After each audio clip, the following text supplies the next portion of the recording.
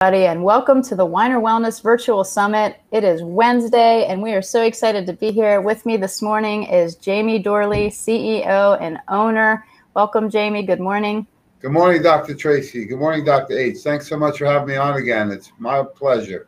Absolutely. And we have Dr. Joseph Honigman from the Winer Wellness Center. He is a lifestyle and wellness oriented practitioner. So we're so great, so great to have you here, Doctor. Welcome. Thank you, Dr. Tracey. Hello, Jamie. Good morning. Good morning. So, guys, we have a jam-packed session this morning. Uh, this the wellness event has been going on all week. We've had great lectures, and I just wanted to hear from you what you thought of the week so far and what's coming up. Well, I thought the week so far has been fantastic. I love that the teams really come together. I knew I love the new live stream. I love the quality of the speakers, not only with our team internally at the Winer Wellness Center um, Nutritional Frontiers, and then all the national speakers that we have the privilege to be educated by. And in the past, we didn't have that. And what I've mm-hmm. gotten is a lot of great feedback from the clients and customers and patients because now they can watch all the workshops or pick and choose the ones that they like the most at the comfort of their home and even sometimes don't tell their boss you know at the comfort of their office so um, great way to be educated and I love the incredible lineup of speakers. Um, so many different backgrounds. It's just been fantastic. Yeah, and you know, I had someone message me yesterday. She said, "I hope my boss leaves the office so I can turn this on my phone." I was like, "You should just turn it on for everybody. It's like a corporate wellness yeah, program." Put the headset on. They can't tell. That's right. You might be just educating yourself. Well, Dr. Honigman, I know. At Nutritional Frontiers, they just put their headset on and go about their business. That's right. And you know, I have people texting me from from NF as well saying, you know, great lecture. So they are listening uh, while they work. So it's kind of like listen while you work. Dr. Honigman, I know you were you were up on the first Saturday, um, and now you've kind of had the privilege, I hope, to be able to watch some of the speakers. But of course, you're probably seeing patients as well. Any favorites? Any comments?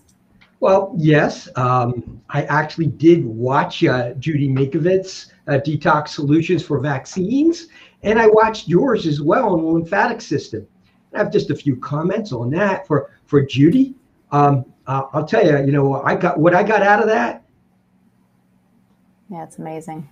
Organic black coffee is good for me.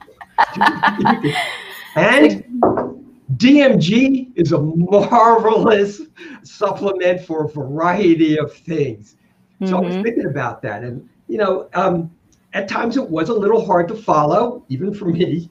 And I have a master of public health degree right. in epidemiology. Uh, and I was thinking that it would be really cool if, like, in the future, you and possibly Jamie or Joe could actually interview her and kind of direct her and maybe even beforehand say, hey, I know this is difficult, but can we get this to an eighth grade level? right. Right. So when she started out with, this is eight years of research, I was like, oh, now I know why I'm so lost. I was like, let's back up. So no, she was wonderful. And, and I agree. It was, it was a high level lecture. Um, but I do think there were some good points, like you said, that came out of it. The DMG, she is hands down such a fan of that. And, you know, when I first started speaking with her, you know, she wasn't, you know, she knew about the product, but like she said, I, she forgot about it, you know, because she has been doing research on all kinds of nutraceuticals. And when I sent her the book and I sent her a sample and she was like, oh, this is it. This is the key. Mm-hmm. And, you know, she has become one of our biggest advocates for nutritional frontiers with the Enter DMG chewables. And I get questions and comments and people calling me all the time now, like, how do I get this? How do I get this? So, uh, lots of great things when somebody at that level can speak to, you know, and, and you know this, Dr. Honigman, because you have a, a master's in it. I mean, you can speak to the biochemistry of how it really works and that it's not mysticism, that it's real science. When you asked her to explain the retrovirus uh, system, and she, at that point, she answered that question uh, very succinctly and, and easy to understand, you know, about how uh, the RNA forms the DNA and then uh, enters into our system, takes over the DNA of our system. But the most interesting thing about that was that it doesn't need to be expressed. When she talked about that, right. and I think that's worth watching for that alone, for everybody to watch that. Mm-hmm. The expression yeah. of the gene. The, the nice thing about genes, right? is uh, great minds think alike. So we do have her on the speaker circuit for the professional training event and nutritional frontiers, I believe later this year in the fall, and that's some great feedback. So uh, reminds me when we saw Dr. Bland speak. You know, a lot of people would leave there and their head was spinning, right? So we mm-hmm. had to direct him a little bit so that uh, you say eighth grade, I say bring it to a kindergarten level, mm-hmm. and then they can get into some of the deeper research. But we need that foundation of knowledge that um, how do we apply that in the clinic, right? That's really what we're looking for, and how do we apply it in our lives. But fantastic education from everybody, and um, I really like the topic of brain gut connection. I think we talk about it and we assume that everyone knows it. Um, 99% of the doctors out there are not aware of it. This is really brand new research, all within the last 10 to 15 years. So when you look at the brain chemistry, the brain chemistry is also the gut chemistry. And you look at the number one condition people suffer with, and the number one prescribed medications are all the antacid, digestive meds, over the counter, prescription, whatever it may be. And how common is it, Dr. H, to see someone come in and the first thing they complain about is their gut health, right? Um, if it's bloating, if it's gas, constipation, diarrhea, or any manifestation of those types of symptoms, and including maybe some of the later things that we are talking about on the roundtable with some of, of the autoimmune conditions. So, do you find it to be very common in the in the practice? Oh yeah, uh, absolutely. The the the two what I would consider the two biggest underlying uh, risk factors for uh, disease for problems, the uh, the root cause are going to be uh, stress, anxiety in the adrenal glands, and the gut and there it is, you know, the gut brain connection. And it's sort of like, which comes first? You know, is it the stress and the anxiety? If you're in stress, if you're under stress and anxiety, you're not digesting your food. You're in the sympathetic, the fight or flight mood mode. You're more interested in not being lunch than eating lunch. And so, you know, once you're in the parasympathetic nervous system, which is the relaxation mode, that's normally called the relax, and digest system. So once you're there and you're relaxing and you're digesting your food better, obviously your gut is going to be better. Stress affects that, and then the other way around. Yeah, this is such a hot topic that we have speakers yeah. about every day that are going to hit this topic. I believe uh, Jeff Niznik, applied kinesiologist at the Winer Wellness Center, uh, will be addressing this at nine o'clock today. Is that correct? Yes, yes, yes, he will. He's yeah. going to be talking about colon health, IBS, ulcerative colitis. So he's going to get specific on some things. Mm-hmm. Yeah, and that's good to know because uh, I was sharing with some people the other day at the Wellness Center when I was doing all the consults. It became more and more common to see younger adults that had already had GI surgeries, right? And autoimmune conditions have just skyrocketed the last five to 10 years. So I'm glad he's addressing this again. The great news is people are texting me right now. Are you guys accepting new patients at the Wellness Center? Absolutely. All they need to do is give them a call down there, 412 922 Well. That's 412 922 9355. And depending on what your chief issue is, they're going to direct you to the right healthcare professional. So we have Dr. Orbach doing all the structural and functional medicine um, on the physical side including chiropractic, stretching, um, myofascial release, trigger point therapy. So he does more the, the structural medicine. We have Dr. Honigman doing the functional medicine, nutrition, and chiropractic. We have Jeff doing the allergy elimination and also the applied kinesiology, and Adam doing muscle therapy. And we even have Ashley Razi joining the team doing uh, functional weight loss. So we have professionals for you and we help customize the program for you. But we need to get you down there. Well, that's very exciting to hear about Ashley because uh, she's a great practitioner. She did all the free Zyto scans on Saturday, and she's doing free Zyto scans again. I think we have a couple of slots left, so I'll post that link if you want to sign up um, come in, get a scan, find out what products your body's responding to, and then chat with Ashley a little bit. And then if they want a follow up consultation with any of the practitioners, they can schedule that. So that's really exciting news. Yeah, she's doing a great job. She lives the part. Um, you know, she has great experience with the naturopathic degree. She has tremendous uh, success with people that are really struggling, not only with weight loss, but also the underlying causes of what that may be. And we learned so much about this at the seminar recently on weight loss, a functional medicine approach. And I like that they go really, really specific on what each person needs and customize it for them compared to all these programs that are out there that are all cookie cutter. And folks, this is a program you can implement right away, get results right away, and continue on this long term. It's not a quick fix, it's a long term solution to the problem. Excellent. So today we have a great lineup of speakers, and I'm very excited for today because we have our very own Jeff Niznik coming up at 9 a.m. Um, we talked a little bit about that. He's doing colon problems, IBS, Crohn's, ulcerative colitis, and natural solutions.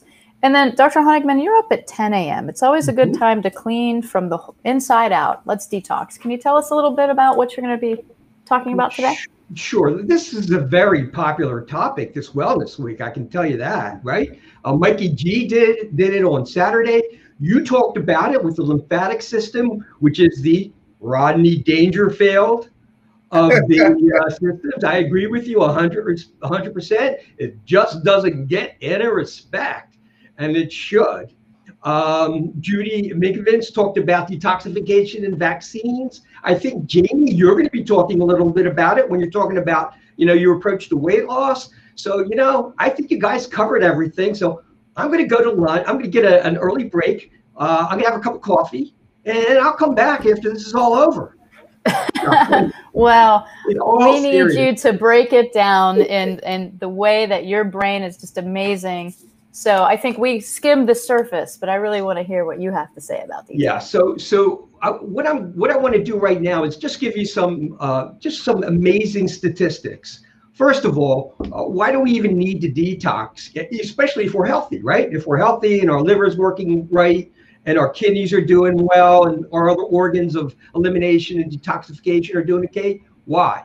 And it's because we've been exposed to an overabundance of toxins unlike anyone has ever seen before, unlike it's ever been in history. It's coming from everywhere. It's coming from the air we breathe. It's coming from the chemicals that we're being exposed to. It's coming from the food and the water that we drink. And I'm going to, and there's others which I will discuss about in my talk. But here's the thing this is how bad it can get. Every year, for every American, there are three pounds of toxins sprayed onto our food. Every person, every year, three pounds of toxins.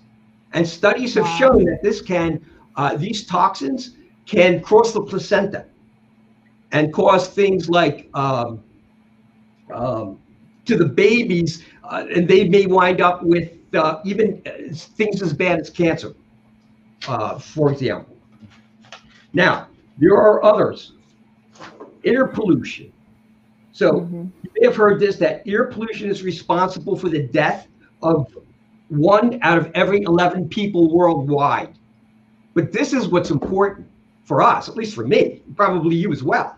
Here in Pittsburgh and Allegheny County, it's especially bad.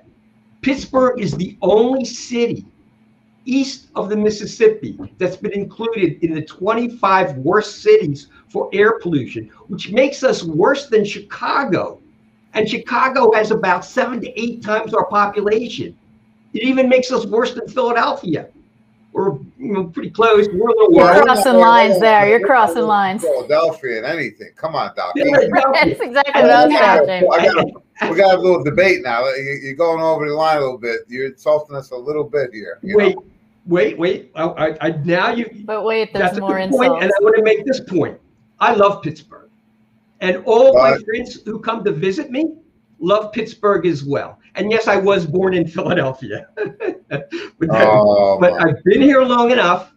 Uh, you know my love for for Frick Park and and, and the surrounding area. Uh, I am a true fan, a true lover of the city, and so are my friends. However, you know, here's the problem: Allegheny County and Pittsburgh, our rates of, of cancer are twice that in terms of lung cancer because Yeah. of that. So And I think we're so. lacking in that area. with your master's in public health, when you you know you present all this research and data, I get it.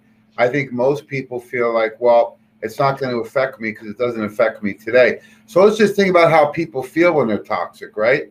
Absolutely. Brain That's what we're going to be talking about. Skin issues, weight, right? Lack of energy, not sleeping well. What about chronic or acute pain, right? I was just talking to someone recently and uh, he stopped drinking soda. He lost 20 pounds, but more importantly, he says, all my joint pain went away, right?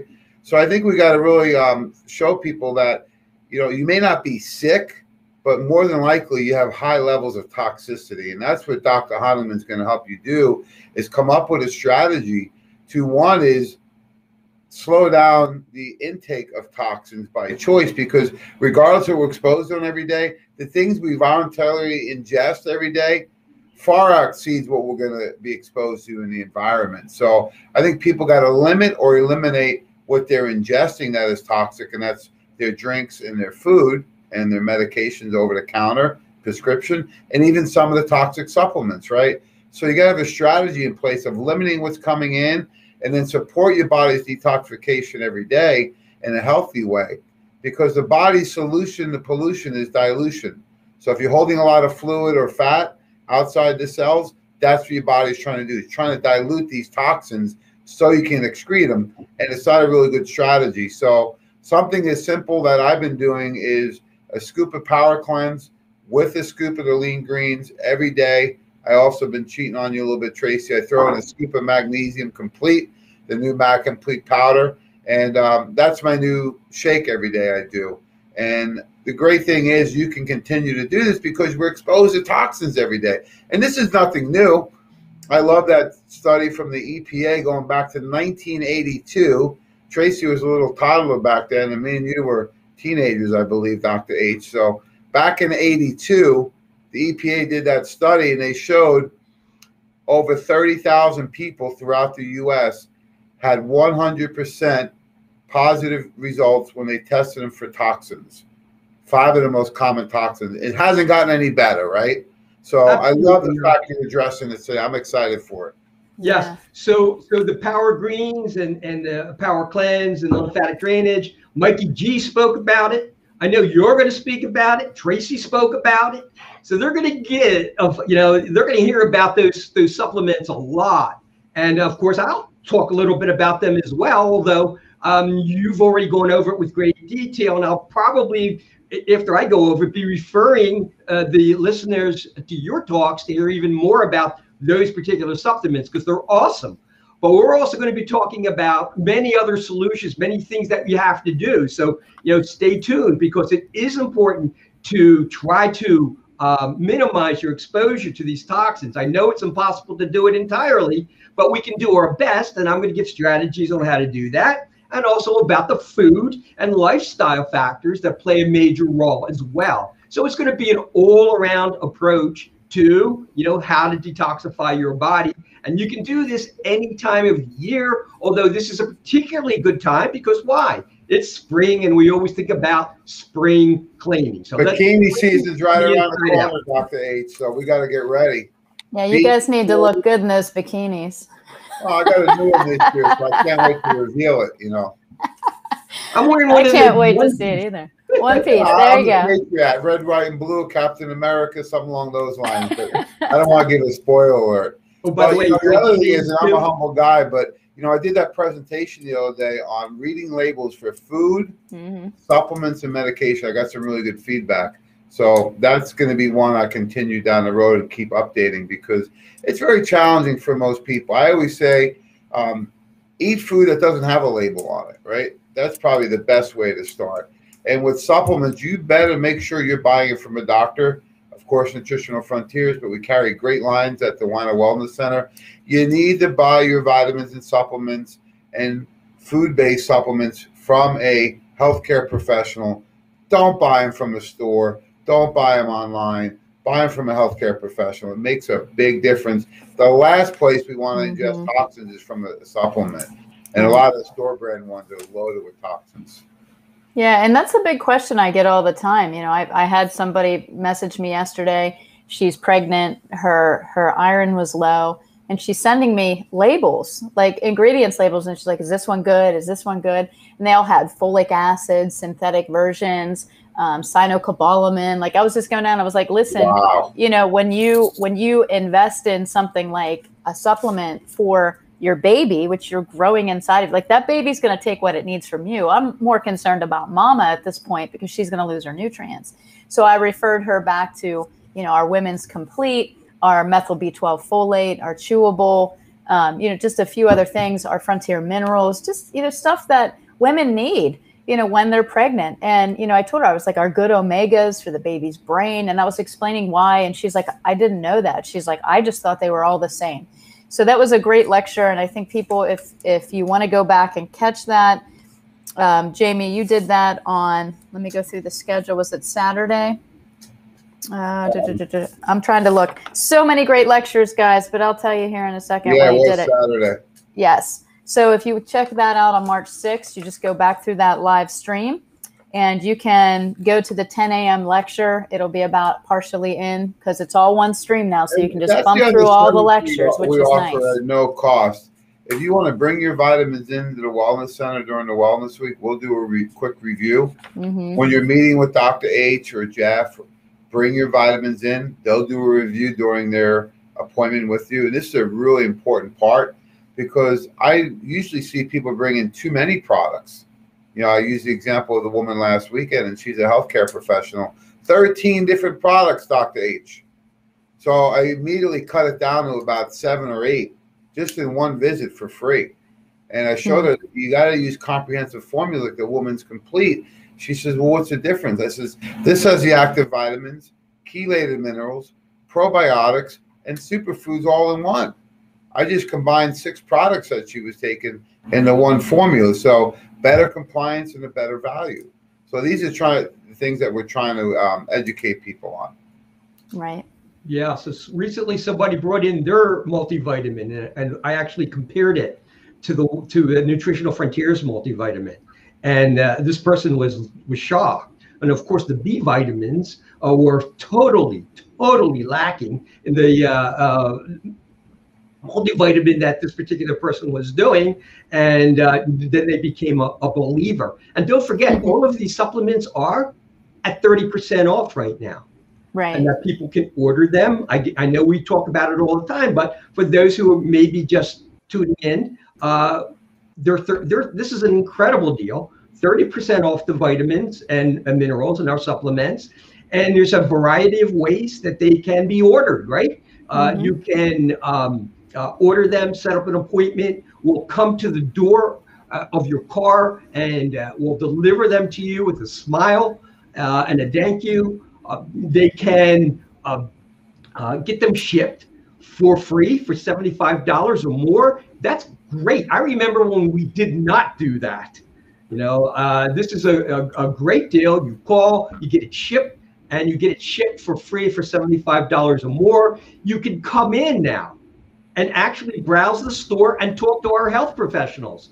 That's I saw um, uh, I saw Joe, the uh, godfather of nutrition, out there uh, answering questions. Uh, so he answered them with a little bit of aggression. That's a godfather of nutrition. Wow. I know. So uh, it, one, you post something one time, right? So before we end, because we have a couple of minutes, and Dr. Honigman, I think it's really important that people come in and talk to the practitioners and really uh, just get a review on what they're taking. Uh, everyone's available. But for the rest of the schedule, there's three more uh, uh lectures that are coming up that are going to be fabulous. You know, first on the list, we have Erin Kerry. She has a program called Sparking Wholeness. Um, it's a podcast, incredible. She gets thousands and thousands of downloads. Um, and she actually overcame bipolar depression uh, with nutrition. So she literally healed herself. incredible so, story. Bipolar depression. Yeah. So she's unbelievable. I awesome. so yeah. So she's going to be talking to us about anxiety and stress and how it like we learned yesterday with Candace that gut brain connection. That's what she's all about. Her entire uh, you know podcast is around that. So then coming up next is Robert Scott Bell. He's going to be talking about breaking the COVID illusions. You know, he has a really uh, big following and he has his own radio show called The Robert Scott Bell Show, uh, where he educates people for the last 20 plus years on alternative health. He's a homeopath, uh, natural health professional. So he's been in the industry for a long, long time. And then we have our very own Michelle Kunselman. She's one of our practitioners and, and health partners with Nutritional Frontiers. Um, and she is going to be talking about life after the ventilator and ND's journey through COVID. She came down with COVID 19. She actually ended up in the hospital on a vent and then used a lot of our products from Nutritional Frontiers to overcome and regain her health. And she is doing better than ever. And she'll tell you that herself. So she's going to talk to us about that journey. What can we do? How can we prevent it? What are the things that brought her to sickness? And how did she come back stronger than ever, right? The comeback was greater than the setback. So that's a remarkable that, story. Was a comeback. that's right. She's so sweet. She sent me a very nice text this morning when I was working out. It was a beautiful song and prayer. So I just want to thank her. That was very kind to her and came at a perfect time. Well, great. So we're excited for today. Thank you guys for being here this morning. I look forward to all of the lectures. And if you're tuning in with us, make sure you contact the Winer Wellness Center. They are taking new patients. There are deep discounts on all your nutritional needs. You just simply have to call them at 412 922 Well, or you can stop in and talk to one of our incredible doctors there and front desk staff who's doing such a great job. So thank you, everybody at Winer Wellness Center. Thank you, Jamie, and thank you, Dr. Honigman. Everybody, yes, stay tuned. One last minute, and thank you, Dr. Tracey, because I think we take this lineup and this event for granted sometimes because we're so close to it. But this is a fantastic event. No one else puts on a seven day event like this with the caliber of speakers that we get, with the diverse backgrounds and the amount of education.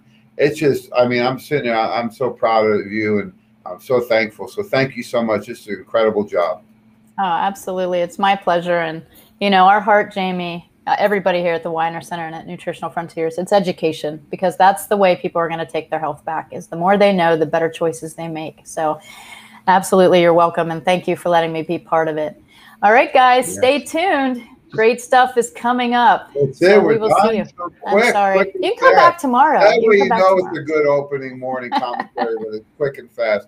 Thanks, quick guys. Have a great day. God bless. All right. God bless. And, and as Trace and as Jamie said, Tracey, and as the miracles say, I second that emotion. Yeah. Amen. All right, guys. Thanks so much.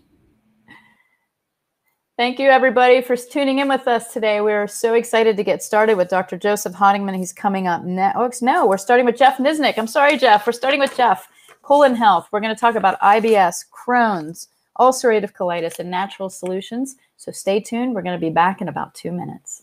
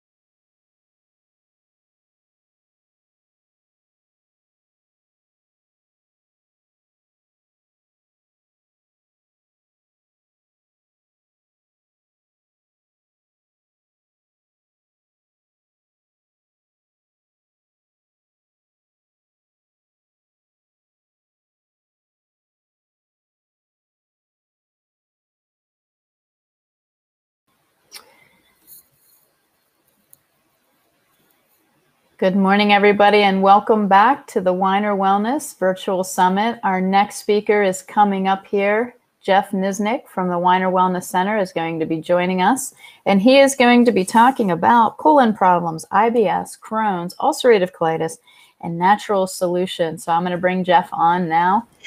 Good morning, Jeff. How are you today? I'm doing great. Uh, how are you doing there, Tracey? I'm doing fabulous. Well, thank you for being here. I'm actually really excited to hear this. I know this is a big problem. So I'm going to let you just get into your lecture and take it away. All right. Thank you much. Pre- appreciate the intro. So, folks, yeah, my name is Jeffrey Niznik, and I'm going to be talking about colon problems today irritable bowel syndrome, Crohn's disease, ulcerative colitis, and we have some natural solutions that may help you. So, a little bit about me I went to Center High School, local here in uh, Monaca, Aliquippa area. Went to Carnegie Mellon. I studied uh, civil engineering. Uh, went to work for engineering firms, but I had problems my whole life. You know, my my body just wasn't working well, and that kind of forced me to get into the healing art field. And you know, they say sometimes your uh, greatest challenges turn out to be your greatest blessings, and this that's definitely true in my case. And for the past 29 years, I've been helping people. You know, help them help them heal themselves. It's been my passion. Okay. So I'm on the radio with the Health Breakthroughs radio show, sponsored by the Winer Wellness Center. I work here at the Winer Wellness Center. Uh, that's on Monday mornings at 10 a.m. and Friday afternoons at 5 p.m. And then they repeat my show sometimes during the week. You can catch that on 620, 92.3 FM, 94.1, and 102.1. If you don't, uh, if you aren't in the area, and uh, you can stream this live on khbradio.com and holistic uh, truth radio show. I'm also on that. That's nutritional frontiers radio show. It's usually one thursday a month usually at 8 in the morning. And once a month i'm on kdka sometimes twice. Okay. If you want to get a hold of me uh, set an appointment with me talk to me call 412-922-9355 okay folks. So a little bit of fda disclaimer you know i'm not a medical doctor. I don't treat i don't cure or prevent any disease or conditions. These presentations and these statements today, these are for informational purposes only. They're not intended to treat, diagnose, cure, or prevent any disease. And should you have any medical condition, you're advised to see a licensed healthcare practitioner. All right, I do applied kinesiology, holistic natural therapy. This integrates the art of Oriental medicine and modern science and combines them together. And uh, this been teaching this for quite a long time in the United States, the International College of Applied Kinesiology. Been doing this for a while. The uh, basic premise of what I do, you know, during an appointment with me, I use this applied kinesiology. It's just a method of communicating with your body. You know, we all grew up from one cell. You know, that, that cell grew us to the size that we are today. It had the intelligence to do that, and it still has that intelligence. We're always replicating all of our cells, all of our organs are all being replicated, all those cells, all, all new and there's a way we can communicate with all those cells. And what, what we do is we find out what's what's really strong in your body, what reflexes are strong, but you want to find out what reflexes are weak, what's blocked, you know, where you have a disturbance in the force.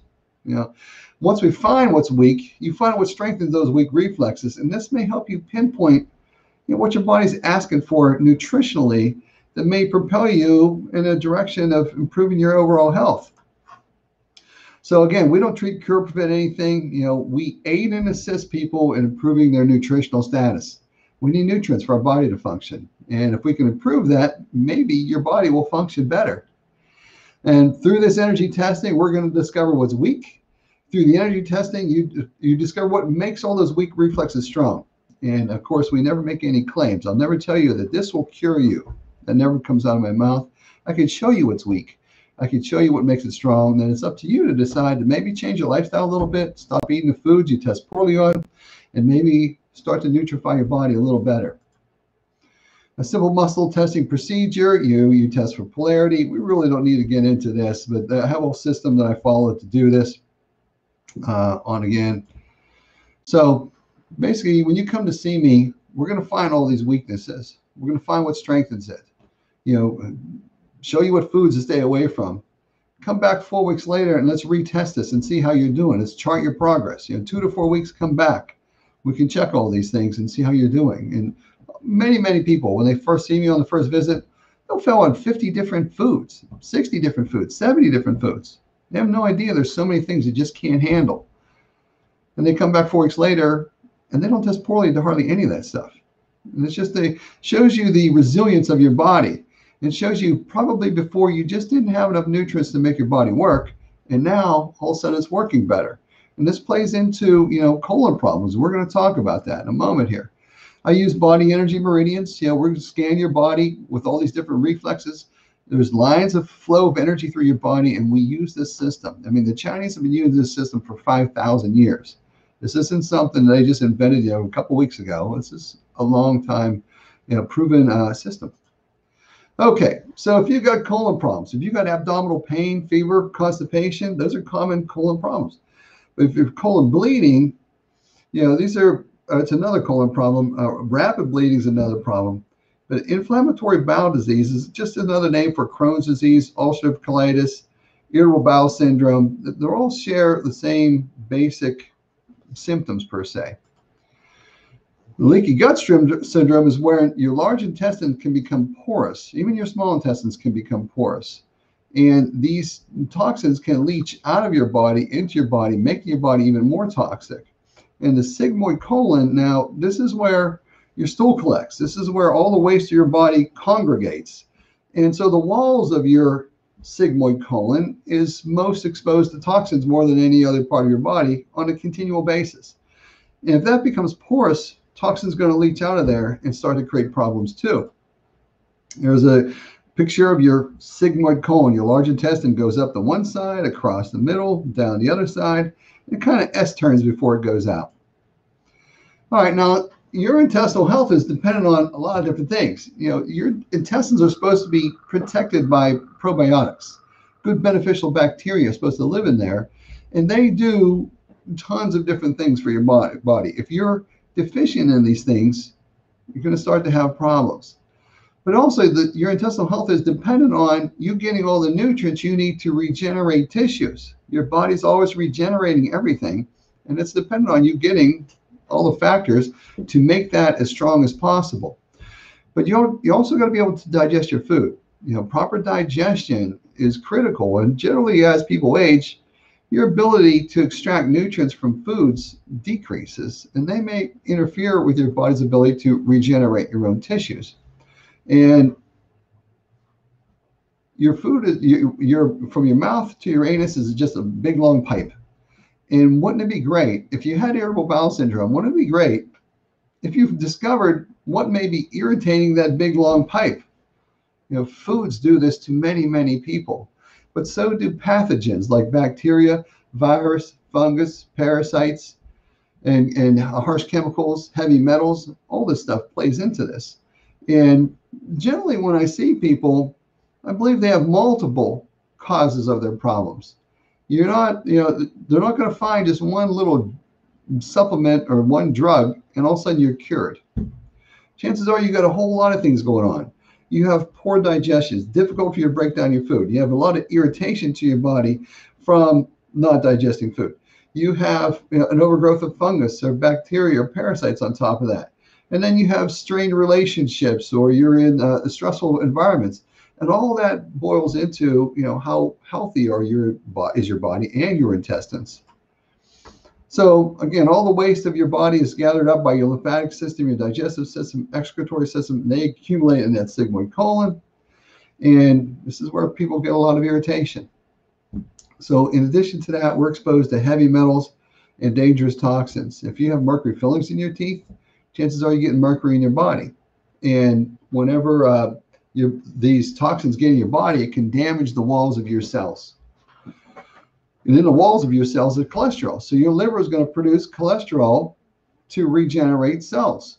In all the walls of your cells, you need cholesterol, so your liver has to make it. You know, you get very little bit of the cholesterol from your diet. Actually, boil goes into the uh, cholesterol makeup of your blood. Your, your liver is producing the amount it needs for your body to fix itself. So again, the part of your body most exposed to toxins is, is that sigmoid colon, and this is where a lot of the problems originate. Okay, now the organs in closest proximity to that sigmoid colon, you know, is the prostate and bladder in men, you know, and the uterus, ovaries, and bladder in women. And if toxins leach are leaching out of there, that can affect those organs. So if you can see the sigmoid colon here, and the organs in closest proximity to that is the you know the bladder and so forth, uterus, ovaries, and so forth. And in guys, it's the prostate and bladder as well. So when toxins leach out of here, can affect those organs. So that's a funny picture. Colon problems, IBS, Crohn's, you know, ulcerative colitis, these don't have to be a life sentence. You know, for many people, just because they haven't improved their nutritional status, just because they haven't improved their their diet, and they started taking drugs for a problem originated by you know all these things we talk about. Is one an anti-inflammatory drug going to fix that, or a combination of anti-inflammatory drugs? It's not going to fix your digestion. It's not going to fix an overgrowth of fungus in your body. There's a whole lot of things. It's not going to take the mercury out of your teeth, constantly going into your body. So when you come to see me, we look into all these different avenues. We ask your body, what's off? What's wrong? You know, what can we do to help improve everything in your body? And lo and behold, see how your colon does. So now, how do you tell if your intestines are inflamed? Well, there's several ways. You know, symptoms of irritable bowel, you know, vary depending on the location and the severity of your inflammation. But it can be just diarrhea, which occurs when affected parts of your bowel can't reabsorb the water bleeding ulcers, you know, which may cause blood to show up in your stool, but just stomach pain, cramping, bloating, you know, this can be due to bowel obstruction as well. Now, colon cancer, that's a whole different animal. Now, you know, the early signs of colon cancer uh, can can include, you know, a change in your bowel habits, including diarrhea or constipation, uh, a change in the consistency of your stool that lasts longer than four weeks, rectal bleeding or blood in your stool, and persistent abdominal discomfort, such as cramps, gas, or pain. Now, healthy suggestions. You know, you want to identify what foods may be causing damage to your intestinal walls and eliminate them from your diet. You know, identify if you need some support in breaking your food down. Eating a non-acidifying diet. You know, you want to eat a lot of uh, mineral-rich foods, a lot of vegetables, a lot of things that give you nutrients you don't get many nutrients out of a bagel. You don't get many nutrients out of a cup of coffee. You don't get many nutrients out of a Pop Tart. You follow me? You know, when you have just a piece of pizza at lunch and expect to be super healthy, it doesn't work that way. You need nutrients flowing in your body all the time. So you want to also identify if you need some immune support. You know, applied kinesiology can show you where you're weak. And say, for instance, you have 12 weak reflexes on your body and five supplements that help you deal with parasites strengthen everything, chances are you got parasites. We can ask your body what's going on and see what you respond to. And I won't tell you that this parasite formula will heal you, but if everything's weak and no other immune boosters strengthen these weaknesses, but all the anti-parasite formulas do, to me, chances are you got issues with parasites. So let's do that. You know, come spend some time with me. Let's ask your body to communicate with us, and it'll tell us. You know, I have a really strong attraction to all these immune boosters, but not those. So let's get into that. So in addition to that, uh, detoxification support. You know, we live in an amazingly toxic environment, and sometimes our cells don't have a very good capacity to purge all this stuff. And sometimes we need nutritional support for that. Just curing, like just just improving your base, just improving your daily density of your nutrition may help improve the detoxification capacity of your cells. So let's ask your body to see what it wants in that area. And of course, you need a whole bunch of nutrients flowing in your body to regenerate all your tissues. This is basically what I do when people come to see me. Uh, there's a balance between acid and alkaline in a, in a body. If you eat a lot, drink a lot of coffee, eat a lot of meat, don't eat many vegetables, this whole balance can go off and your kidneys are going to struggle. Your kidneys are going to send signals to your parathyroid gland to steal calcium from your bones, to put it into your bloodstream, to make your blood alkaline. All these things happen when you don't get enough nutrients in your body, enough minerals in your body. So you want to keep this balance, you know, in the right way. Typical pathway to intestinal health and healing and nutrition. This can be the same pathway for anything. Basically, you want to stop putting inflammatory agents in your body you want to put out the immune system fires. You know, if you've got a raging fungus in the intestines, you know, how do we know that? I can't tell you for sure. But if you fail on everything and five different antifungal remedies strengthen all your weak reflexes, to me, chances are you have an issue with fungus. And you know, let's deal with that. Uh, test the teeth. Your teeth have are wired to your body electrically.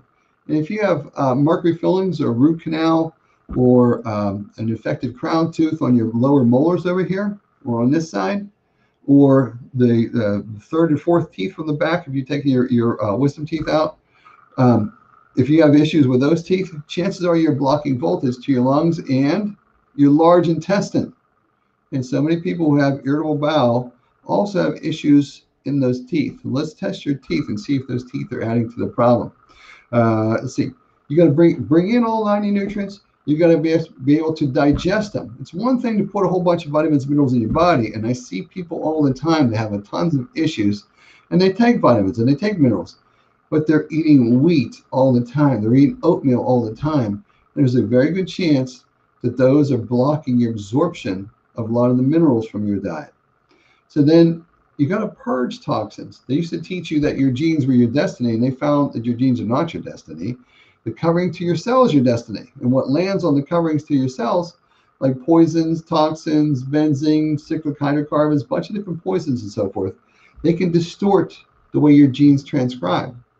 You know, the same genes will transcribe a different way if healthy, beneficial nutrients land on the covering to the cell. So, what type of detoxifying agent does your body, you know, communicate with us? You know, and says, "I like this one and this one, but not those over, over there." Sometimes proline greens, sometimes uh, frontier cleanse, sometimes power cleanse, sometimes metallo clear. These are things that you know may help your body purge these things. So let's ask your body to tell us, I got a really strong attraction to this power cleanse, but not this metallo clear. Your body will tell us. Scars. Scars can limit energy flow in the body. And if you have a scar, you know, on your forearm, the different places that are on that large intestine meridian, maybe that's blocking energy flow or voltage to your large intestine. Let's test to see which essential oils strengthen those weak scars. Uh, and then you got to move. You got to move your body. Moving your body stresses your body. You know, uh, moving your body with intensity and so forth. This stress to your body, your body will respond to the stress in a positive way if you don't overdo it, of course. So that also helps drain your lymphatic system and get everything moving and mobilized. And the more sedentary you are, the more trouble is going to be start brewing. And then use the power of your mind. Your mind is amazing, and it's you know help help the way you heal your body. And then you got to believe. Of course, I had all kind of problems most of my life with you know back pain, neck pain, knee pain, shoulder pain, arthritis, all this stuff. You know, difficulty sleeping and so forth, all sorts of things. But I believe there was a reason why I wasn't functioning. And I was searching, searching, searching. And I believe I finally found the answers for me. And I use this knowledge base I gained along the way to help people when they come to see me. You know, personal experience, one of the best teachers. So my contact information, again, if you want to set an appointment with me, call the Winer Wellness Center here at 412-922-9355. Let me tell you some stories here. So you know, kind of what kind of success have I had with this? I've helped a lot of people with irritable bowel, Crohn's disease, ulcerative colitis, uh, constipation. Tell you some stories. The, the best story though is, um, well, let's build build up to the best story. So there was a, a wonderful woman. She was uh, 44 years old when I saw her. She had been in a car crash 20 years prior. Ever since that car crash, and this was a very bad car crash, ever since then, she had irritable bowel syndrome. And she came in to see me. I tested her. Her body said it had a very strong reaction to all these antifungal remedies. And she took the one her body said she her body said tested the best on, took a probiotic that may help eat up fungus in the system. She took another probiotic that may help restore the health of the walls of the intestines. She took uh, multivitamin, multimineral, essential fatty acid. She avoided a whole bunch of foods. There was a whole bunch of foods she did tested poorly on. Four weeks later, she came back to me. She reported, you know what? Within a couple weeks, I didn't have irritable bowel anymore. I didn't have I didn't have this chronic diarrhea problem anymore. It was gone, and it, had, it has it has remained gone. Another lady came to see me. She was 77, and uh, I did my testing thing with her. Got on her nutrition plan. She was constipated and she tested very well for GI complete amongst a bunch of other things uh, with vitamins, minerals, and so forth. I showed her what foods she had a problem with. She stayed away from those foods. I saw her four weeks later, and she tells me I'm a miracle worker. I'm like, I'm not a, a, a like a proud or boastful person. I'm like, what are you talking about? She goes, I'm not constipated anymore. I'm like, that is awesome. I said, uh, how long have you been constipated?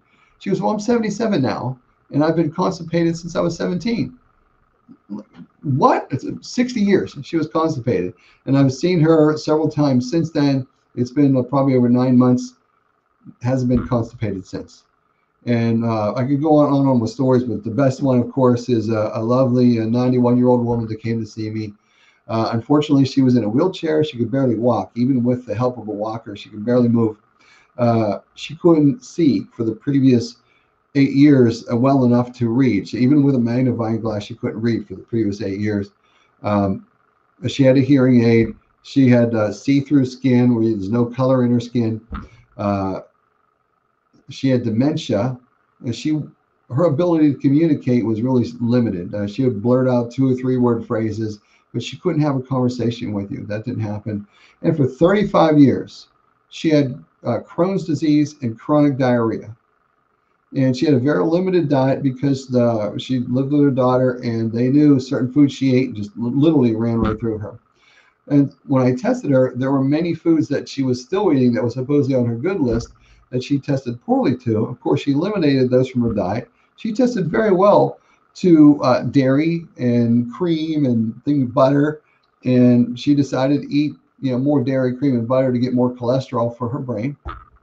She had uh, tested very strongly for supplements that may help with fungus in the system, and of course, 91 essential nutrients. Um, changed her diet up from where she was. Four weeks, no diarrhea anymore. Six weeks, she had perfectly formed stools. Eight weeks, she was uh, reading again with the help of a magnifying glass. At 10 weeks, um, she was walking again at home without her cane.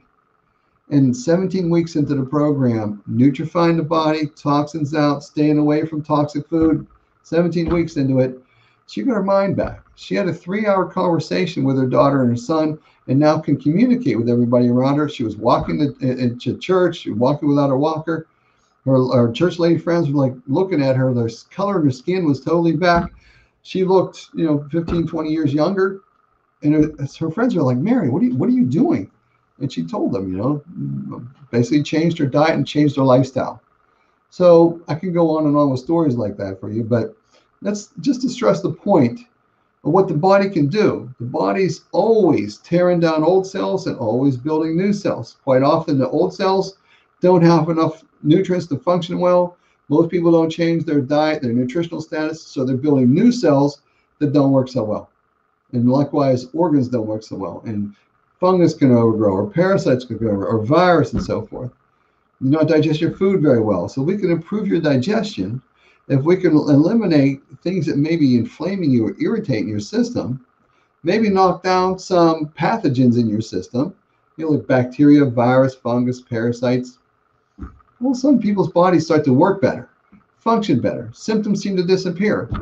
So again, I don't treat any of this stuff. I'm just going to aid and assist you in improving your nutritional status. Your body's going to communicate with us. You know, it'll say, I, I, I'm weak here, weak here, weak here. And this one over here strengthens it and those don't. For up to me, I would take the stuff that strengthens it. So that's basically my presentation, folks. That's my, spiel on problems. Come to see me. Call the Winer Wellness Center here, and we'll do what we can to get you on a track to improving your nutritional status, keeping you away from the toxic stuff, maybe detoxifying other things. Test your teeth and show if you have problems with the teeth. Go to the right dentist to help make you fix that and get you on a track to do better. So that's it for today, folks. Uh, Tracey, do we have any questions or comments on anything? No, that was fabulous. Thank you so much, Jeff, for your presentation. And thank you, everybody, for joining us for Jeff's presentation. As he said, you are welcome to call the Winer Wellness Center, get in touch with him, make an appointment. He does remote and in person appointments. Uh, and also, if you have any questions on any of the information that he has shared today. So thanks so much, Jeff. Guys, stay tuned because at 10 a.m., we have Dr. Joseph Honigman coming up Uh, he will be here shortly, and we will be right back. All right. Thanks, everybody. Ciao. Have a great day. All right, guys, stay tuned. We're going to show a little bit of an educational video that we did a while ago. So if you have any questions or comments, you're welcome to put them in the chat box or you can call the Winer Center. Our next speaker is coming up, Dr. Joseph Honigman. It's always a good time to clean and detox. So we heard all about all of those toxins this morning. So stay tuned. We'll be right back.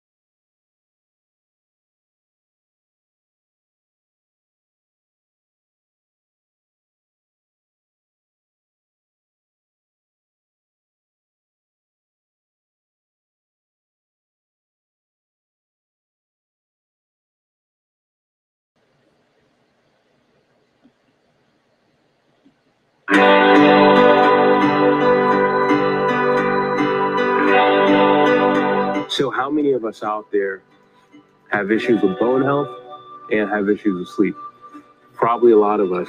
In fact, in 80% of women, they show that this is a key deficiency calcium and magnesium, both being deficient in those. Not to mention, some of us are genetically predisposed to things like osteoporosis, osteopenia. These could, uh, if we have these, these could lead to hip fractures and, and fractures of bone that we don't need. In terms of sleep, a lot of us lack sleep.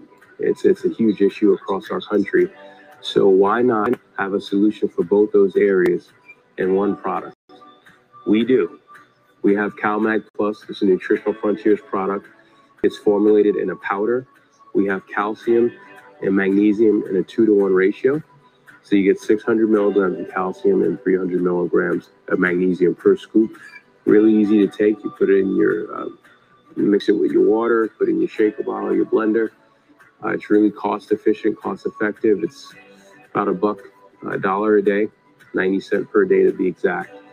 And you get something that's going to help you promote sleep and promote healthy bones. How about it? CalMag Plus Nutritional Frontiers product for your bone support and your sleep support.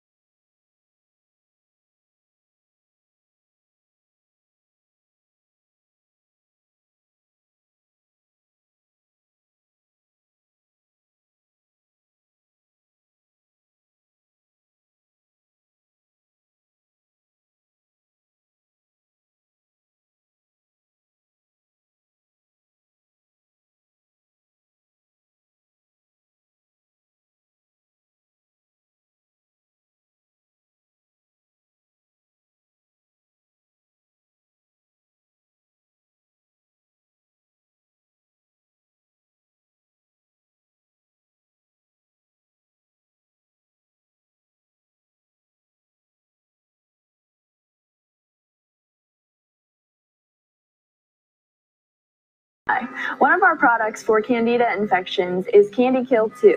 Candy Kill 2 is really great in supporting candida infections, yeast infections in men and women, any conditions that affect the skin or the nails like psoriasis, and also any conditions that affect the digestive tract.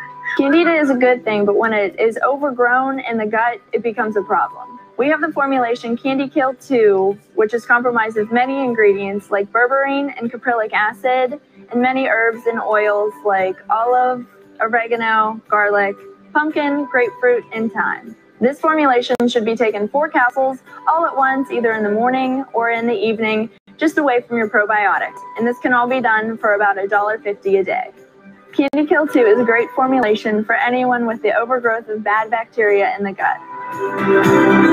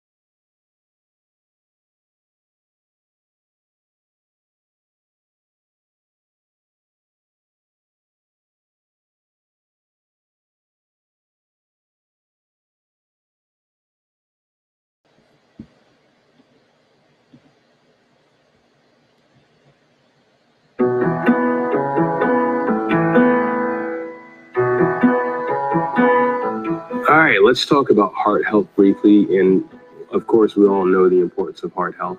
You know, our heart is is doing so much on a daily basis, and as we age, you know, we fall into certain risk categories based on where our lipids are at and based on how well our triglycerides and cholesterol is doing. So you have all these key components that play a role in cardiovascular health that I'm sure your doctor is checking for on an annual basis. Hopefully, we all need to be getting annuals and checking these levels. But why not have a supplement that can help manage cardiovascular system, cardiovascular health, and help get some of these markers where they need to be? So we have CardioStack that really plays a key role in cardiovascular health.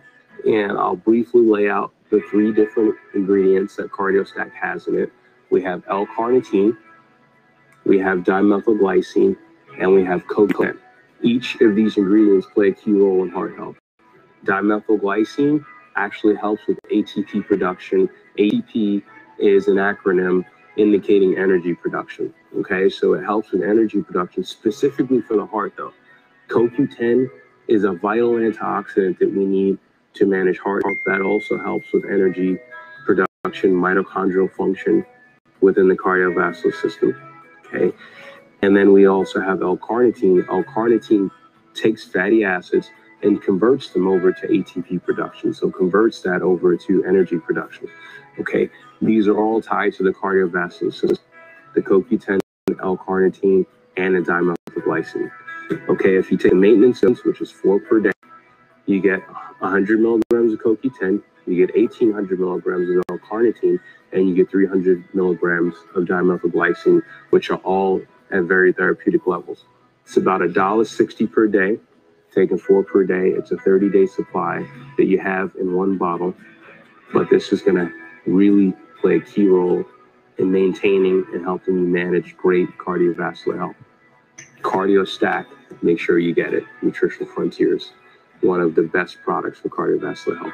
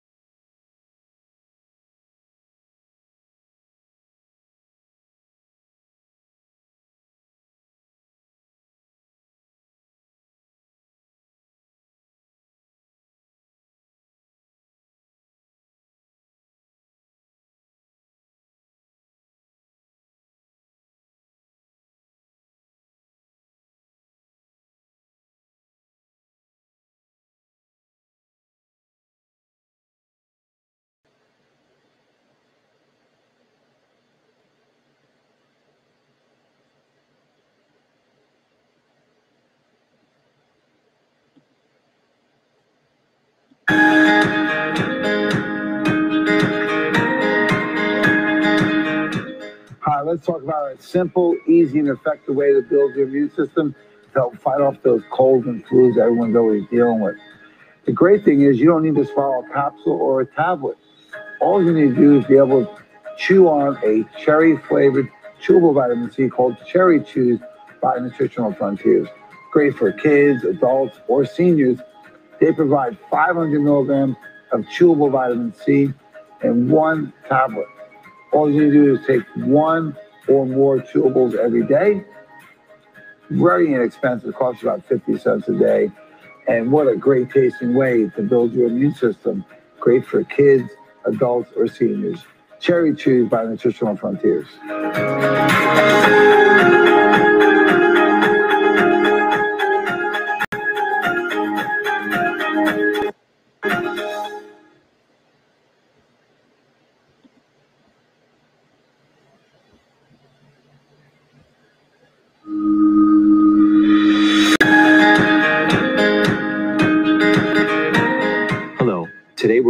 Discuss a fantastic all natural cholesterol formula. And when we're referring to cholesterol, we're talking about the oxidized cholesterol. Of course, we know your body needs cholesterol, your brain, your sex hormones, especially, but we're referring to the bad cholesterol, the oxidized cholesterol. That's what causes the hardening and plaquing of the arterial walls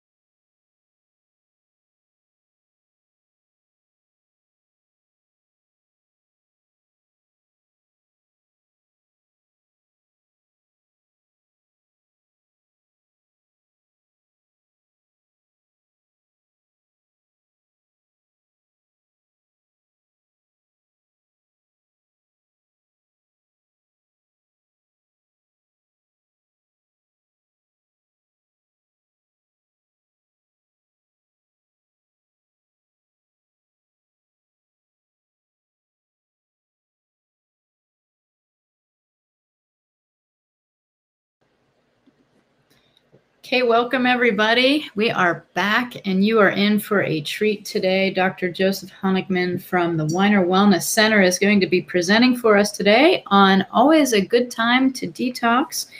So this is going to be an incredible lecture because he can bring the science and back it all. So welcome, Dr. Honigman. Thank you for being here with us today. Good morning, Dr. Honigman. Can you hear me?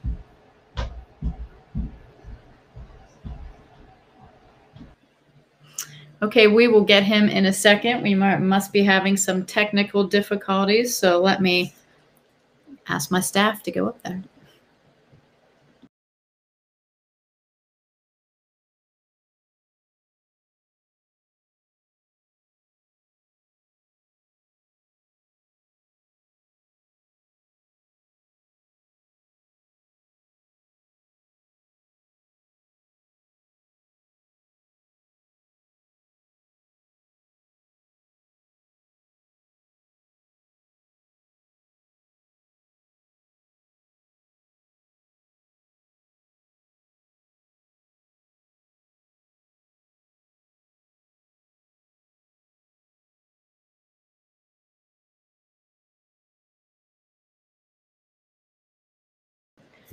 Okay, we have uh, our technical group in the room and they are helping out. Hopefully they can hear me better now.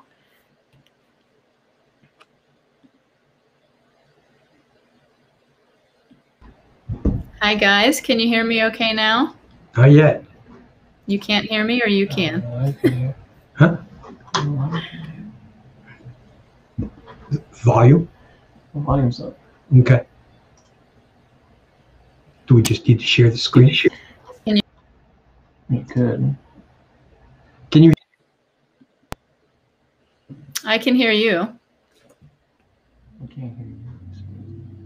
Are you muted? Well, Dr. Honigman, people don't really need to hear me. Do you want to get in here?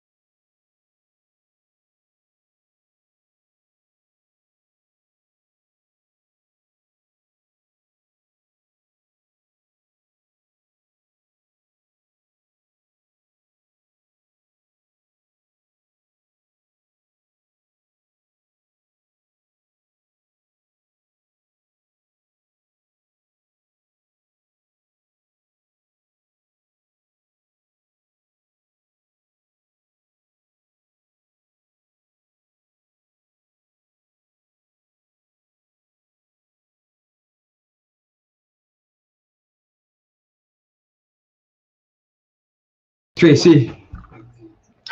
So, hello everyone. Welcome to my presentation on It's a Good Time to Detox. What you're looking at on the right of your screen is a representation of phthalate. This is a common environmental toxin found in our cosmetics, and I will be talking about that later in the presentation. But first, a little introduction. I am Dr. Joseph Honigman, and I'm a functional wellness nutritionist and a lifestyle-oriented doctor. I have approximately 40 years experience in natural health care, and I use safe, natural, effective methods focus on optimizing the health of your whole body. I have specialized training in functional wellness and nutrition, integrative medicine, and stress management techniques, including um, diaphragmatic breathing, meditation, and other relaxation techniques. I also hold Master of Public Health degree with a major in epidemiology. And my goal for you, as well as for me, is always healthy transformation of body, mind, and spirit. Now, let's get to the presentation. Well, first of all, what is detoxification? Well, detoxification is how your body gets rid of waste and toxins. And a toxin, for our purposes, will be any substances that can cause harm injury.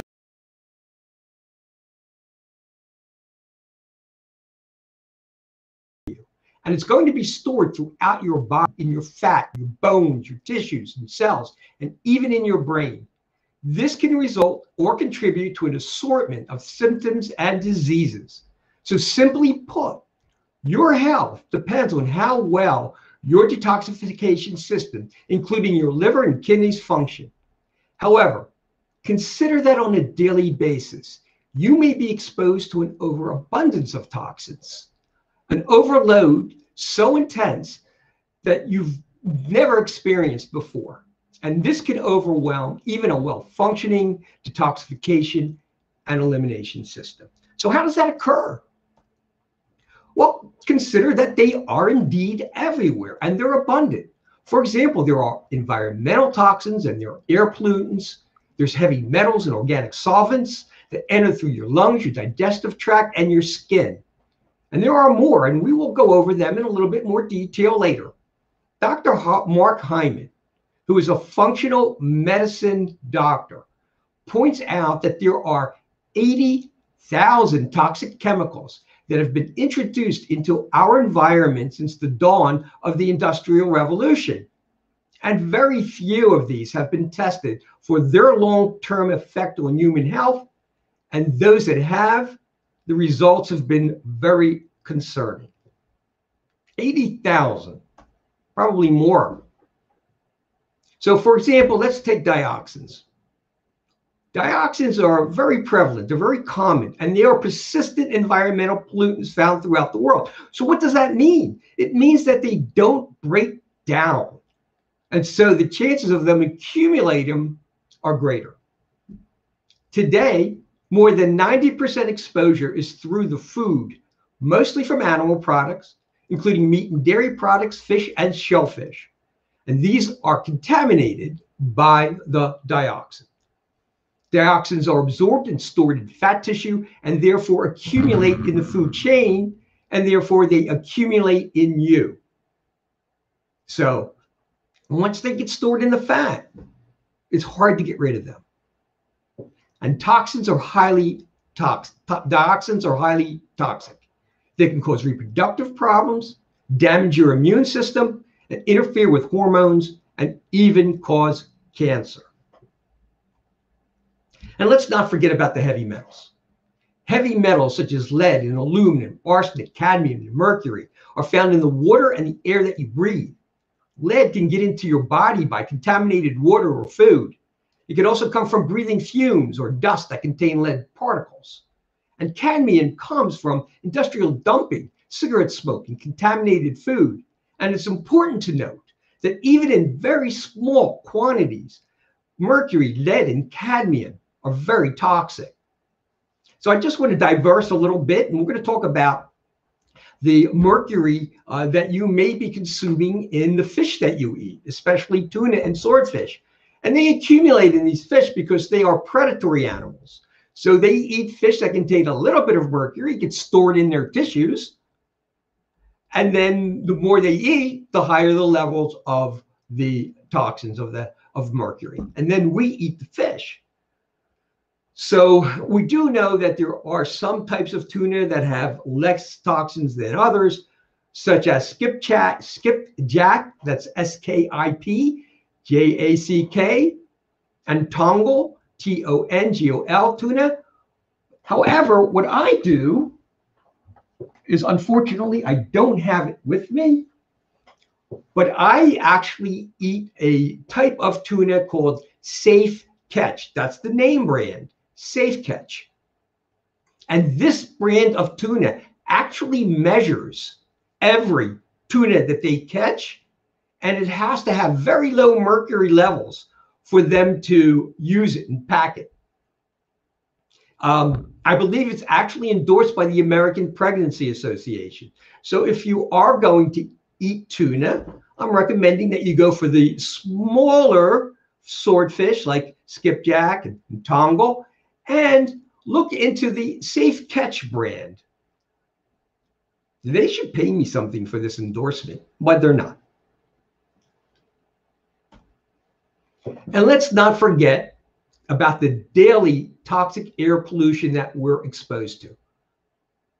Unfortunately, once again, the American Lung Association in 2020, so that's um, that's just this past year. Obviously, we don't have the data for 2021, but in 2020, they reported Pittsburgh as one of the worst United worst cities in the United States for particle pollution. In fact, Pittsburgh ranks eighth in the country for particle pollution. And this significantly increases your risk for asthma and heart disease and cancer, as well as premature death. So, Pittsburgh is the only community, and that's the city that I live in. And I'm sure many of you who are watching this right now live in Pittsburgh and the surrounding area. Pittsburgh was the only community in the list of the 25 most polluted cities east of the Mississippi. So that means Pittsburgh is actually more polluted than Chicago or Philadelphia. And Chicago has approximately seven to eight times the population of Pittsburgh, and Philadelphia approximately five times the population. Now, as I've said often when I'm on the radio and I talk to people, I love Pittsburgh. It's a wonderful place to live and to raise your children. My friends who come here, they love it. They can't stop talking about it. They can't, they, they, they're surprised actually at how wonderful and amazing the city is. However, we certainly could do better when it comes to air pollution. Allegheny County received an F grade for the number of days with high levels of ozone. So we got an F grade for particulate matter, and we're now getting an F grade for ozone. And that can damage your lungs, cause chest pain, coughing, shortness of breath, and throat irritation. Finally, Allegheny County has ranked number three in the country for pollution related cancer rates, resulting in at least twice the risk of cancer from air pollution. So I'm, I'm not going to leave you hanging. You know, there are things that you can do to minimize this. You know, first of all, you can get a HEPA filter for your home. Uh, you're, you're not going to be able to eliminate it totally, but you can try to minimize it. For example, we know that plants and trees help to neutralize air pollution. Something that I try to do whenever I can is actually go to my beloved Frick Park, which is this wonderful wilderness uh, wilderness park uh, between uh, Regent Square and Squirrel Hill. I'll go there, try to get into the middle of the forest, and just deep breathe. I'll do diaphragmatic breathing. It's wonderful. And I recommend that you try something like this as well, if you can. Oh, by the way, that's actually called forest bathing. I did not make that up. It actually originated in Japan, and it's called Shinrin Yoku, which means going into the forest and just trying to be mindful of what's around you. So here is some good news. Pittsburgh did have fewer unhealthy air days on average than the past year. That's good. So this past year, 2020, was indeed better than 2019. It's a start. And there are toxic contaminants in your drinking water, chemical and biological contaminants that include bleach and fungicides such as atrazine and pesticides and metals. Well, what about that? Uh, are fungicides in our water really a problem? Well, they are. Uh, let's get back to atrazine. Atrazine is a very common fungicide in the United States, although it is banned in the European uh, Union. I believe it's been banned for over 10 years. So, what can atrazine do? It can interfere with your endocrine system, like your thyroid glands and your reproductive organs and your adrenal glands. In fact, it's been shown to turn a male frog into a female frog that can produce viable eggs. I think I'd like to skip that. So, what can you do about that? For example, you can use a carbon filter. Something as simple as a carbon filter can get rid of the atrazine in the water that you drink. There are also prescription drugs and over the counter drugs found in your drinking water.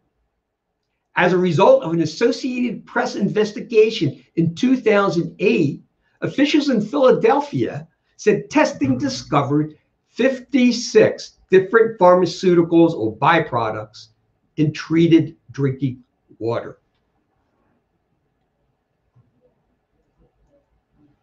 And then there are indeed toxins found in your personal care products, as well as toxins actually formed within you. So, toxins in the personal care products include phthalates, and uh, phthalates can damage your liver, your kidneys, your lungs, and your uh, reproductive system. We had a chemical representation of that at the beginning of this uh, slideshow, of this PowerPoint. And so, what's it used for? Well, it's actually used to lubricate and soften ingredients. There's also something called triclosan that you can find in your personal care products. And this is also an endocrine disruptor, which means that it can do damage to your thyroid and your and uh, your adrenal gland. So what you want to do is read labels. Look for products that don't contain them. So for example, let's look at this. This is actually a product. Um, it's actually a product that I use. It is a deodorant. We sell this here. By the way, uh, at the Winer Wellness Center right now, all of our cosmetics are on sale for 20% off. So that's a really good deal. And the phone number is 412 922 9355.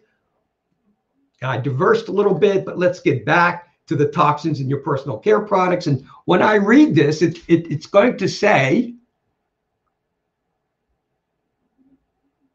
no phthalates, no aluminum, no triclosan, 100% vegan, cruelty free, and it's in a BPA free container. Uh, one more, uh, just to show you that you should read labels. Uh, this is uh, a shampoo, and right on the front, it's going to say no GMOs, vegan, biodegradable, and it's also going to say no parabens, no sulfates, no synthetic colors or fragrances, no phthalates. There are also toxins that are being formed within you, in your gut. And they're going to be released by harmful bacteria, yeast, and parasites because they're not trying to live in harmony with you. They're just trying to reproduce. And so they will release toxins that will damage your gut and your gut lining. And finally, but certainly not least, are the toxins found in the standard American diet. The standard American diet is filled with chemicals and additives such as preservatives and hydrogenated oils and artificial colors and flavors, as well as pesticides, fungicides, antibiotics, and hormones used in meat and dairy products. So, is this a problem? Am I exaggerating? Well, let's take a look at this. You know, for every American, every year, there are three pounds of pesticides sprayed onto our farms. That's three pounds for every human in the United States. And it's been shown that these pesticides and herbicides will transfer directly through breast milk. And there are three over 200 peer reviewed studies that correlate the, the spraying of these toxic chemicals to effects like ADD in children, pediatric cancers, and birth defects. So it is indeed a problem. Can it affect adults? Sure, it can. Stuart B. Levy, MD, was a professor of molecular biology, microbiology, as well as medicine at Tufts School of Medicine. He studied the subject of antibiotic resistance for years. And he estimated that there are 15 to 17 million pounds of antibiotics used subtherapeutically in the United States each year. Subtherapeutically. That means that they're not being used to prevent disease. They're not being used to cure an animal of uh, a uh, of a bacterial infection. So what are they being used for? These 15 to 17 million pounds of antibiotics. They're actually being used for the majority of animals as a growth hormone to fatten them up so that they can get to slaughter with a heavier weight. Do you think that this may be interfering with our own ability to fight bacteria? Might there be some uh, antibiotic resistance as a result of this? I certainly think so. Also, besides in the food that we eat, consider that there are herbicides, fungicides, pesticides, and fertilizers also being used in our gardens. So, what's the solution? Grow organic, eat organic as much as you can. So, exactly what does organic mean?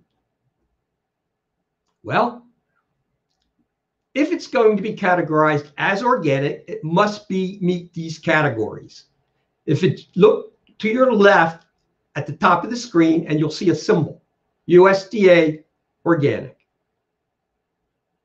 What's that telling you? What that is telling you is that 95% or more of the ingredients will be organic, which means that you can have a non-organic ingredients up to a total of 5%. All listed organic ingredients must actually be certified ingredients and they must be identified by an asterisk or some other symbol. In, in, in this particular product, it has a little one uh, with a parentheses, uh, but I often see it with an asterisk. If it says 100% category, uh, 100% organic category, you've hit the jackpot because it's going to meet all of these criteria. All of the ingredients must be certified and they must be identified as organic. And yes, there's going to be some residue. There will be. I mean, you, you, it can't be helped. From neighboring fields, uh, some of that may drift onto the onto the organic, but it's going to be much, much, much less. And remember, our goal is to minimize the exposure. We're never going to eliminate it. So, what's this result of this accumulated toxic exposure to all of those toxins that come from everywhere, from the air that we breathe, the chemicals on our skin, the food, water that we eat, drink? Well, although you already have an amazing system inside you to neutralize and get rid of the toxins, recently this toxic load is greater and unlike anything that you have ever been exposed to in the past. It can overload the body's detoxification, elimination, and immune systems. And this can result in a chronic inflammatory state that can make you sick and worsen an existing illness. These excess toxins are stored in every cell of your body. And so it's in your best interest and health to eliminate them just get rid of them. And these are just some of the symptoms. I didn't even I didn't include all of them. But these are some of the symptoms that could result from a toxic overload. And again, it's going to depend on the toxins that you're being exposed to.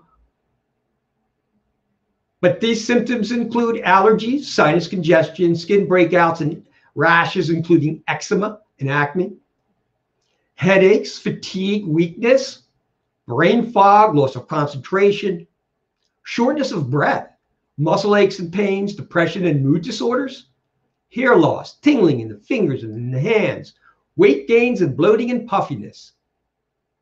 And this toxic overload can also result in chronic conditions and diseases such as Parkinson's, Alzheimer's, dementia, heart disease, liver disease, chronic fatigue syndrome, cancers, autoimmune diseases such as multiple sclerosis and rheumatoid arthritis, thyroid disease, such as Hashimoto's and Graves, which are autoimmune disorders of the thyroid, as well as autoimmune disorders of the gut, including Crohn's disease and colitis.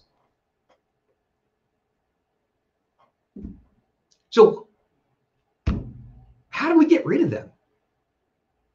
Well, we have to thank our major organs of detoxification. And they include your liver, your digestive system, your kidneys, your skin, and your lungs. And let's not forget the lymphatic system. Okay, I did. I didn't put it down on the slide. The lymphatic system, I call it the Rodney Dangerfield, you know, of your organs of detoxification as well as uh, immunity, your immune system, and elimination. So I'm going to give it some credit, right along with your liver, your digestive system, your kidneys, skin, and lungs. Let's include the lymphatic system. But we're going to spend most of our time on the liver because the liver is your king of detoxification. The king. And that's no disrespect to your kidneys and the other organs. Because your kidneys work very, very hard. In fact, they are filtering about 200 quarts of blood every day. 200 quarts every day. So we're, we're there's no disrespect to your kidneys, but we're going to concentrate on the liver. Now, in your mind's eye, picture this. All the blood vessels from your entire digestive tract, entire digestive tract, including your stomach, your small intestine, and your large intestine, go straight to your liver. And the liver is going to process all the food, including the toxins and nutrients that have been absorbed into your bloodstream. It's going to help to remove toxins from the air, chemicals that you breathe that have also been absorbed into your body. The liver is, plays a major role, the major role in removing drugs, heavy metals, and environmental toxins. It will detoxify alcohol and other poisonous chemicals, and it does so by filtering and cleaning two liters of blood per minute. That's over two quarts of blood per minute.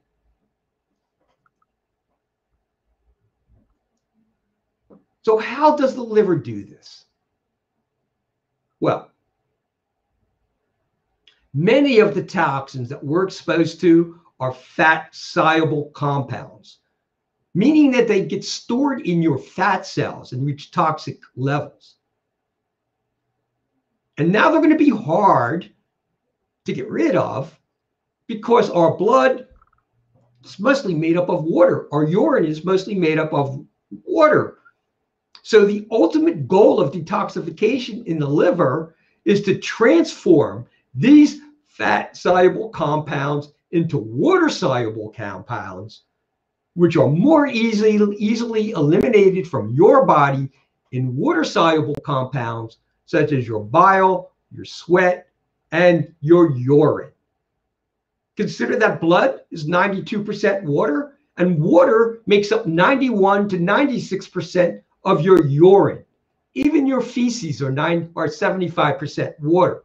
Now, to accomplish this transformation, to neutralize the toxins and make them more water soluble, the liver uses two major phases of de- detoxification called phase one and phase two. Now, it does get a little complicated. In fact, it could get very complicated. And you don't need to know a lick about this to be able to toxify your body and get rid of stored toxins. But I'm going to try to explain it as simply as I can.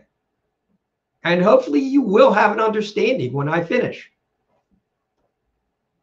So, we're going to talk about phase one of liver detoxification, which is called the neutralization phase. In phase one, the cytochrome P450 enzymes in your liver converts these fat soluble toxins into less harmful ones. Okay, so right away, you know, P450 enzymes, really, first of all, 450 does not stand for the number of enzymes. It does not. It, it has to do with their spectrum on this uh, uh, that a wavelength uh, on a spectrometer, and you don't need to remember that at all. All you need to know is that during phase one, you have these special enzymes that are in your liver that are to convert the fat soluble toxins into less harmful ones and into intermediate, which means that they're not yet ready to be eliminated, but into intermediate, more water soluble mo- molecules. The other important part about phase one that you need to understand is that during the process, toxins and free radicals are generated. That's not uncommon in uh, the metabolism of our body. As we change things, other things are being formed, and some of them are actually toxic. That's why we have so many existing antioxidants in our body to neutralize them. But it's the role of phase two liver detoxification to make sure those toxins do not build up and to go through the final phase of making them more water soluble. So, in summary, phase two provides the final neutralization of the toxins so that they can be removed by the body. At stage one, you want to consume antioxidants, either through the food you eat or through supplements. I highly recommend doing both. So, antioxidants such as glutathione. I'm mentioning glutathione because this is a major, major liver detoxifier. In fact, it's a lot of times called the master antioxidant because it's found in every cell of your body or almost every cell of your body. And also vitamin C, which once more, this is a master antioxidant. And both are very important to neutralize the free radicals that are being created by the byproducts generated during phase one. Now we get to phase two. I call this the conjugation phase. I imagine many other people do as well. In phase two, detoxification occurs primarily through conjugation of toxins because now we're going to uh, utilize compounds um, from other molecules and uh, uh, supplements and food that we eat to bind to the intermediate to make it even less toxic and more water soluble. So some of these are going to be, uh, get once more, uh, glutathione and, and amino acids to create sufficiently water soluble compounds that can now be excreted in the bile or kidneys when you urinate. This occurs through many different pathways. I'm just giving you two. There's probably, I think, seven or eight. It occurs through many different pathways, including but, but not limited to glutathione conjugation and amino acid conjugation. And the food you eat and the supplements you take can enhance and improve these pathways. And I also want to give you an example of how powerful glutathione is. So the number two cause of drug-related hospitalization is Tylenol poisoning, instead of acetaminophen. Number two. Okay. So a lot of people don't know that they're taking an excess of acetaminophen because it could be their headache medication. It could be for joint pain. It could be for fever. And so they un- unknowingly overdose, wind up in the hospital guess what they're given? They're given large doses of N-acetylcysteine, which converts to glutathione, which then neutralizes the acetaminophen toxins. And now I'm going to talk a little bit about the elimination phase. So this is part of your detoxification phase, just not your liver detoxification phase. So what we want is we want the excretion of the toxins that are formed from phase one and phase two and now ready to be eliminated. We want them to be eliminated in our feces and our urine. So some of the toxins are going to be shunted into the bloodstream and others are going to be removed by the kidneys in your urine. Others are going to move to the bile, right? Liver makes the bile. Bile uh, helps to emulsify fat, but it also binds to toxins plays a very important role in binding to toxins. And then it's going to make a way, it's make its way into your intestines, and that's going to be bound by dietary fiber. So now we have the combination of the bile, the toxins, and the fiber, and guess where that's going? It's going to be eliminated as feces. In fact, most of your feces is going to be this fiber bound fiber with bound toxins in it. It's also going to have bacteria and water. So the majority of your feces is going to be fiber, bacteria, and water. And that's a good thing because if it's not eliminated in your feces, guess what? It's going to back up and wind up being wind up in your cells. So not not good if you've got constipation.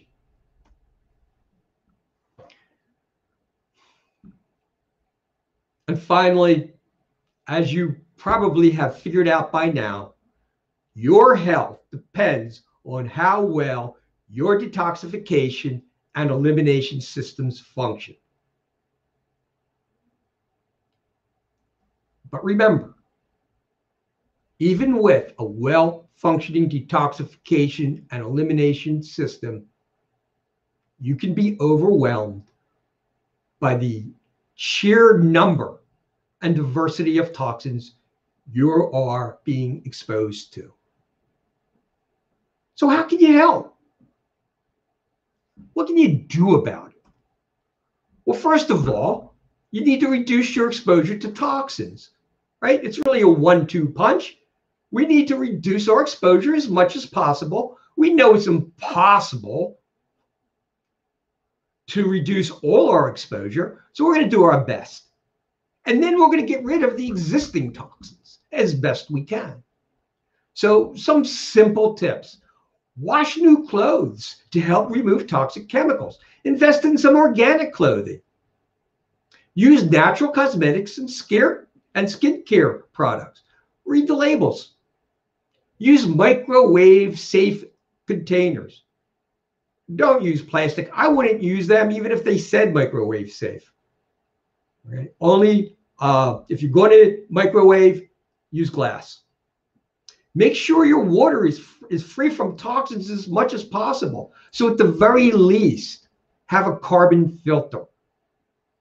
You know, uh, maybe on the counter type of uh, uh, pitcher that filters out water, toxins. Avoid pesticides, fungicides, herbicides, and chemical fertilizers. I think most of us can do a better job with this. So eat organic food when possible. Don't try not to spray them on your lawns and gardens. In fact, I don't see a reason to. So I want to divert just a little bit and I want to direct you to a website called the Environmental Working Group. It's on the bottom of the slide, EWG, the Environmental Working Group. What they do, amongst many other wonderful things to protect you against the toxins that you are being exposed to, is they come out with a list of the 12 worst foods in terms of pesticides. And this was the 2020 list right? Strawberry, spinach, kale, nectarines, apples, grapes, peaches, cherries, pears, tomatoes, celery, and potatoes. Personally, I feel that all of the soft fruit, all of the soft vegetables have to indeed be uh, mm, organic because the pesticides are going to get into the fruit and get into the vegetables, and you're not going to be able to wash them away.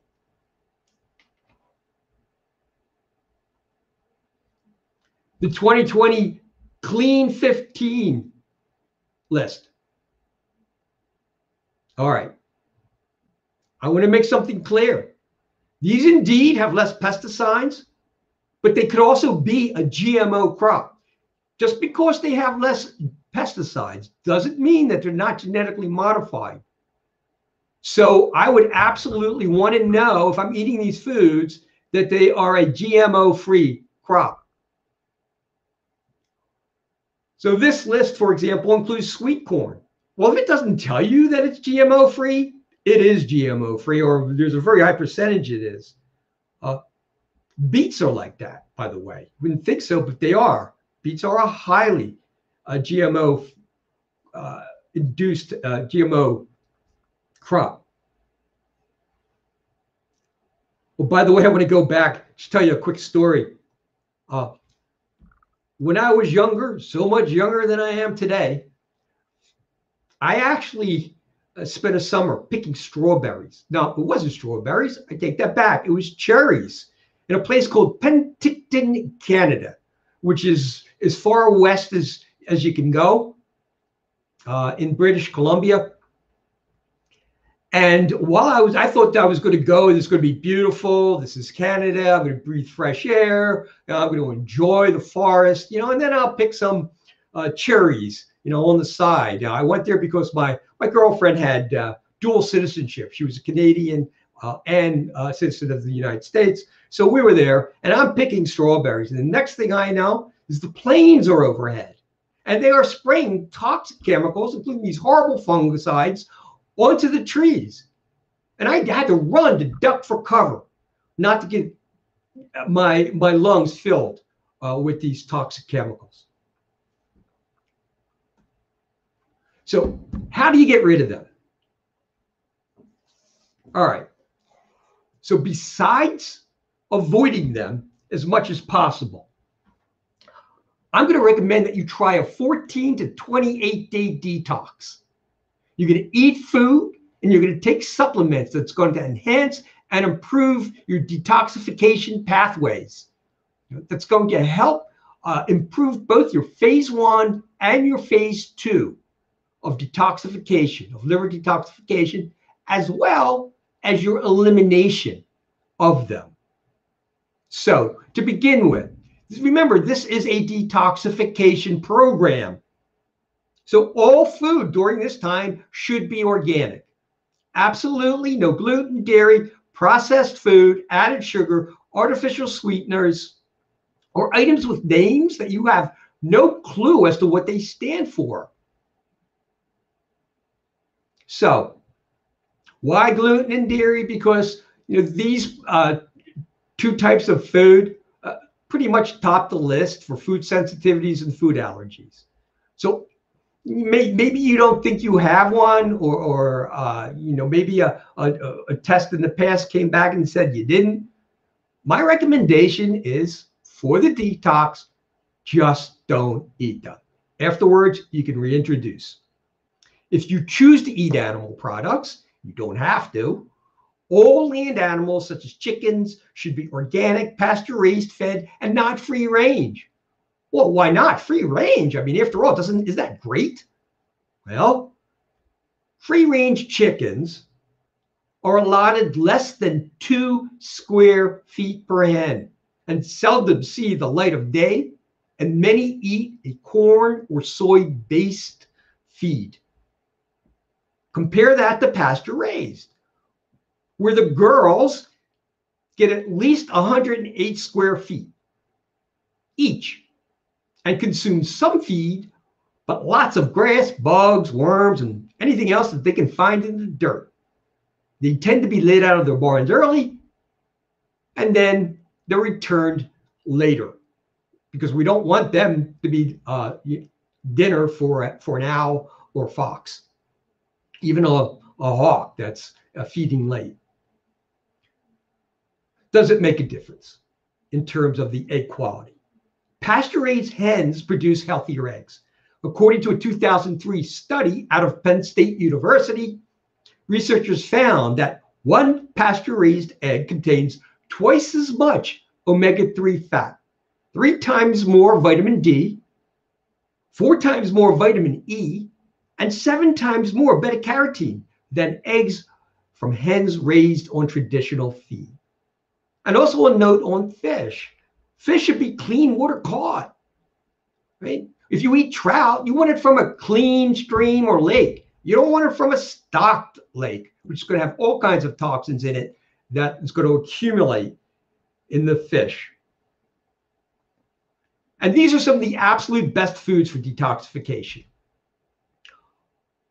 They include the cruciferous family, which also double as some of the best foods for cancer to prevent cancer and to um, to actually help uh, reverse cancer if possible.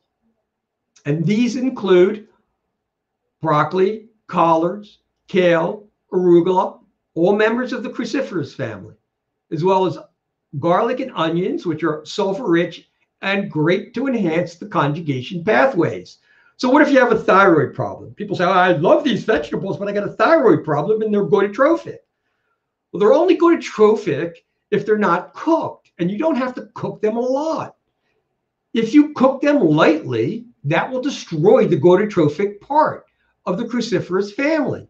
And what's more, these vegetables are great for cancer, they're great for detoxification, and they're also great for your heart because these are also nitric oxide producers, which help heal the endothelium, the inner lining of the uh, arteries that go to your heart and also everywhere else to your, bo- your body. Lots of dark leafy greens are good for detoxification, so I recommend them. Asparagus, which is a dietary source of glutathione, a major detoxifier, sometimes called the master antioxidant. Lemons, limes, tangerines are sources of limonene, which stimulates both phase one and phase two detoxification pathways. So, water with lemon in it is absolutely a good thing to do. Beets contain betalains, and this is a pigment that gives them their deep red color. And it promotes repair and gener- regeneration, especially in the liver. So, beets are great for your liver, they're great for your gallbladder. But I absolutely recommend that you get them organic because they are, they are a GMO crop fiber for, detox, for detoxification. You can write a book about the benefits of fiber, and I am sure authors have. But for detoxification, fiber will decrease your initial absorption of them. They bind to toxins. Remember that they will bind to the bile that has bound to toxins, and they will be eliminated through your feces. And simultaneously, they're going to improve your bowel movement giving it bulk. They support the good bugs in your gut. I mean, fiber is the their favorite food. The good bacteria in your body, they just love fiber. And so sources of insoluble fiber, and both are whole grains, mostly, like I don't know, brown rice, um, uh, quinoa, which is really technically not a grain, but it's a good source of insoluble fiber and soluble fiber, such as that found in oats, lentils, apples, oranges, pears, strawberries, nuts, flaxseed, beans, dried beans, blueberries, cucumbers, and carrots.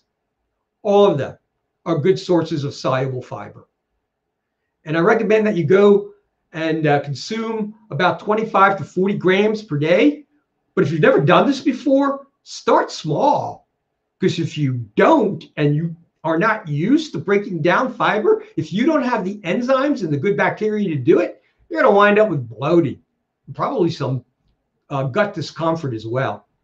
So start small and build your way up if you are if you've been traditionally low in uh, consuming fiber. Oh, by the way, uh, if you don't drink water with this, you're going to wind up constipated. So it's just another reason to make sure that you're drinking water and lots of it. And now let's get into the supplements. Uh, I'm only going to be recommending three. If you want more information on the supplements, I actually recommend that you watch Mike Gallagher's talk, which was this past Saturday. He really goes into the supplements in details and we'll go over each ingredient within them. I'm going to give you a general overview. These are the ones that I use uh, basically with just about every patient that I see that I put on a detoxification cleanse. The first is Power Cleanse. So this is an absolute must. It's a unique formulation that contains ingredients to enhance both phase one and phase two of liver detoxification. It's hypoallergenic. That's wonderful, which means it can be taken by those with food allergies or sensitivities. And it also features a blend of pea, rice, and pumpkin as its protein sources, providing amino acids required for both vegetarians, vegans, and non-vegetarians. Included are the amino acids N-acetylcysteine. You remember how I told you that N-acetylcysteine converts to glutathione and it actually can reverse Tylenol poisoning? That's how good it is. L-cysteine, glutamine. Glutamine is a wonderful product. It is the uh, major source of uh, uh, food for your uh, small intestine bacteria, for your small intestine enterocytes. So those are the, your gut cells that actually uh, protect you against something called leaky gut. It's a whole other talk. Threonine, threonine, glycine, lysine, taurine, all of them are going to help in the detoxification pathway. The amino acid conjugation pathway is very important. So Power Cleanse, once more, I consider it to be the foundation. Besides what I just talked about, it also features milk thistle. Many of you have heard of milk thistle. It's an herb that's been used traditionally for liver health, gallbladder health, and supports phase one detoxification. It prevents depletion of glutathione in the liver. It also has anti-inflammatory properties, and it promotes protein synthesis to replace damaged liver cells. It also features a vitamin and mineral matrix that contains many micronutrients, and these also aid in cell growth, fat metabolism, energy generation, and once again, supports phase one detox. In addition, you can actually use Power Cleanse as a meal replacement. Nutritional Frontiers Lean Greens. I've been informed that it's been updated and actually contains a proprietary uh, supplement that uh, increases the glutathione in your cells. So lean greens is even better than it was before. And it's specially designed to support liver detoxification and digestive health. How does it do that? Well, it contains a combination of over 40 nutrient rich, rich veggies and fruits and herbs with additional enzymes and probiotics, adding the adding antioxidants. So it's going to provide excellent support for both phase one and phase two detoxification. It also contains spirulina and chlorella, and both are potent antioxidants that support healthy functioning of the liver and aid in the detoxification and breakdown of heavy metals, which are particularly hard to get rid of. I'm recommending one to two servings a day. For the power cleanse during my detox, I usually recommend one to two servings a day. And finally, my last one that I'm recommending is the lymphatic tincture. So, the lymphatic tincture is a blend of herbs that supports the lymphatic system throughout the entire body. Remember, I talked about the lymphatic system being the Rodney Dangerfield of uh, the detoxification and elimination system because it just doesn't get the respect that it deserves. Well, we're going to give it some respect right now. We're adding a lymphatic tincture. And it's going to help remove uh, waste, debris, dead blood cells, pathogens, and toxins. And I usually recommend, although the suggested recommendation is one to two droppers, three to six times daily, uh, I personally usually recommend um, one to two droppers one to two times a day. If you're interested in the ingredients, they're on the right. Uh, many of the speakers have already talked about these wonderful products, including Mike Gallagher in his presentation, Tracey Stroup. Uh, I have a feeling that uh, Jamie is going to be talking about it as well. Jamie Dorley, CEO of Nutritional Frontiers. So this is the summary for the detoxification program. Reduce your exposure to toxic chemicals as much as possible. Eat organic. For your water, at least filter. Uh, definitely with a carbon filter to try to get rid of some of those dangerous fungicides. Increase high fiber foods and foods that are especially helpful to your liver and your kidneys that I listed. Follow my detoxification recommendations for food, water, and cosmetics, even if you're not going to do a formal detox. And Try a 14 to 28 day detox, as I've discussed, and include these supplements, the very least, very least. The power cleanse, the lean greens, and the lymphatic tincture. So hopefully by now you understand that your liver is a workhorse. Workhorse. It naturally converts toxins into waste products. It cleanses your blood, metabolizes nutrients and medications, and much more that we simply did not have the time to discuss. However, when faced with a toxic overload caused by the sum total of dietary, environmental, and internal toxins that you may be exposed to on a daily basis, this can overwhelm even a well functioning detoxification and elimination diet.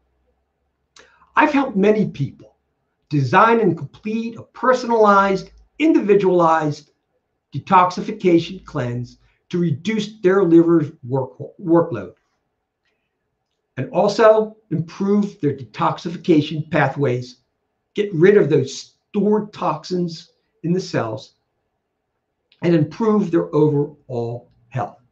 At the very least, on the completion of my detoxification recommendations, people say, Oh my God, I have so much more energy than I had before. The brain fog has lifted. The clouds are gone. I can see clearly now. As well as it helps with so many different types of problems that people come in with their gut, irritable bowel syndrome, even uh, heart problems and blood pressure problems. I use it for all autoimmune disorders. In fact, it's my foundation to start with autoimmune disorders. So, uh, make an appointment to see me. It would be my pleasure to help you. My name is Dr. Honigman. I am at the Winer Wellness Center, and the phone number is 412 922 9355. My fees are very reasonable. I offer both in office and telehealth appointments. And that same number, 412 922 9355, can be used to order the products and they are all on sale for 30% off. So I'm looking forward to seeing you as a client and patient, and it will be indeed my honor. All right. Thank you. The uh, disclaimer this information is provided for educational purposes only, has not been designed to diagnose, treat, or cure any health conditions. The United States Food and Drug Administrations have not evaluated my statements about this health topic or any of my suggested supplement recommendations. So, to all of you, have a great day. God bless and be healthy. All right, great stuff. Thank you, Dr. Honigman, for that amazing presentation. Up next is Erin Kerry. She is the podcast uh, expert on sparking wholeness, and I'm going to bring her on right now simply because we have two minutes happening. So, Good morning, good afternoon, Hi. whatever time it is. Can you hear me okay? We were having I some technical issues. Oh, well, perfect. I, I, I, guess we are over our technical issues, so that's good. well, Erin, I'm very excited to hear what you have to say. Uh, I know our audience deals with this, and your your topic today is practical tips for managing anxiety and stress. You yourself are a CINHC. Can you tell us what those initials stand for? Can you hear me? You're cutting out a little bit. Can you hear me now?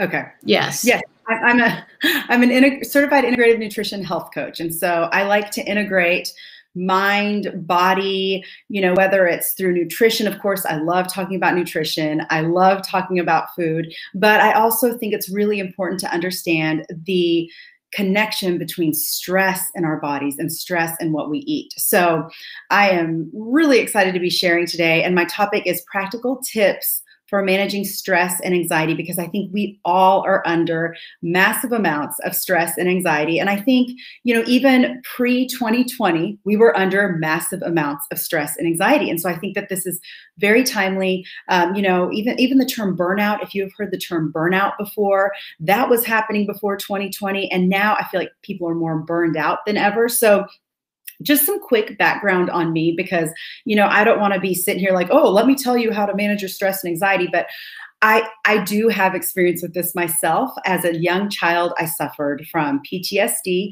diagnosed with depression. Then I was diagnosed with bipolar disorder, and I dealt with what I would consider an unregulated brain for a long time, where I felt like I was being controlled by something that was out of my control, right? And so developing techniques and strategies to help me deal with the root of the issues of my brain health issues have been completely life-changing for me. And I now I don't take medication. I manage my symptoms. And again, I say that, I don't say that. I'm not saying that everybody should, you know, go jump off your medication right now. That is between you and your practitioner. That is not for me to tell you, but I'm just saying for me, dealing with my root issues were a big part of my healing journey and where I am today. And so some of these tips that I'm going to share can be beneficial for you no matter where you are in your journey, no matter what you're dealing with, no matter what your um, diagnosis is, or maybe you're not even diagnosed. Maybe you're just having a hard time because who isn't right now? So that's where I want to start. And so when we're talking about mental health issues, when we're talking about stress and anxiety, I like to think of them as symptoms. They are not the actual diagnosis in themselves. They are symptoms of underlying imbalances in our internal and external environment. So whether you have an internal environment that is way out of control. Maybe you have some, you know, autoimmune stuff. Maybe you have gut dysbiosis. Maybe you have, um, you know, thyroid, food sensitivities, mold, issues with mold, something in your um, outside environment that's triggering imbalances in the inside environment. That's a possibility. Or maybe there's something external that's going on. Maybe there, you know, you've lost a loved one, loved one, or maybe you are struggling with um, chronic stress at work, or maybe you're unemployed. You know, all of these things things can trigger an imbalance. And of course, it's going to affect the way that we view and perceive the world. The nervous system is so, so fascinating. It is the way that we make sense of everything around us. And so if that feels out of whack and out of balance, then we might not see things um, the way that we used to. And that's very distressing. And so I just want to say that if you're experiencing that right now, it's real it is physical it is not just chemicals in your brain like that we were used we were we used to be told that and and i just want to validate for you that what you are feeling and experiencing is real and your body is trying to tell you something your body is always on your side and your body is there to send signals when something is off and so stress feeling extremely overwhelmed and i'll just even say when we're talking about stress and anxiety, I'm going to use them interchangeably for the sake of this presentation. I do think they show up differently. And I think sometimes one feeds the other, just depending on what it is. So, like anxiety, for example, I'll show I'll tell you how it shows up for me. Racing thoughts. That's that's a symptom of anxiety for me. Gut discomfort, like you know that feeling where maybe um, you feel all of a sudden just like some pain in your gut, or maybe you feel like you need to go to the bathroom, or maybe you're feeling bloated a lot. That can be a symptom of anxiety that's going on. Um, maybe you can't focus, you're having a hard time focusing on one task. And I think there are a lot of other reasons for that these days, but um, that's definitely a symptom of anxiety that we just have so much going on. We cannot, our brains can't make sense of what is right in front of us fast breathing, if you feel like all of a sudden your breath rate is changing, that can be a symptom of anxiety. Um, maybe a little bit of a shakiness. Sometimes I feel a shakiness when I'm experiencing anxiety. It could be a blood sugar issue too, and we're going to get to that. Um, rattled mind. And I say rattled mind, it's just that you just feel discombobulated. Discombobulated, I love that word. Um, that could be a symptom of anxiety as well. Now, stress being overly stressed, while it is similar to anxiety, I notice in me it shows up differently. And a lot of people, it's that feeling where you can't take a deep breath. Like it's the end of the day, you're settling down for bed, and you're like, Whew, why can't why can't I breathe all the way in? You know, and I've had this this year, and there have been times I'm like, wait, do, is it COVID? Do I have COVID? I can't I can't take a breath. But it is my stress. It is feeling completely weighed down by everything that's going on in the world. Um, maybe there could be pain in your shoulders, your upper back.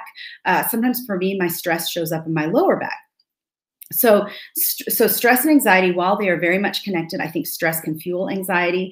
I think anxiety can fuel stress. I think that they go together like hand in hand but they're not exactly the same thing. And for purposes of this i'm going to use them interchangeably just because i think that both um, both of them are impacting all of us. And the tips that i'm going to give you today are tips that can be helpful for helping to lower your stress load and to help lower your anxiety.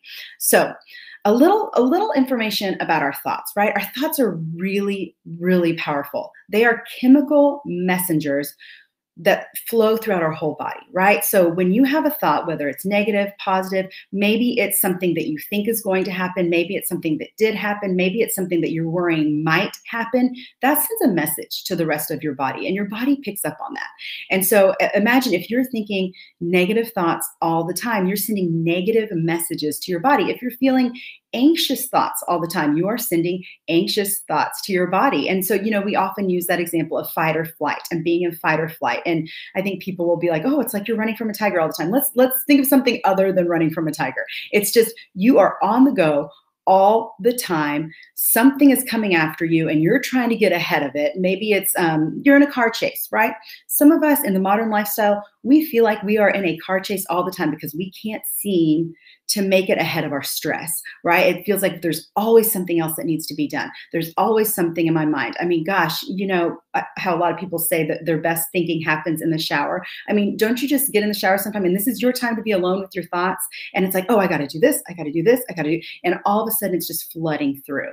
That, those are your thoughts are sending messages to your entire body when you are feeling those rapid racing thoughts. And it can be very overwhelming. And even being in that state of fight or flight or being in that chronic stress state it impacts your digestion. It can shut your digestion down. It impacts blood sugar regulation. It impacts your reproductive hormones. It impacts your blood pressure. And so, again, your thoughts are not just, oh, these things that I think, and yeah, sometimes I'm negative, or oh, I just can't, you know, no, your thoughts are telling your body what to do, and your thoughts are telling your body how to respond. And I think that that's something just to to think about and, and, be aware of. And so, my number one tip I have three tips, and then I'm going to give you uh, five triggers for anxiety. But your number one tip for dealing with stress and anxiety is learning to own your thoughts. Some people would call this mindfulness, but I have an acronym that I've developed for just helping myself regulate my brain. And sorry, I'm also a parent. So if you hear kids in the background, just know that that that's just living the life. And that also contributes to stress levels right? But so own your thoughts. Own is an acronym that's o w n and then and the o the letter o and own stands for observe your thoughts. So when you find yourself in a stressed out state or you're feeling those symptoms of anxiety or stress the first thing you want to do is pause and observe and go huh, that's really interesting. I just all of a sudden I just feel this weight on my body, and all of a sudden I feel just this heaviness on my chest, and I, I it's weird. Like I, I just I feel really easily triggered. I want to snap at my kids or my husband or whoever's around me. Just observe that. Don't be judgmental because I think a lot of times we stress ourselves out by being annoyed by our stress, right? that that makes things worse. But just go, huh, that's really interesting. So the W in that, after you're observing, you're just kind of going, okay, what else is happening here? The W would be, what is underneath that? What is causing that? Why am I feeling that way? And so it could be, gosh, I have a lot going on. And our family is, is struggling with a lot. And so now, oh, that's interesting. It's showing up in my body. So again, we're still observing, but we're asking why. Or maybe there is an issue of, of a core belief that's and it's a core negative belief. It's something it's a lie that you've believed for a long time. Maybe you're feeling unworthy and it's just causing you to have that stress or anxiety you're feeling that the world is out of control. Maybe it's not a safe place. Um, maybe feeling that your emotions are too much, so you want to stuff them. I know for many of us, it's a lot easier to be busy and distract ourselves with activity than to actually sit in our negative or unpleasant. I don't even want to say negative because that word is negative. Sit in our unpleasant emotions. That can be really hard. So, the W, so O, again, I'm going to repeat it again. O would be observe. So we're observing our thoughts. W is asking ourselves what or why. And N stands for negate. We want to negate any core belief that is not true. We want to negate that with truth. And we want to develop whether it is a scripture verse that that you that holds you keeps you grounded or it could be a mantra, it could be a statement you say sometimes I say something like, I'm doing the best I can with what I have, because that's all I can do. I, do you know how many times I said that to myself last year? It's it's just been a crazy time and there are times when i want to snap at people i want to engage on social media debates which is just like such a waste of my mental and stress energy. We all have a stress load and if i'm all of a sudden getting myself involved in debating somebody over social media who is not going to ever see my side anyway well all that's doing is moving up my stress load. It's doing nothing for them. I'm wasting my time. So it's it's good to take a pause and go okay what is causing this this feeling, this triggery feeling in me. So we want to negate it with truth. And so I'm going to repeat those one more time. O is observe your thoughts. Don't be judgmental. Just observe, like, that is very interesting. What is going on here? W is what or why is causing this. And then N is negate that thought with truth. And that's really helpful for me because, again, like I said, I get easily wound up, easily triggered, and there's a lot going on in the world that drives me nuts. But if I can step back and go, how is this threatening my view of the world? What is this doing for my survival here? And if I, you know, if I realize, oh, I'm feeling I'm feeling discombobulated or I'm feeling um, triggered, I'm feeling tense, whatever that is, because I'm not regulating my brain to begin with because I'm getting too involved in that argument. I'm not, I'm not taking the second to be calm and question and just check in with myself. And so that's really important. If you don't manage your stress, your stress is going to manage you. So again, if you're not learning to manage these things and manage these responses, it's going to show up in your body, and it's it's going to wear you down over time, and you might start struggling with mystery physical health issues. Um, but really, we're we're not dealing with the things that are causing an issue up here, and it does you know it does go both ways. And so, I, I will get into the nutrition piece in a minute, but I want to give a few practical tips other than owning your thoughts um, as far as regulating your brain and helping because our, our unconscious mind and our conscious mind are constantly in battle, right? And there are a lot of things that go on in our in our unconscious and when, when we're sleeping, we might be having crazy dreams. I don't know about you guys, but I am hearing from so many people that are just having wild and crazy dreams right now. And it's like when we're resting, we can't even rest, right? And so some some things that can help with that just to get ourselves into that calming state. One thing that I love that I recently started doing is called the morning pages. And that means every morning I wake up 30 minutes before anybody else in my house. Now, sometimes I still have like small children. So sometimes this works well, sometimes this does not work well. And sometimes my kids join me, and that's fine. They see me dealing with my stress. Uh, but morning pages, it's a strategy. It is from a book called The Artist's Way by Julia Cameron. And it's supposed to inspire creativity, but I think there's something really impactful about waking up and being in this almost dreamlike state and not quite being ready to wake up, but all of a sudden you just start writing and it's stream of consciousness writing for three pages. So if you remember from your English class, I don't know if your English teacher ever did this, but um, we would have these moments where it's like, just start writing, don't stop, whatever you can do, just keep writing, even if you say, I don't know what to write about, say I don't know what to write about, eventually you'll come up with something. And it is absolutely true for this. When I wake up, my brain just dumps onto the page. and sometimes I'm still tired and I don't have anything. Sometimes I'm writing about the weird dreams that I had, which can also be really therapeutic. But the morning pages have been really helpful for me. And I know a lot of people want to wake up in the morning and hit the ground running and do a workout.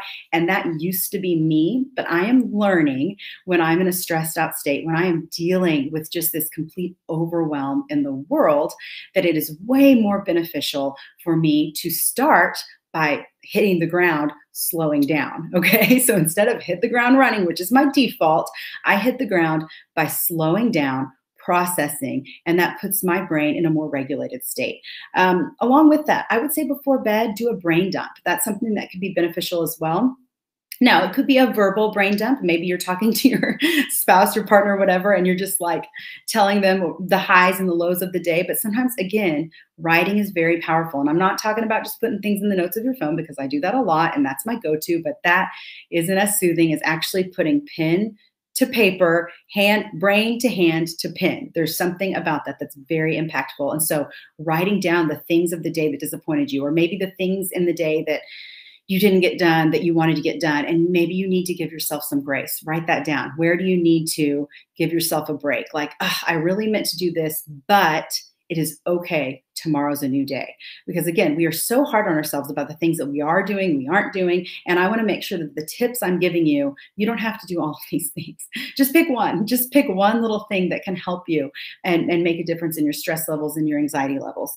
Um, the other thing, you know, breathing exercises, I swear by the four, seven, eight breathing. And that is you breathe in for four seconds, hold it for seven seconds, and breathe out for eight seconds. And what that looks like is we can just do it together here. We're going to breathe in through our nose, hold it,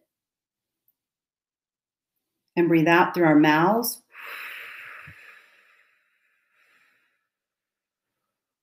And even just doing that, I don't know about you, but I feel my body just melt into the chair a little bit. And that is a feeling that I need to have on the regular. And so you can do that in traffic. You can do that when you're about to freak out at your kids. you can do that um, when you are feeling all those physical symptoms of tension and anxiety and stress and overwhelm. I really love that. That's and there are tons of different breathing exercises, but that's one of my favorites. Um, you can also do tapping. Tapping is a strategy that has been helpful for a lot of people. And that's where you take, there are different pressure points. You start here and you tap a few times and then you go here, here. There are YouTube videos of it here. It sounds crazy and woo woo, but I will tell you, it works. And it's just activating acupressure points in your body that can calm you down and doing that alongside of breathing. Um, I don't have time to explain that right now, but you can look that up on your own. Now, another thing, as far as just helping to regulate our brain, this is still number one. This is still owning our thoughts. This is still taking taking charge of our, our brain first.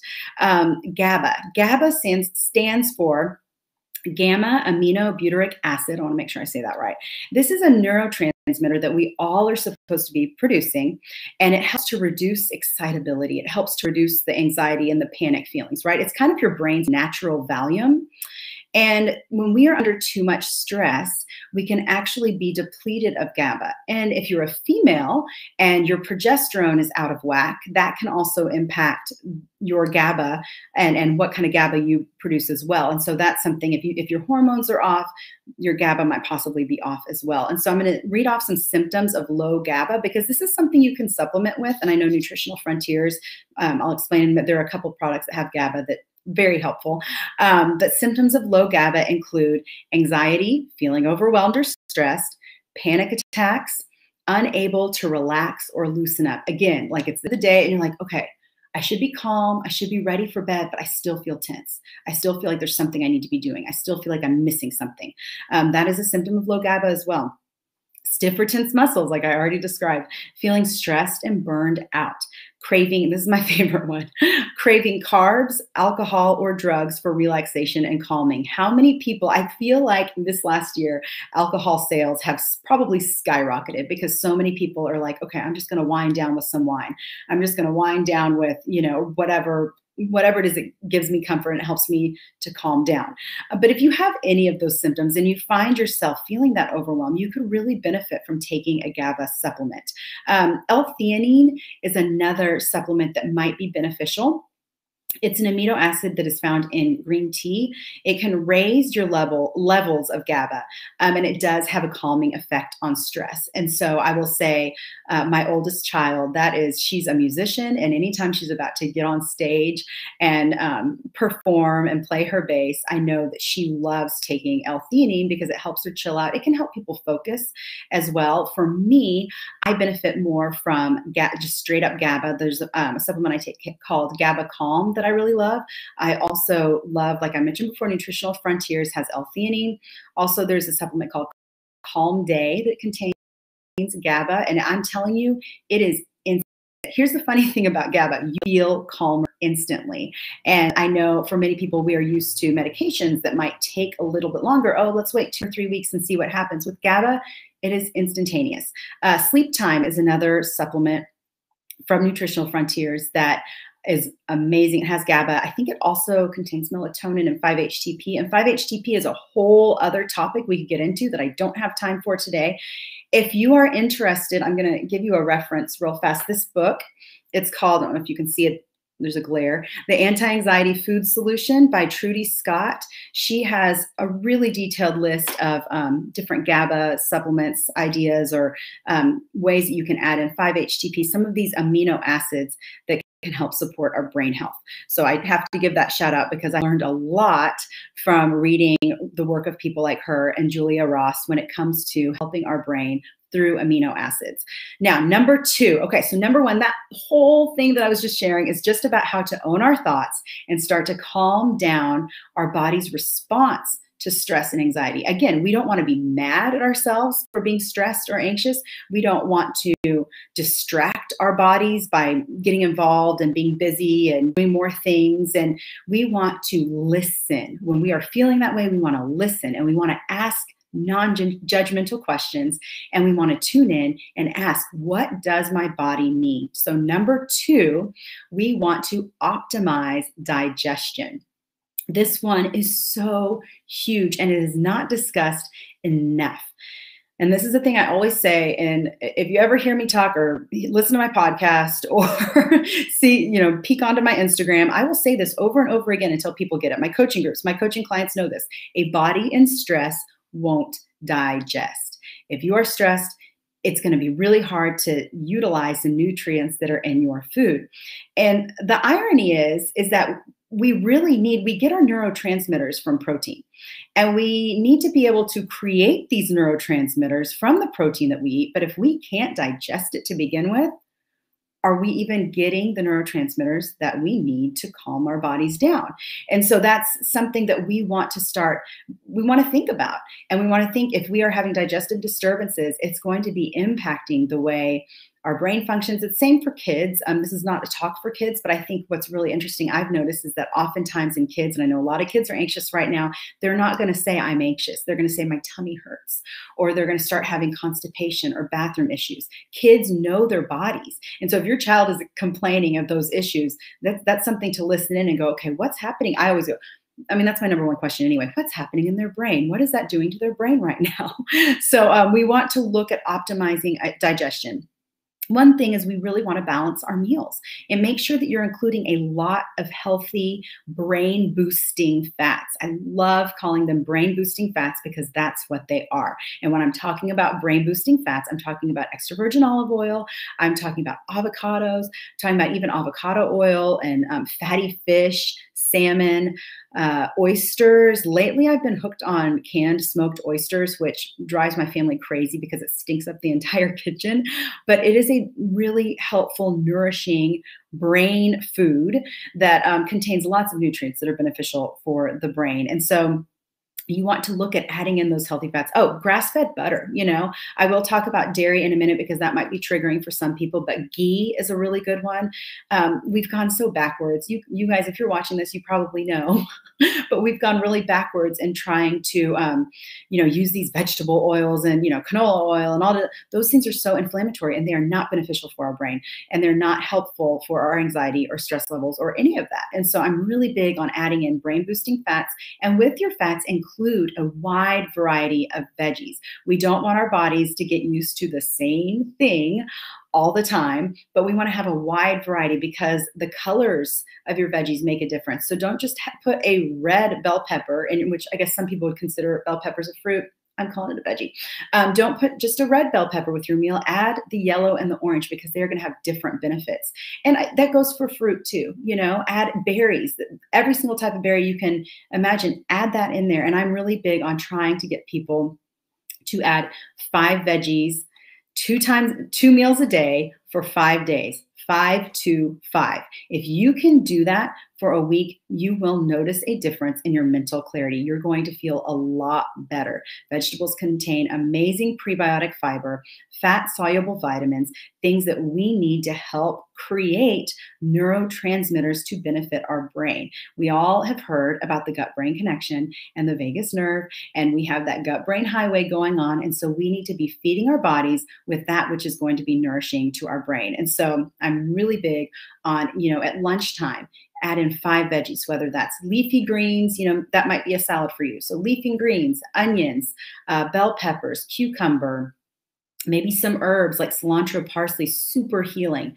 That's five right there. You know, add in your protein, maybe add in some quinoa because that that can be a good source of protein for some people. Whatever you want, add in olive oil so now you can be absorbing all these things. Just a big, delicious, fatty salad it will fill you up. Salads used to not fill me up because I did them all wrong. I thought it was just, oh, romaine lettuce, Caesar dressing, and chicken. That is not filling, and that's not nourishing for me.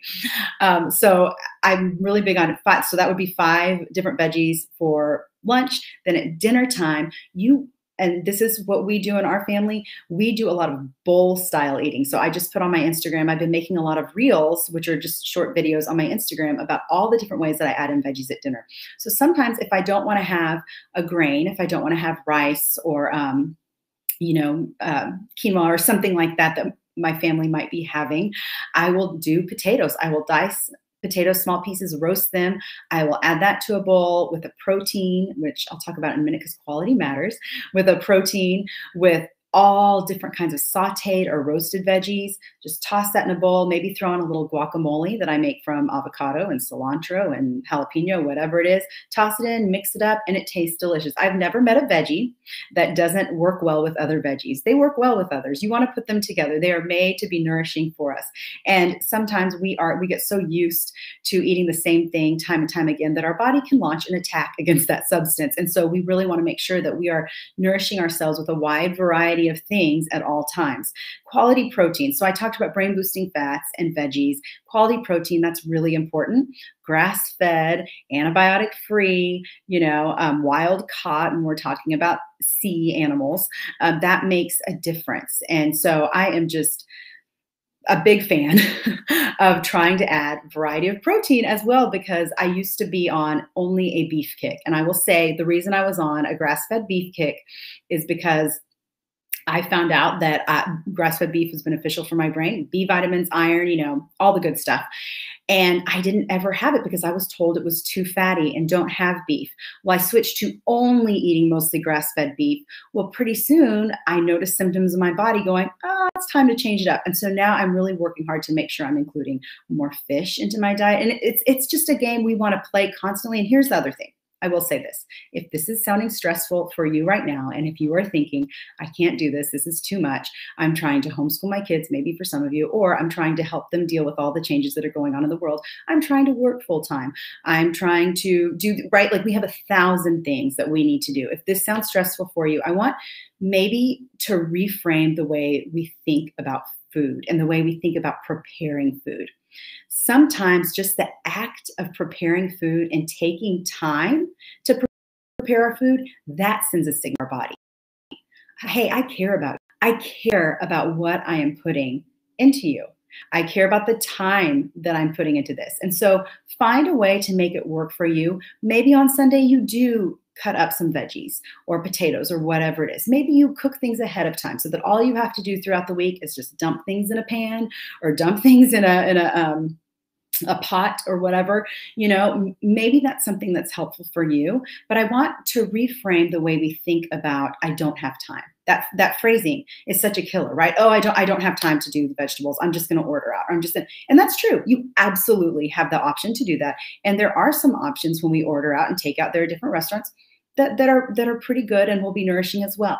But I want you to think about the time that you take to prepare your meals sends a signal to your body. It sends a signal to your digestion. It's going to help you activate, which we're about to talk about, digestive enzymes that will help break things these things down.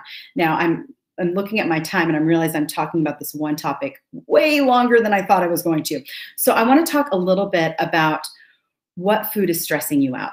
And for a lot of people, and you're going to hate me for saying this, but I, I know it's true for a lot of people, gluten and dairy can trigger stressful responses in the body. And it, they might not be the most beneficial when we're talking about dealing with anxiety, stress, mental health, all of that. Gluten can potentially cause uh, or trigger leaky gut even in people without celiac. There are numerous studies. If you go to PubMed or wherever you get like to get your research articles, you can look at all of the different studies of people decreasing anxiety. There are studies on schizophrenia and reducing gluten and how that changes symptoms for schizophrenia as well.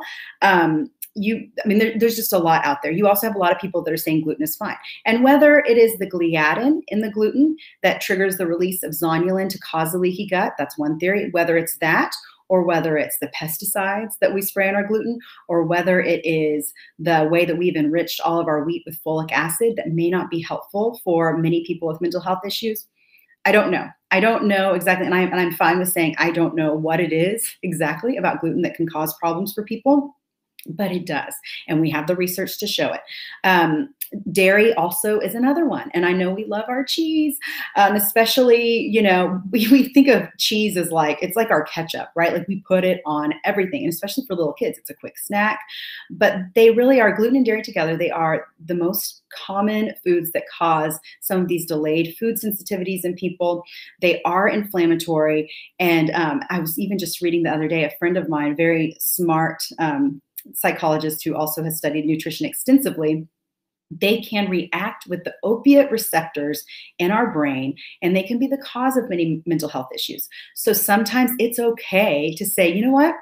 I'm going to cold turkey go off of gluten for a while and see what happens. I've had to do that with my kids, and it makes even within five days, I will notice a difference in my kids' anxiety if I take them off of gluten. And I'm talking about every little tiny little speck, and that is hard to do. And again, if this feels too stressful for you, then go go back to number one and learn to manage your stress through breathing and owning your thoughts and doing that first. This might not be the step that you're ready for, and that's okay.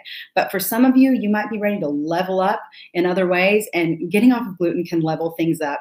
Um, getting off of dairy as well. And even if you do, you know, maybe you do like food sensitivity testing or other testing to figure out what food is causing inflammation for you, you might not see it show up on a test that it's problematic for you, but you might find that just eliminating that as an added stressor could still be beneficial. I know for me, um, I run better when I'm not eating gluten. I can't explain it, but uh, again, if I'm listening to my body and I'm and my body is constantly sending me signals that I need to pick up on, that's something that I've picked up on, and I think it's pretty interesting okay, you know, I'm going to say it. I'm going to talk about sugar. We got to talk about sugar. When we're talking about anxiety, when we're talking about stress, that is stressful to our bodies. And so the blood sugar roller coaster, we could think that we, we could be thinking that we are having uh, panic attacks. It could just be symptoms of, excuse me, blood sugar that is way out of balance. And so that's something to check in on. If when we get hooked on the quick energy solution, which is glucose, when we're like, oh my gosh, I'm so hungry, I'm just going to grab a handful of pretzels it might not actually do anything for your hunger and it might not actually do anything for your blood sugar levels. It might just give you that quick hit of glucose. And if your body is stressed out, your body might be on overload from that anyway. So, uh, my solution for that would be to really, really be consciously minimizing the sugar that you have. And if you feel that you are addicted to sugar, if you feel that you can't quit sugar, go back to what I was talking about with GABA and, and maybe start adding in a GABA supplement to help with that. I know that 5-HTP can also be helpful for that um, because sometimes we are just so, again, we need that hit. Sometimes it's a dopamine thing. You know, we just need something that's going to make us feel good. And we know if we keep doing that over and over again, we're going to get the same response. So our brain likes that. Our brain gets really excited by sugar because it's something familiar. It's a neural pathway that we have created and we keep going to that over and over again. So we really get hooked on sugar. But I, I want to remind you of what, back when I was talking about balancing meals, before I talked about the quality protein and the fat and the fiber, when we are balancing our meals and adding in all of the veggies, especially when we're adding in things like um, the, the starchy vegetables like sweet potatoes. Oh, I love those. Carrots. If you bake carrots, roast them, put a little cinnamon with them, oh my goodness, they, they're so good. It's basically like a dessert. Um, when you're putting in crowding in as i would say kind of like how we talk about probiotics or crowding in the bacteria when we're crowding in those good starchy carbs sometimes our sugar cravings can decrease as a side effect which is kind of awesome. Um, one thing i need to note is i kind of alluded to it before is that we lose important enzymes that we need to digest our food as we age and so we're not as able to break down our food in the way that we used to. So for some people, you might benefit, especially if you're feeling digestive discomfort after meals and you know that there are certain things that are triggering you and you accidentally, you know, you got glutened or whatever, um, you might benefit from having digestive enzymes and taking those with your meals. And again, Nutritional Frontiers has a great, has, has some great solutions for that. You can look at that. Um, but the other thing that can be beneficial is bitters. You can spray. There are ways to find bitter herbs that you spray into your mouth before you eat, or you know, maybe maybe you're married to a mixologist and you just have um, bitters for cocktails. Maybe that's you. You can try just put some of those in your mouth before you eat because what that does is it's going to stimulate digestive juices that we need to get our digestion working. If we are eating too fast, if we're not chewing our food enough, we are not going to be able to break it down. And what do we need to be able to create calming neurotransmitters, we need to be able to break our food down. So we're just talking in a circle here because this is all connected the other thing I will say that we can do is we can remove, uh, there might be other triggers, things that are bothering you. Um, I recently did myself, I did a food inflammation test and I found out that one of my very favorite snacks was causing issues for me. And I knew it because I, I, had this rash that I could not get rid of, even when I eliminated some of the common triggers. The common triggers are gluten, dairy, soy, corn. Those are very common. Um, I would even, you know, sugar, I would throw that in there as well. But um, when I did my testing, I saw, oh my goodness, there is something in here that is a healthy food that I love to eat, and it's triggering this rash on my face and face. And when I removed it, it went away. So of course, my question is, if it's happening on my face, what's it doing to my gut? And that's another thing. If you're struggling with skin issues, if you're struggling with gut issues and brain fog, all of that, all of this can be connected to a food issue. And so you maybe want to do a little digging on that. Um, you know, we all have a capacity for stress, and it's for some of us, it's genetic. You know, we all have a certain load of stressors that we can handle before our body goes alert, alert, I need help. And sometimes environmental toxins can be very triggering. So, I've spoken about this before, but you might really want to look at do you have mold in your house? Do you what are the cleaning products that you use? Because I'm telling you, those chemical cleaning products that they are spraying everywhere right now can be very neurotoxic and very harmful in the long term. And so you want to stay away from those skin products, the lotions that you use. Download the app Think Dirty or look at the Skin Deep database on the environmental working group find out about your water. Look up if you are drinking tap regular tap water go ahead and do a search on environmental working group see what's in your tap water because i looked at mine and wasn't a big fan to find out what was in the water that we would occasionally boil for you know coffee to put on french press. Like i don't want to drink coffee that has all those toxins in them. So pay attention to that because eventually if we have, say our, our toxin load is here and we just keep, or stress load, sorry, I said toxin load, but toxins affect that. So if this is our stress load, this is what we can handle, this is it. Well, all of a sudden we've got, you know, regular emotional stress in our real life. We've got kids stress. We have work. We have um, food stress, like I just explained. Food can be stressing you out. We have chemical toxins, we have electromagnetic frequencies, like all of a sudden, oh, and we're not sleeping. I haven't even talked about that. Well, look here, look at my stress load. I can't stand up under this weight now. So we really want to look at all of those external triggers that can be impacting our stress. So, number one was own your thoughts. Number two is optimize digestion, which I could talk about forever. And the third thing I'm going to say is go easy on the movement when you're feeling stress and anxiety because some of us our go-to is i'm going to do high intensity interval training. It's going to make me feel so much better or i'm going to start training for a marathon or i'm going to do you know i'm waking up in the morning and like i said hitting the ground running. But that might be and and you know exercise is a stressor in and of itself. It's a great stressor. It's a hormetic stressor is what it's considered. But if your stress load is already heavy, again, you're here and now you're going to add on exercise, that could be problematic. So you don't want to be killing yourself at the gym every day, even if you think this is how you cope, because we can't get addicted to exercise. And I would call that if you feel like you can't stop running or you can't, that is a dopamine dysregulation issue. So you need to get that checked out. you need to really own your thoughts there and ask, what is it that keeps me, that, that makes me so, um, unable to not work out every day. That, that is a whole other issue that maybe you want to check in with yourself on.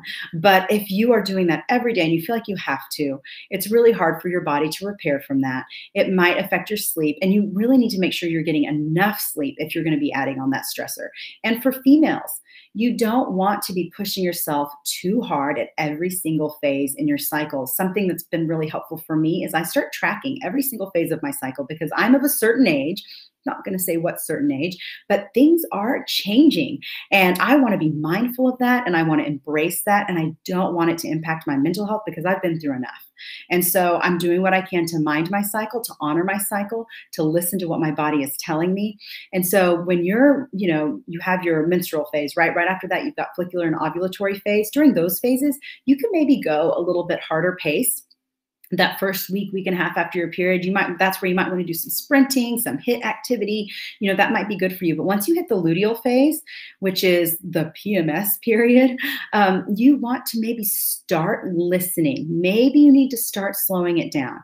And when you really hit that menstrual phase that's when you might need to take a nap instead of exercise. You might need to sleep in 30 more minutes and that's okay. We want to honor again our bodies are giving us signals all the time. And we want to honor our bodies. And instead of going, oh, I hate my period, my period's giving me all these problems, or oh, my stress, I'm so stressed, and my anxiety, I wish I could find something to fix my anxiety. That is stressful. You are sending stressful thoughts to the rest of your body.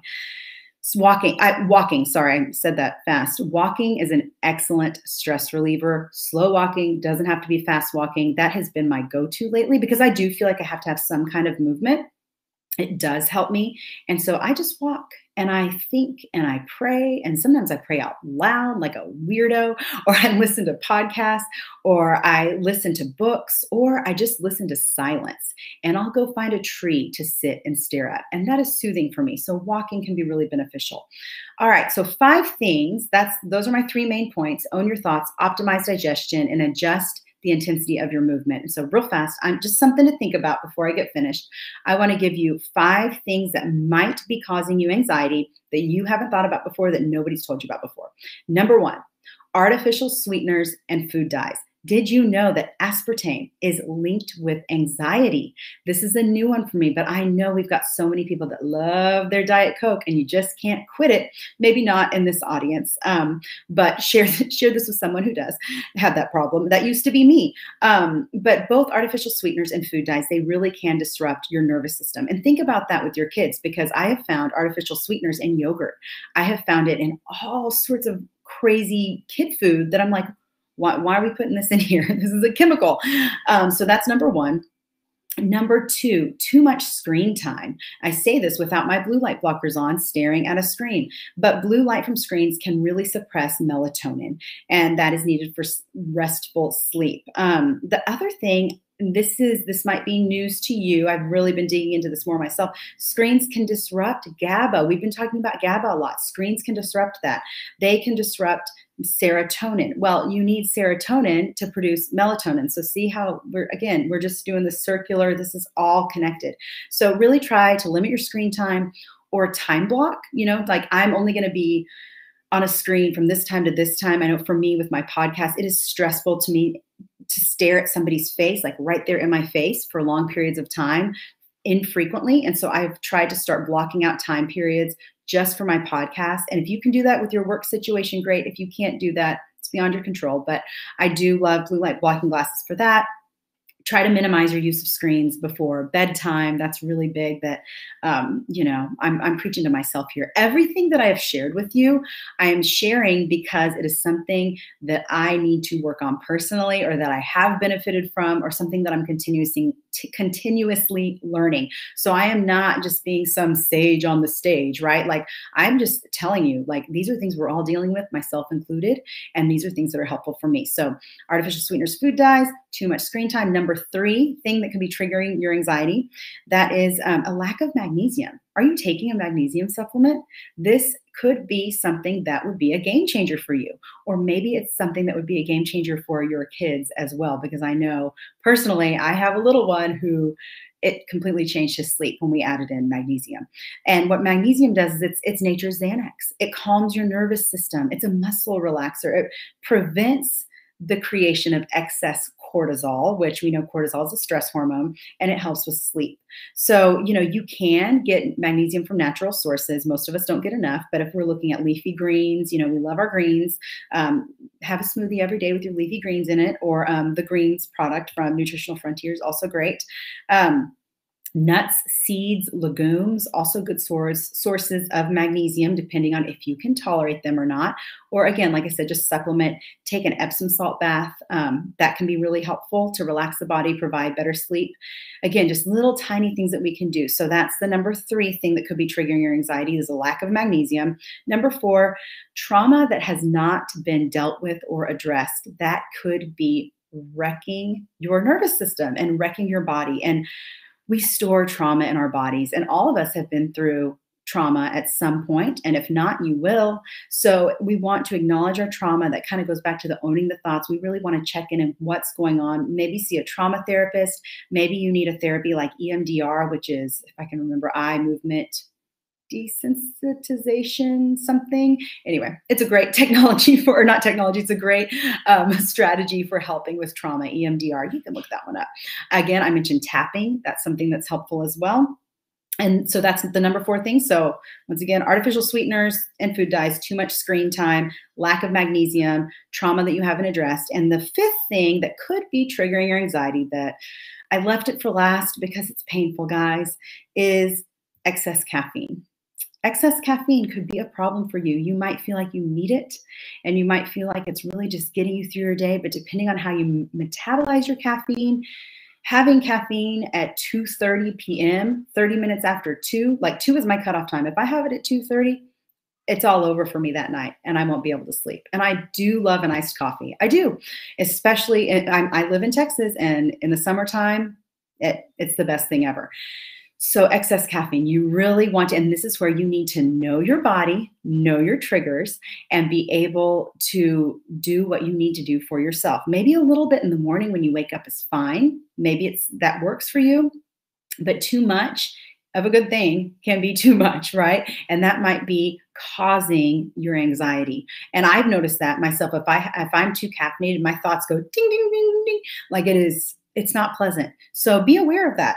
Um, I do want to give a side note. this is the last thing I will say is that alcohol is is a neurotoxin and that can be impacting blood sugar issues it can be impacting your anxiety your stress the thing that you might be thinking is helping you to take the edge off might be the thing that's putting the edge on worse i don't even know if that's a thing um, but yeah so i really i I um, share all this again because I care, because I'm there with you, and I'm I'm grateful to have this conversation. I don't know if there are any questions, um, Tracey. I can throw it back to you. But um, well, that was awesome. I was taking notes. Very good. Such a helpful information, and you know, I mean, I think for us, right? It's like common sense. We're like, oh, we know all this, mm. and I'm always shocked by how many people truly don't. But mm-hmm. in in an age of confusion is where we are. I mean, there's so much information Absolutely. out there. What's healthy? What's not healthy? You have big corporations and diet companies telling you to eat artificial sweeteners. That mm-hmm. it's really mm-hmm. important that you lose weight, and in the process, they destroy their brain. So, yep, absolutely incredible information. Well, thank you so much. Uh, people are just saying that they love the information, and um, you had a lot of viewers with you today. So, how can they reach out to you, Erin, and connect with your uh, podcast? Yeah, my website is sparkingwholeness.com, and my podcast is available on Apple, Google Play, Spotify, Stitcher. It's available everywhere. Look for it. If it doesn't play on one platform, check the others. I've had some controversial guests in the past. yeah, when I went to uh, listen to your interview, you were shut down, and I texted you. I was like, "What happened? Where are you?" so you know, I you know, so that's I, am not going to say much about that. I'm just going to say You're go to my website. Effective. Yes. If, if you go to my if you go to my website, um, you can always find a direct. When you go to there's a I think there's a tab for podcaster. It says radio. You can always find the direct download link, and that's always going to be available. Um, and yeah, spread spread the word. I'm just trying to get real talk, have real talk about mental health and what we can do to really help instead of just creating more cyclical band-aid solution, you know, like like I what happened to me many, many years ago. So Yeah. Well, your story is incredible. Thank you so much for sharing your journey with us. And I look forward to having you back next time. yeah, thanks for having me on. All right. Well, thank you everybody for joining us. You are up for a special treat next. Uh, we have Robert Scott Bell coming on, and he's going to be talking about breaking the COVID illusions, the transformation of consciousness. And uh, no truer words have been spoken. So stay tuned because he is coming up next at noon Eastern Standard Time. Thanks for joining us here at the Winer Wellness Virtual Summit.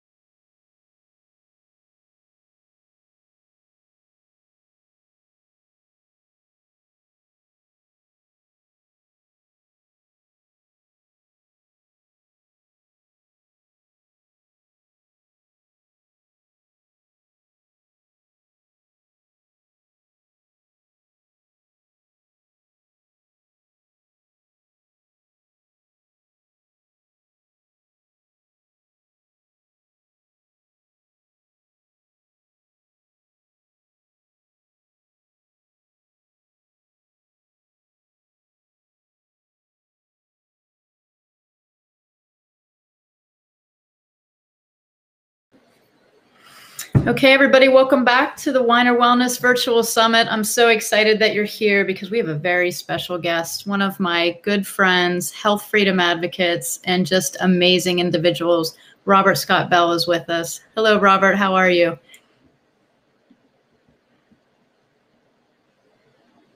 Can you hear me okay?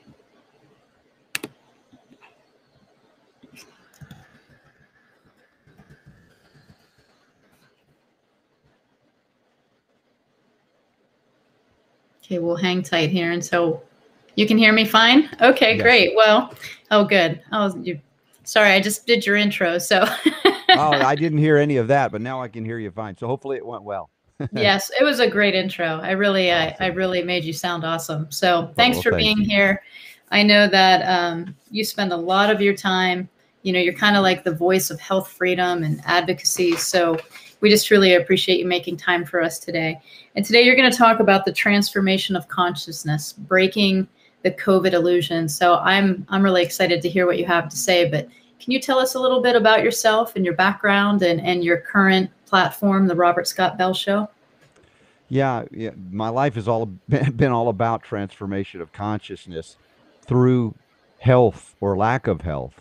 It's been, you know, my let, let, us say my uh, I didn't know uh, initially, right? As I talk about my journey into health and healing, knowing when I was a child, a small child, that I would grow up one day to be a doctor just was in me. It was in my DNA. I just felt it. My my uncle was a doctor. My dad was a pharmaceutical guy. So the only uh, models I had for doctoring or healing, if you will, was in the medical profession. Didn't know anything about it other than that was just what we were taught. And through my young life, from the year zero to age of 19, uh, raised by doctors and, and, and suffered through many ailments that I found out later they had caused, not in not on purpose, just because their treatment, and their lack of uh, training on nutrition and detoxification. Uh, there was the the wake up or epiphany or transformation of consciousness that was part way there. Part of that wake up was, wait a second, you guys don't know what you're doing. You keep giving me drugs, you poison me. I've taken shots all all my life and even had surgery for various ailments. And you, your best answer when I confronted them with what's going to happen in my future was maybe you one one day you'll grow out of it. Uh, just this, I'm th- all of these things are racing through my head as I try to describe this journey in condensed fashion. We may have discussed this before, Tracey, as well. Um, but that was the wake up at 19. Now it took about four or five years from that point when I had the the grand disillusionment of medicine as answer to everything. We talk about modern medicine. That I was open enough and ready enough to receive another path, if you will, a pathway in health and healing. Uh, the word homeopathy for me. Learning of that was, uh, you know, transformational, if you will. I had to be open to it, and I had to be, I guess, beaten down by life itself to be willing to say there's something else beside modern medicine. And so my journey into that form of healing was one that in, in, encompassed a transformation of how I viewed food. Right, food up until that point, as a traditional American, was the fastest, cheapest, easiest way to get it. Just put it in. it didn't matter the quality. There was no question of if it was a fast food drive-through. Fine, just hit it. If it's a soda with carbonation and sugars and colors and uh, it's okay just drink it right it's better than water tastes better than water all of that so my ignorance or lack of consciousness about uh, my diet and its impact on health, or medicines that put into me my impact on health. Complete ignorance because I was programmed, just like most Westerners, to believe that modern medicine had conquered nature and that whatever ailed you, whatever symptom came across your way or in your body, that you just reach out and get, and they'll give a prescription, uh, you know, right on their pad. You get it, get it filled, and you'll be on your merry way, and that's it. But it was a, a degradation of health from zero, age zero to again 24 was when I woke up and started changing. I went organic began to use homeopathy. You know, at my lecture, I did a, a brief homeopathy 101 plus lecture, clinical homeopathy uh, for friends at Trinity, uh, to give people an insight into what I learned, which is a form of clinical um, management, if you will. Not, it's not so much management, but reversal of disease via the three basic concepts of elimination, assimilation, and free radical inflammation, you know, and how they all connect. And so that transformation of consciousness allowed me to reverse course and age in reverse, right? Because I had old age diseases as a child through my young adult years and reverse them now at you know 55 it's amazing to say that uh, i'm able to do things i couldn't do in my 20s uh, so the process of transformation of consciousness is accelerating in our time of what i call the era of covid crazy that we are being somewhat almost forced to confront uh, the limitations of modern medicine, the dangers of vaccination or whatever they're calling vaccination nowadays, mRNA in, injections, and the difficulty or the discomfort I felt as a young person that put me on a search, a journey for health and healing. Also, put me on a search and a journey for my connection to the divine, the most divine spiritual connection, right? It was actually the spiritual depths that I went to to open myself up to the principles and laws of creation that would allow me to be open enough to say, hey, homeopathy, that's an interesting thing. I'm, I'm not going to dismiss it out of hand because the priestcraft and the church of pharmaceutical mysticism don't approve of it, right? It's non material, it's not relying on substance, it's working with energy and metabolism and, you know, more quantum concepts of reality, you know, Mhm. life as energy as opposed to just being physical molecules. And so, uh, it was a long, convoluted journey, but my suffering, all of those ailments and illnesses served a purpose, a great purpose to wake me up, to shake me out of maybe a, a, a slumber, a comfort in even my discomfort. And you've heard this, Tracey, you know this, that people may come to you only when they're so uncomfortable with their present circumstance that they're willing to consider changing their diet or lifestyle. Right. But how much suffering does it take for i- an individual to make that change? Now, I had my limit, you know, as a young man. Somebody might not hit that limit with the same amount of suffering or similar suffering in their 40s, 50s, 60s, or 70s. And who am I to determine or judge when it's right for a person? They have to determine it. We each come to that moment when we come to that moment. And And when you're talking about that transformation of consciousness, one of the things that I've noticed, and I'm sure you'll touch on it, it's become the norm to have some sort of dis-ease of the body.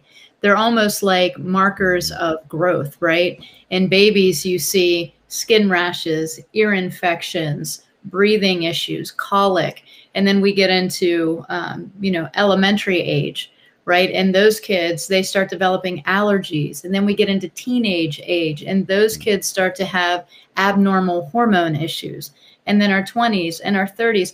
And like every decade of life has some sort of dise- disease associated with it now that we're like, oh, it's just normal. I'm 20. Oh, it's just normal. I'm 40. And it's become so commonplace that people feel bad, Yeah. but they think that's just how it's supposed to be. Tracey, you- you're so right, and and the thing is, it's so wrong because it's not supposed to be that way. I I was the canary in the coal mine of my generation. I experienced all of the things pretty much that have become the norm for young people growing up with chronic ailments and illnesses. I didn't know it wasn't normal until I asked my father. You know, when I was still a child, maybe a teenager at that point, where I was starting to get the cognitive uh, capacity to ask these questions. I said, "Dad, when you were a kid growing up in Far Rockaway, New York." you you know in Brooklyn and everywhere else. Do you remember kids like me? Was everybody sick like me? Were you sick like me for all of your childhood? And it hadn't occurred to him even in that moment until I asked him. And he said, "You know, I I don't recall seeing maybe there was one kid who was the sickly kid of a whole school. Other than that, we would have a cold or a flu maybe and that was it. We'd be on our merry way in a couple of days like nothing happened." And uh, you know, for me that was not my experience and yet in the span of that you know one generation from my father to me suddenly i was chronically ill was this a genetic issue when nothing in the history of the family had that as an element. And yet as i talked to even his elders or peers his uncle well i say uncle yeah uncles as well my grandparents his father mother and and and asked them about while they were still alive of course asked them about their childhood similar circumstances of no we were not sick. We were not chronically ill.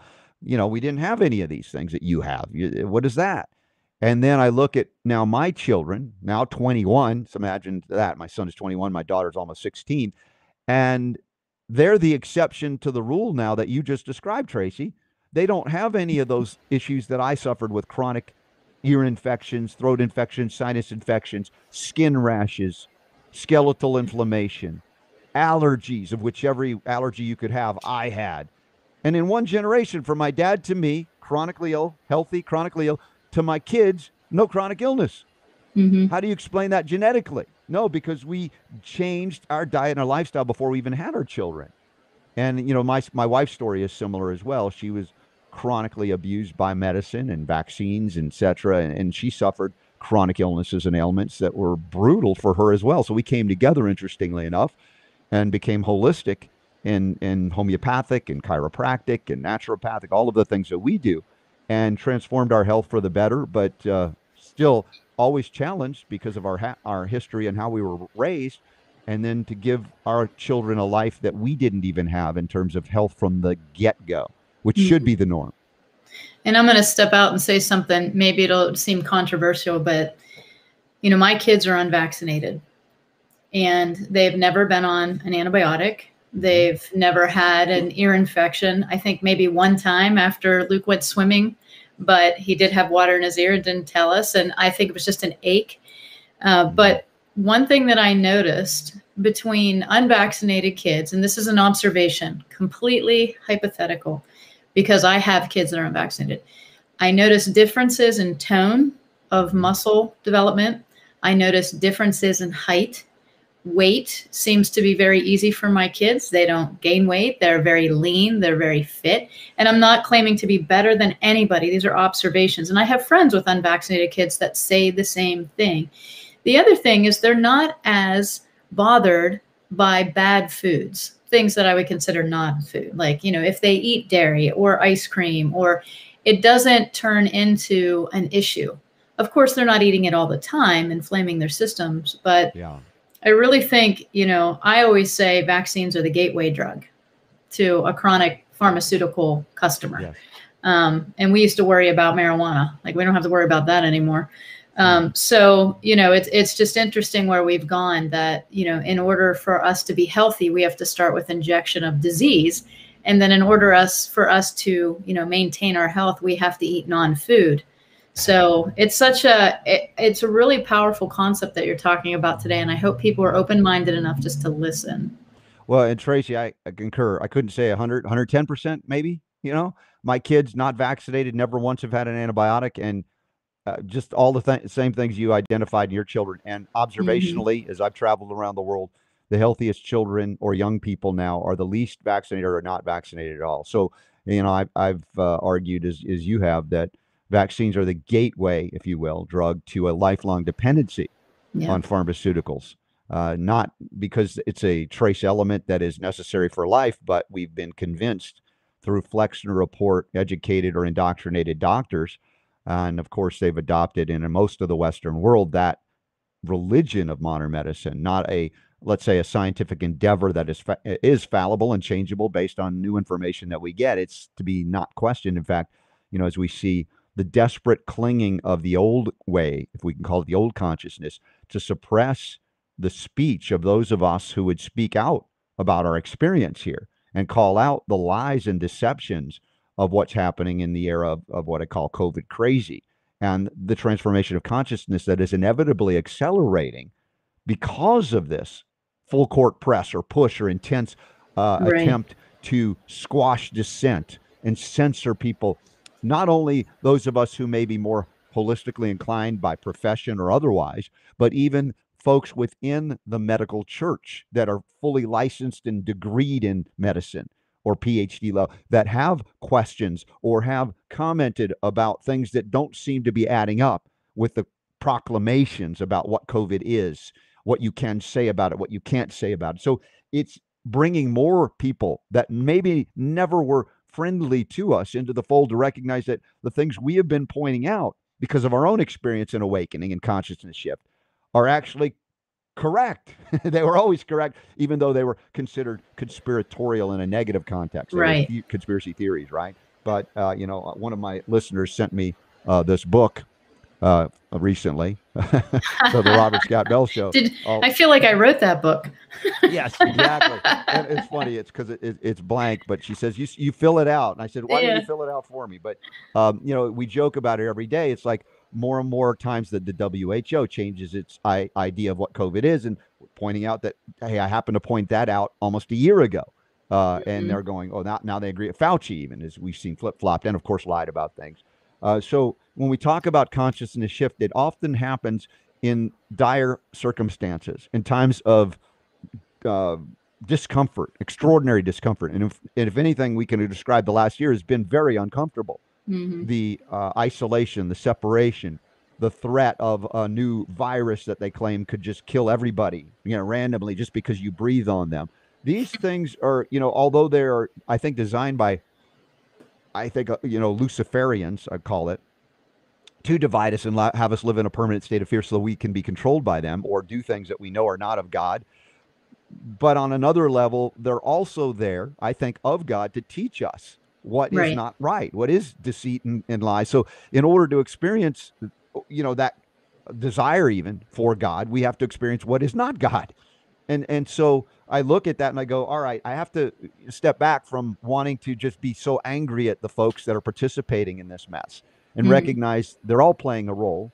And it is what facilitated me years ago to wake up the uncomfortableness of fear and the fear that it was imposed or, or dictated to me by those also in fear or ignorant of how health actually happens. So, as I Mhm. say, I don't say doctors are conscious about participating in a Luciferian agenda. I think they believe by and large what they're promoting, although many of them are wholly and totally ignorant and don't even investigate, for instance, the mRNA quote unquote vaccines that are not mm-hmm. vaccines on the study designs that brought them to an emergency use authorization that don't do any of the things that are claimed that they do. They haven't even studied to, to, to find out if they can do those things. So I'm embarrassed often for doctors and, and learned people and degreed medical professionals and PhDs when they don't do the basic research that you do and that I do and bring out to the public so that we can make full, better informed or fully informed decisions about what we want to put in or not put into our bodies, for instance. hmm And anything that has a risk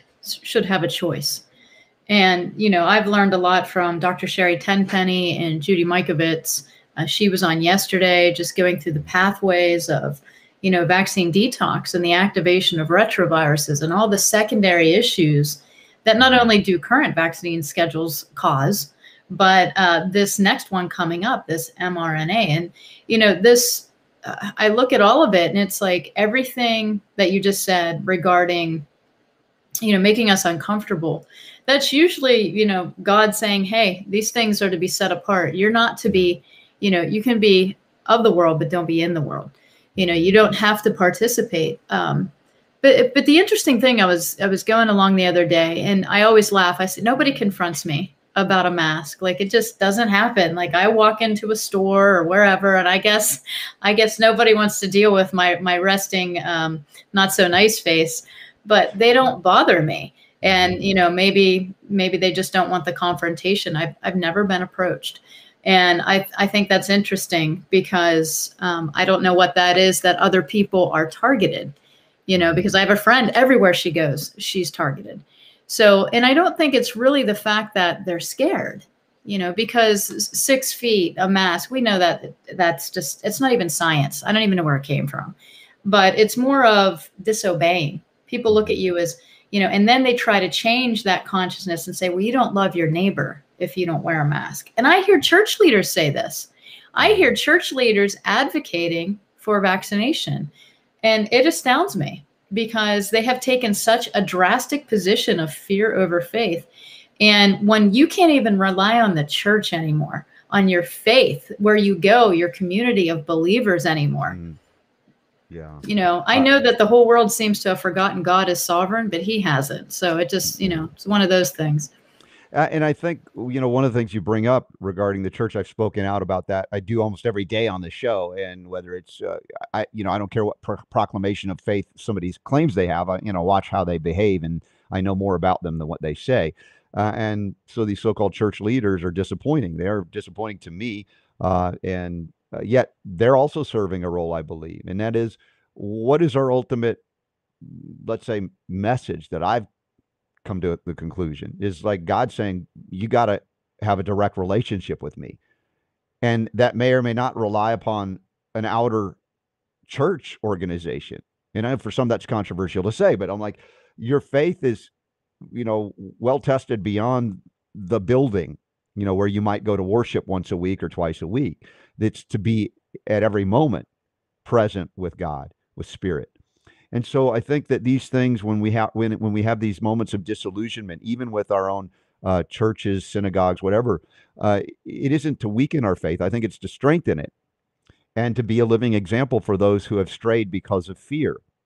We don't have to beat them up. As I said, we can be angry and disappointed, and that's a human emotion. But ultimately, recognize, you know, the journey they're on is their journey, and we can only be there for them when they're ready to open back up to the love, the divine, you know, their own divinity, if you will. So our relationship has to be strengthened and recognize that it doesn't rely necessarily on attending or being in a church, which I recommend people do because there's a strengthening about coming together in community and worship. So I, I believe we need to come together that way. And if we can't, another thing that I've been talking about and others have, maybe you've heard about Pam Popper talking about every Thursday, people should be getting together, invite them into your home, not even mm-hmm. having an agenda just to right. remember what it's like to have human to human interaction, to not be afraid of one another. And the the miracles that occur just in and transformations of consciousness happen just because we interact in that way and uh, and let the fear subside and, and dissipate.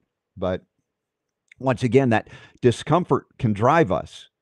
You know, I, I think and I've said this before. I recognize I look back on my past and my suffering as a young man, as a child of all the ailments. And listen, we can look around to people that do suffer tremendously and say, why would God let you know good people what our perception of suffer? And that, that was a question. It's a big question in the Jewish faith, you know. Uh, right. and, and I and I realized that God loves me enough to allow me to suffer enough to find out how valuable the relationship with God is. Mm-hmm that I wouldn't know it if, if I was beaten into submission the moment I, I strayed and never given the opportunity to have the freedom to choose God or spirit, as opposed to being beaten into submission, which is not choice. It's like force, right? Like government charity. That's not charity. That's mm-hmm. theft. And then re, you know, it's like charity comes from the heart. It doesn't expect reward. It's just doing because it is a gift that you have to give.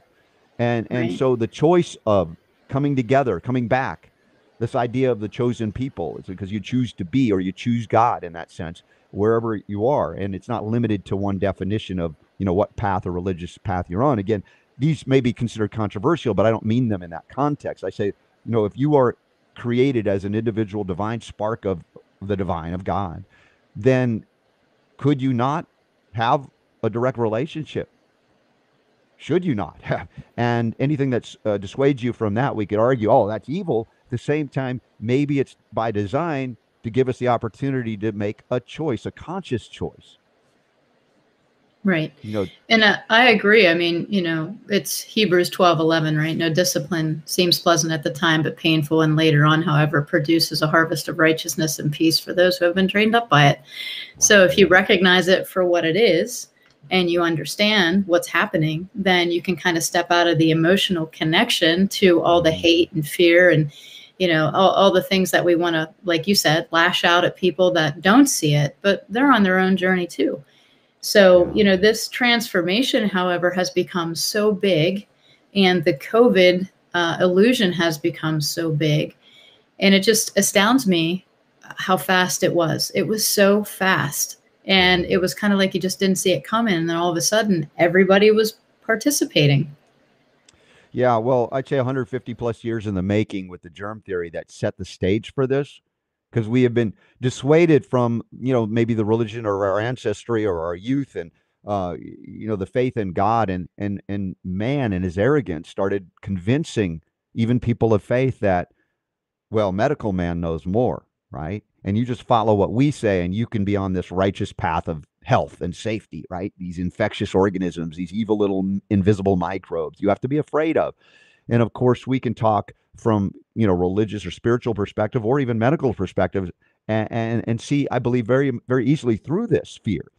Because just the simple act of recognition that in this physical temple that we've been given to, permission to use for a while we're here, we're more microbe, if you will. It's more microbe than it is mammalian as far as cellular uh, you know, quantitatively speaking. There are more right. microbes gut in our gut, for instance, than we have cells in our body. And so we then would conclude, if we use logic, which has seemed to be lost on many, we then for, well, this is basic. Con- well, okay, if we're more microbes in us than cells, uh, it's like how is it possible that the germ theory is correct in saying that germs are the cause of disease? Because wouldn't there be no explanation for life itself if we're more germ than you know, again we come to those conclusions we say my gosh if the germ theory were accurate no one would be alive to discover it much less promote it. And mm-hmm. and that's that fear has been embedded almost into our dna our consciousness over now many generations. And as i said we've adopted primarily in the west but around the world the false religion, the false teaching. And we call it, my, my friend Jon Rappoport, investigative journalist, coined the phrase church of biological mysticism. And I just kind of modified it to say church of pharmaceutical mysticism. And the priestcraft in the church, of course, are the doctors, the white lab coating, where, it where whatever. And of course, now we see our own uh, religious leaders adopt, even as they preach on Sunday or Saturday, whenever, they adopted this church and again promoting this the sacrament in that church, vaccination, for all there. I And it's like, wow, how deceived are we? And and I have to be humbled by the the fact that at any moment I could be deceived, and I need to remember that because I was deceived. I had to wake Yeah. up to recognize this, and if I get cocky, I could fall back into it. So I always want to remember what it was like. And occasionally, I, I you know I'm on the air with my my, my producer Super. I was like, Super, mate, please re- don't ever let me forget that I was there too. You know, as we talk Uh-huh. about people who are ignorant or even arrogant. Right. Maybe I was there too, and I, I must remember that so that I don't fall prey to, you know, that uh, the end of the Devil's Advocate, uh, which was a movie that with I think uh, was it Keanu Reeves and Al Pacino. Mhm. Pacino played Good the movie. devil. Yep. Yeah, and he and he overcame so much the Keanu Reeves character at, at the end. You know, the devil appears again and, and kind of plays to his you know sense of self worth and ego, and and then in, and you know it's like he, he says I'm, I've got him again. Vanity, you know, it'll always gets you in the end. And so I you know I have fun with the vanity issue because you know we talk about how many times I was right. You know, I think about another talk show host like Rush Limbaugh, you know, who was, uh, you know, talent on loan from God. I mean, it was a brilliant thing to say, and and yet, in reality, the people that knew him talked about he was very humble, and he served in his way to communicate. And, and I know that's you know controversial for those that lean a certain way politically, but I said please get beyond that and recognize soul comes here with a mission and a purpose, and he found his. And I hope that everyone here finds theirs if they haven't already. I think I know some of mine. There may be more to uncover, Tracey, but my journey into health and healing from not having it from the get go has led me to do what I do. You know, 22nd year now in broadcast healing and lecturing around the world when we could travel easier. Maybe that'll come back again to bring that empowering message that the power to heal is Mhm. yours, it's theirs, it's mine. But what does it mean? I think the true role of a doctor, if I come to that full on consciousness shift, is not to heal me or you, but it's to reconnect or it's to help me or help you reconnect with the source of all healing. Right. What is that? The great God, physician. spirit. Mhm. Yes, exactly. And so that's kind of weird. It's like, whoa, whoa, whoa. You know, you're talking doctors, they have to be, you know, open to God and spirit. Absolutely. I don't particularly want to see I, you could be a proficient, you know, mechanically at something. And if it happens to be my body or my kid's body, I want you to know that you are a person of faith and that you live and you pray and that you have that communication open for guidance because there could be guidance that is not ever taught in any medical school. Even a Right. surgeon will suddenly get a message from God to go, don't do that. You're trained. No, that will that will kill the pain. So that's what I'm talking about here. This consciousness to bring back spirit into every area of our lives, however mechanically oriented it may be. Mhm. That spirit flows there to it and must flow there. So we are guided at the moments where everything we thought we knew can be reversed in a moment to save your life or save someone's life in a, in a healing uh, healing way. No, I love that. And it's it's so funny because I think it's it's one of those things where God tells everybody, right? He doesn't just tell one person, not anymore anyway. But I got this book from a friend, Dr. Len Bransowitz, Dr. David Jeremiah. It's called Forward. And it's really about, um, you know, kind of finding your dream and not a dream for yourself, but something that God has pressed upon you your whole life, right? And then he has action steps on how to attain it. And it's it's not anything other than like great leadership skills, being brave, you know, relying on God and not walking in fear. I mean, but he has it's just laid out very well. And this morning I woke up and I was like, you know, maybe maybe on both sides there's legalism, right? So medical and natural. Um, you know, you look at charismatic church versus something like, um, you know, uh, apologist, you know, whatever you want to call it. You know, religion is legalism. So there's legalism on each side. And I think when people get to that point of legalism, they forget their journey to get there. They forget that at one time they may have been like me, who wasn't saved at all, right? And was very new age and did all those things. And then I'm over here and I try not to be legalistic, knowing what I know. As a child, I was very overweight uh, up until I was in college. And you know, people look at me now and say, "Oh, she's so healthy; she does everything right." Untrue. I I know my journey, how I got here, and I think those experiences are the equipping. And the same thing happens in the medical and the natural. That there's such a segregation that we cannot play in each other's field. We cannot communicate and have a healthy, respectful relationship because, just like you said in that book, I'm right and you're wrong. Hmm. And so that's one of the the big things is that they start you out in, in school with debate teams. This is a point and this is a point. Which one's right? Neither. It the application of the point is how it pl- applies to each individual's life you know, I can't say that my son will go to college and it'll be beneficial to him, or he may go to a trade school and that'll be better. But what do they tell you? You have to go to college, you got to get an education, right? There's so much legalism in our way. And we have to learn to understand that the application of that is relative to each person. So a vaccine may not be good for my family, considering my kids came from genetics of Alzheimer's, ALS, a lot of brain issues. Um, you know, they had chronic disease on both sides. And instinctively, before I knew anything, I was like, I don't think I should vaccinate my kid. So 11 years ago, I'm on the CDC website looking around, and there was actually a statement at that time. It said, if any of these issues persist neurologically in your family history, vaccinations can be contraindicated. And so I chose no. And then I started following Dr. Sherry Tenpenny, right? When I was overweight, I thought, oh, I'll just exercise like a fiend and, and eat all these healthy foods and cut my calories. Well, science has evolved, and now we know that's not really the way. That decreasing nutritional intake is not a sustainable way to lose weight, and in fact, causes more detriment. Exercising to the point of adrenal fatigue is not the way, and in fact, causes more detriment. So the interesting thing is that science has evolved, theories have evolved, all of these things have evolved, except for the powers that be. They're still stuck in this 50, 60 years ago of nutrient recommendations, vaccines good for everybody. Like it's been it's been pretty uh the, the legalism is very much there and the segregation is is where where I see the issue is that we all have to be right. And you know, I really don't think that medical doctors today are are trying to hurt people. I don't think that they don't have the same goal as you and I. I just think they don't have the open mind. Well, mechanistic molecular reductionism uh, is very limiting because it, it, it's devoid of spirit once again. And I, I said modern medicine didn't go wrong because it's you know focused on the physical body, especially when it comes to emergency trauma, life saving interventions, battlefield type medicine. It went wrong when it abandoned the spirit and the mind, of course, you know, even though they acknowledge and pay lip service to it, but it's not embedded in their culture. It was, you know, made basically. Um, you, talk about new age concepts or misunderstanding of what new age is. I mean, really, I think it's just a, a kind of a, a, misunderstanding or maybe misapplication of the things that spirit can do. You know, it's using different language, but in terms of the health, you know, mind, body, spirit. When people started saying mind and spirit, they thought, oh, that's a new age concept. That's not new age that's as ancient as the teachings that we've always been given.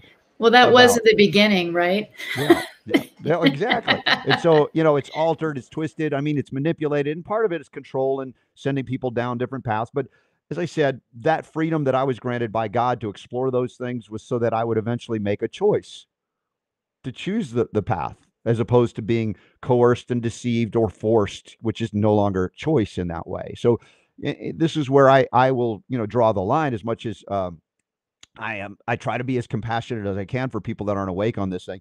When they violate my freedom to choose, my choice, that's where that that's the line of you know what now you've crossed the line and i have an, a right and an obligation to defend my life and my children's lives and that's where it can get pretty sticky because you're like i'm not promoting violence but if you're going to attack me or my perception is, you know, what you come at me with a syringe that could potentially kill me. I mean, you know, every day we're hearing new stories of people that get the mRNA injection and You know, uh, just today I just learned of a 39 year old single mom in Ogden, Utah, four days after getting the shot. Apparently, no pre existing issues, and she dies suddenly four days after it. It's like, what what do you what do you do with that? You say you want to force that? You want to Mm-hmm. limit my freedom to move about the Earth cabin, the American cabin, unless I get that or my children get that?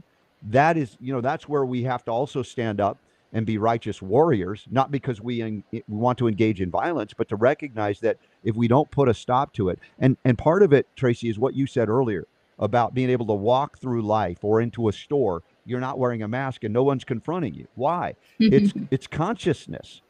It's intent mm. as well. It's like a recognition that you have an energy about you that nobody can penetrate because you're exuding that health. And I don't just mean physical health, but spiritual health. You walk with God, you walk with spirit. It's like, of course, this is not going to be an issue. And those who are confronted all of the time, and again, this is not a criticism. I'm not saying they're worse than any, but it's just part of the Right. learning process. Haven't achieved that level where they're wearing that cloak of consciousness. It's not a deceitful cloak. It's a cloak of uh, of, of God's love and and and protection. And and we Mhm. have access to that at any moment, but it takes practice to be able to walk that way outside of the you know maybe hour or two you used to go to church or you know whatever is going on, right? Or you oh I feel I feel in that I'm in that cloak right now. You leave and suddenly it's gone. That's Right. never been the message. I know some have altered the message to make you believe that, but as we're seeing the fallibility of these institutions and the people running them, we've got to recognize that our connection is deep and it's within and it's available to any of us because we are all children of that creation of God. So this consciousness transformation is happening, I believe, because of the discomfort as I pointed out, illnesses, ailments, fear even directing us perhaps to be so uncomfortable that we're willing to look at something that is the unknown that we normally fear only to the extent that we're ha- we're okay with our discomfort right we're Mhm. familiar with it enough where it's like yeah you know i'm going to hang out here until you're okay now it's so uncomfortable i'm willing to move now i think the most amazing shift in consciousness is not having to be comfortable with being uncomfortable to say you know what? I'm willing to leap at a moment's notice into the unknown into the abyss because god's got me. And i'm not talking about uh, you know irresponsible behavior of like you got a dark alley that you know that there are are drug dealers You're just gonna run down there. and you're uh, just to say just to prove it it's like no no no that's not what i'm saying but the yeah, God to says not to test them. yeah, it's uh, it, it's to listen to the voice of spirit. Like you know, if you're being directed to go into an area, it's like I, I'm not comfortable doing that. I don't. I, but you'll know you'll have the words or the whatever it is because you have faith. Because that faith has been I uh, probably tested before then. But also, how many times does God have to show you that He's got your back before you go? Okay, I got it. I, I don't have to doubt anymore. And Right. I, and I realize that that's a difficult one because wh- uh, while we're here in this body, we're vulnerable, hmm right? We're vulnerable, and I I, I got to acknowledge my shortcomings where I I do my level best to to to be better than that. But at any moment, also, I don't want to destroy myself. And some people get on themselves so badly that every time they, oh man, I wasn't a faithful servant in that moment, I'm condemned. That's not what God does, because we are lo- you know. And so Right. it's it's boy, it's isn't it a Well, I think people look at what you're saying, right, and say, okay, well, I have to have discernment. I have to make sure that what I'm doing is good and not bad. Mm.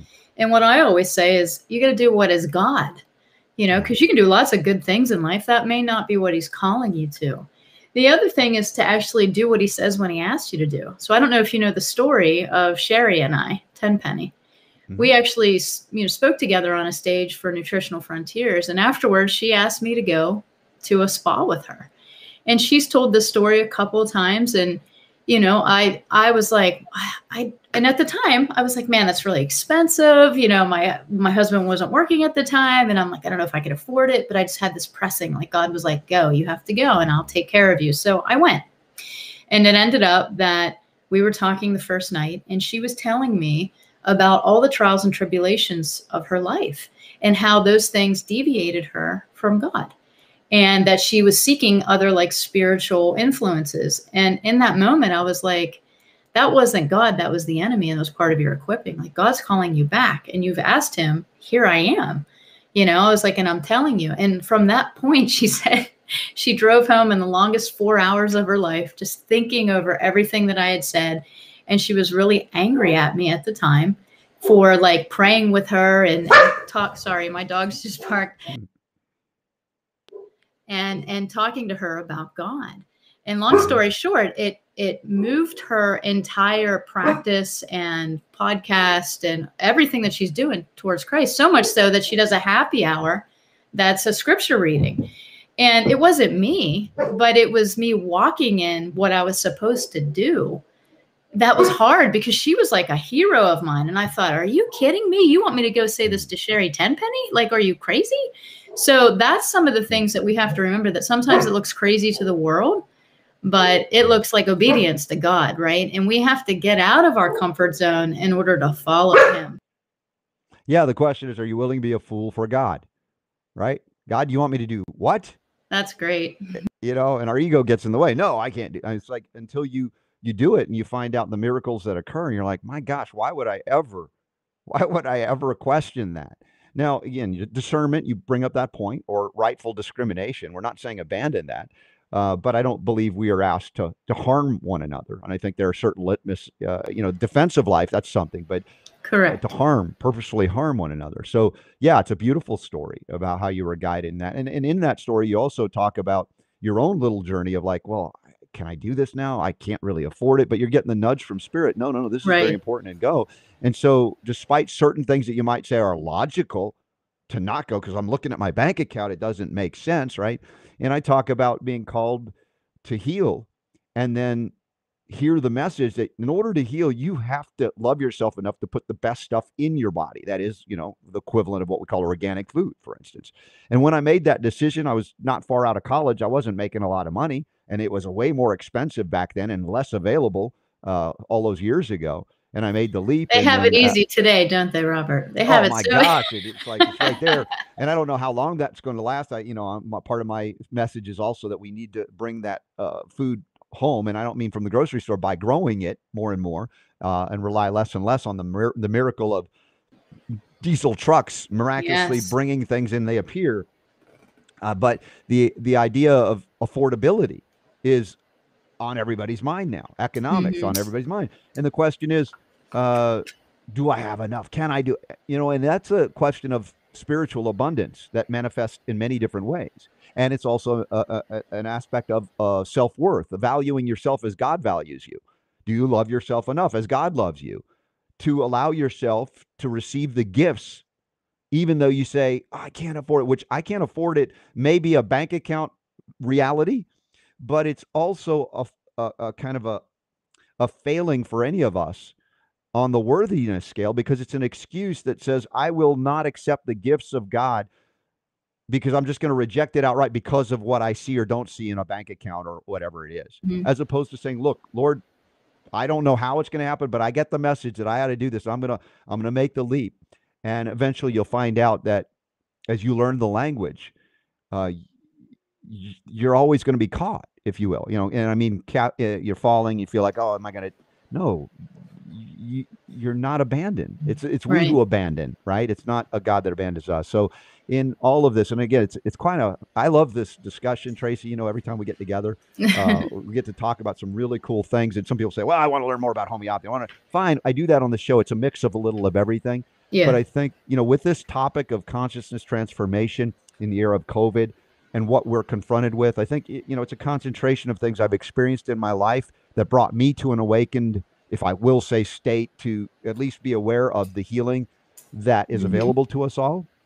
Uh, but it's always about, how would you say, practice, constant practice of the presence of God in our lives and, you know whether it be like you know fasting once a week or however long you can do it things that can kind of bring the consciousness and direction the focus to an area where you begin instead of once a week it becomes once a day instead of once a day it's once an hour instead of once an hour it's every minute and and it's a wow to try and look at life spiritually at everything at every, at every moment i know it's a lot to ask and i don't say i've achieved it but it's a worthwhile goal and if healing or the lack of health has driven you to this uh, path, um, my goodness, it's what it takes. It's what it took. If it took the, the two by four, and as I said, Uh, the why me, oh Lord, which I had as a child and a teenager, became thank you, God, for allowing me to suffer the way I did so that I would learn indelibly the things that I would come to realize are as important as anything, even as breathing is to me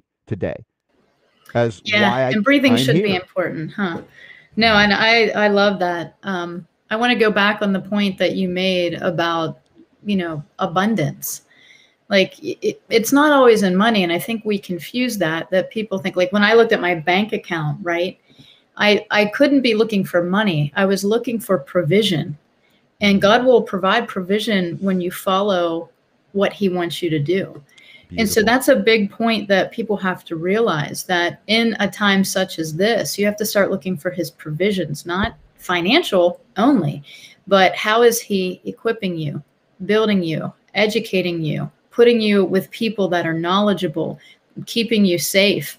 Uh, if it's financial, that's wonderful, but that's not the end all. It's kind of like I look at it like weight loss, right? Everybody would come in and be like, I want to lose this many pounds. And I'd be like, oh, well, do you know what your fasting blood sugar is? Do you know what your blood pressure is? What's your resting heart rate? What's your BMI? What's your lean muscle mass? What's your, you know, and they would be like, oh, well, I didn't look at those numbers, right? They just look at the number on the scale. And Right. one number doesn't equate health, just as money doesn't equate God's provision in your life. And so this whole equipping that we're seeing going on on the earth, it's not just for people who believe, but for the unbelievers, for the people that are sinning, for the people that are scared. I mean, Jesus didn't come for you and I, he came for the sinner, right? He came for the unbeliever. And the difference of then and now is that then they believed in something. The whole world believed in something. They believed in a God, even if it wasn't the God. Today, people don't. They believe in man. They believe in the religion of vaccination. They believe in, you know, their comfort. They believe in their flesh, what they feel, what they see, what they hear. That's what they believe. And it's that's the transformation that I've seen is that we've come so far from believing in a higher power, right? God, Yeah. that there's nothing left to believe in. So, So and I, bel I, I believe that uh, in the midst of the cacophony, the noise, the confusion, the distraction, if we choose, you know, a path of a God, you know, of spirit, that's extraordinary because it, it's it's it's easier when you're in the foxhole, so to speak, as they say, with the bombs going off, you know, to suddenly find prayer and God, right? But when things are going well in your life, and we've Tracey in our lifetime have, have lived a rather easy life. And again, I recognize we all have challenges, emotional, other things in our life, but we didn't want most of us for food or shelter, clothing, even most of our life. We might not have the best stuff as what we perceived, but for the most part, carefree. I think about our life growing up in the 70s, the 80s, and thinking about what was the care in the world that we had, you know, just not getting in Mhm. too much trouble if we came home late, to, you know, for supper. we didn't have a right? DVR. That was the biggest right thing. we were out playing and it's like it's amazing to think of that and and i look at what's happening now and perhaps it's because uh, folks didn't you know choose in the good times you know that Mhm. path and so we're challenged now we look at the change the transformation the movement away through fear the division among people and in those times maybe it's more likely people will come back to spirit because it Mhm. takes what it takes.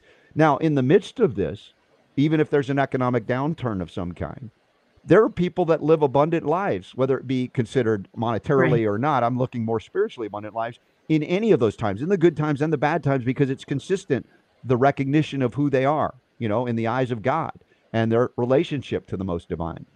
And yet it takes what it takes for each of, of us. It took what it took for me to Yeah. find how important, you know, this path was and is. And yet for some, it's going to take a bit of suffering. What We see transformation in the outer world of the, the fear mongering, if you will, to finally come back and go, oh, what's really important in my life? The opportunities abound for spiritual growth and consciousness shift in every age and time. There is just seemingly, uh, if we will, a collective consciousness. And I'm not a collectivist, but I mean, in the concept of similar experiences or similar sufferings that we go through. And there are times where people wake up a lot similar times. Now, it only happens individually, but that individual impacts just like when we come together in each other's homes. Right. Suddenly, someone that had a feeling wasn't sure about that feeling sees you, you're not afraid, and suddenly they're suddenly taking off their mask and going, "Oh, it wasn't just me." And so it's a it's a nice outer confirmation that we are given a an, a, an opportunity and a gift to com- to commune to connect with one another. And that Normally we happens a say- lot, don't you feel? You can walk into a store without a mask, and all of a sudden everyone's taking their mask off because I walked in correct. without a mask, right? Or if you speak out at something and all of a sudden you get the Me Too stories. Me too. Mm-hmm. Yeah, that happened to me too.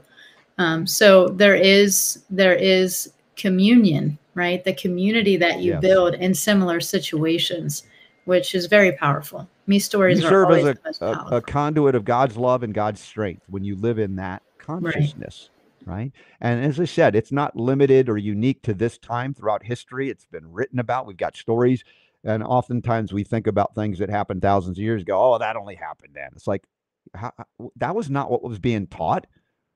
You know, it was about the miracles at any any moment that you're alive and here that are possible and inevitable because you live a certain way according to the laws. And uh, and I say what's happening now is just what happens every once in a while when we have strayed too far. the balance has to come back, and and whatever has to happen.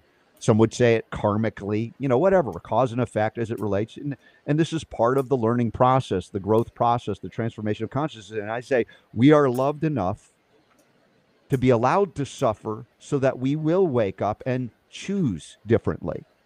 Not Mhm. because of force and violence, but because we desire it of our own accord. Deep within us, we long to go back home to our point of true origin, right. which is, you know, not in government or medicine or or even a, the four walls of a church, or it could be. But look, divine inspiration can happen within four walls of any building or out in nature. I mean, there's not a limit to where God can reach us.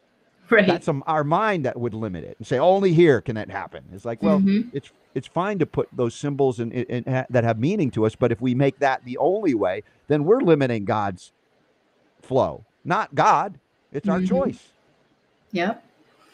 And you know, he's he's everywhere. Like I said, he's still sovereign even if people have forgot. So, well this has been amazing. Thank you so much. And I would like to ask you to leave us with, you know, just some summary points, words of inspiration, like help people take that step. Well, I, I recognize, and I know as you, Tracey, that we are born of creation, that creation created by Creator, God. However, and I know people have different names for it, different beliefs. And, you know, I have to walk a delicate line, recognizing I have people of all faiths that come to my show, and I'm welcome because that was, to me, the, the call from God. It's like, you're not to limit the healing that I'm teaching you about to one belief system. It has to be given freely to anybody who's ready to hear it. And so that's an important message of compassion, tolerance, and love, and and and you know recognizing that each path is unique, even within a given claimed religion. Everybody's path within that belief system is going to be unique and different and very personal.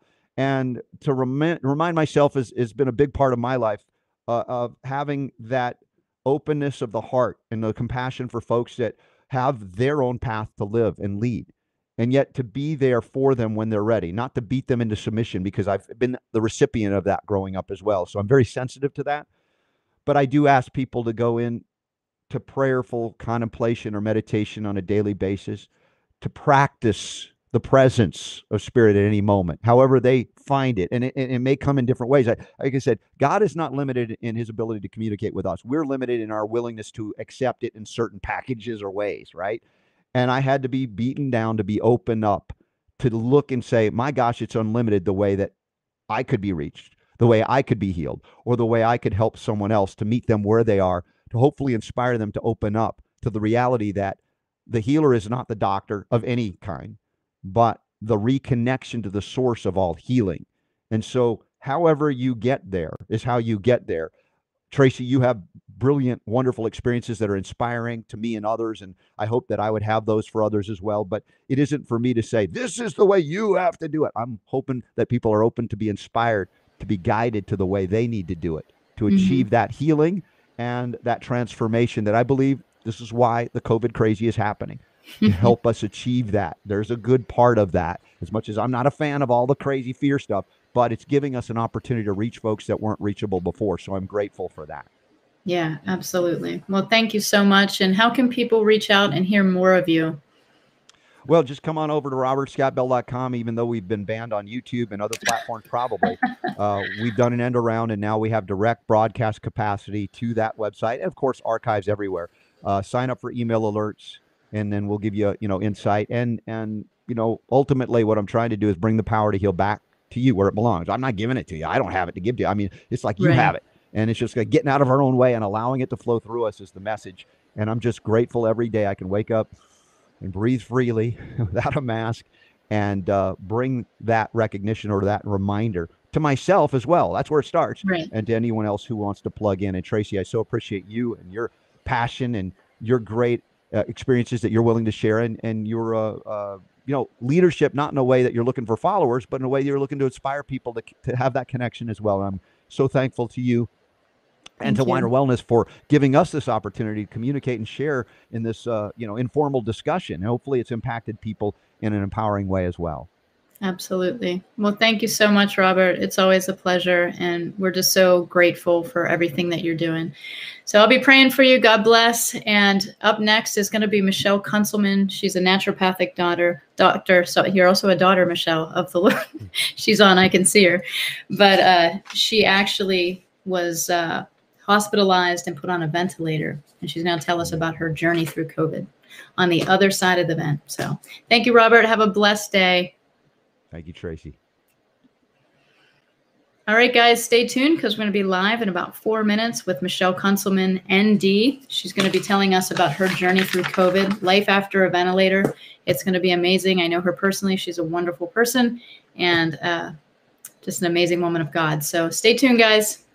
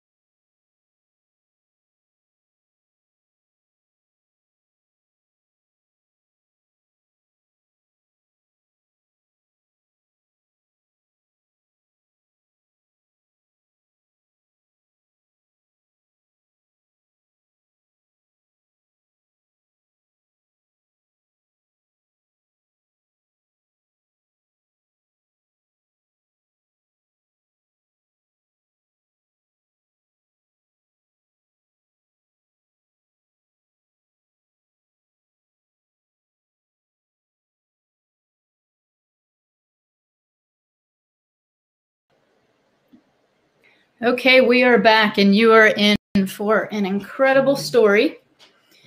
With me today is Michelle Kunselman. She is a naturopathic doctor, a certified healthcare professional. She's one of my best friends, uh, incredible woman of God.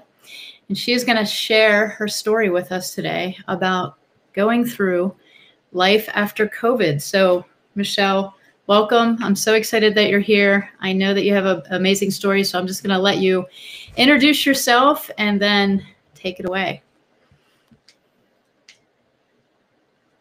Are you muted or unmuted? there you go. Tracey, It helps. Hey.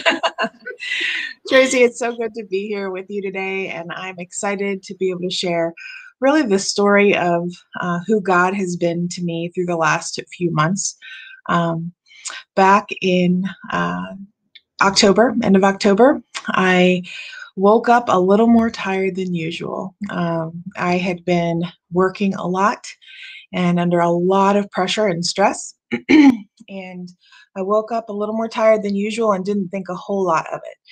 And I went through the next couple days feeling incredible fatigue until finally I decided maybe I should take, take my temperature and see where I'm at. And at that point, I was at 102 uh, with 102 fever.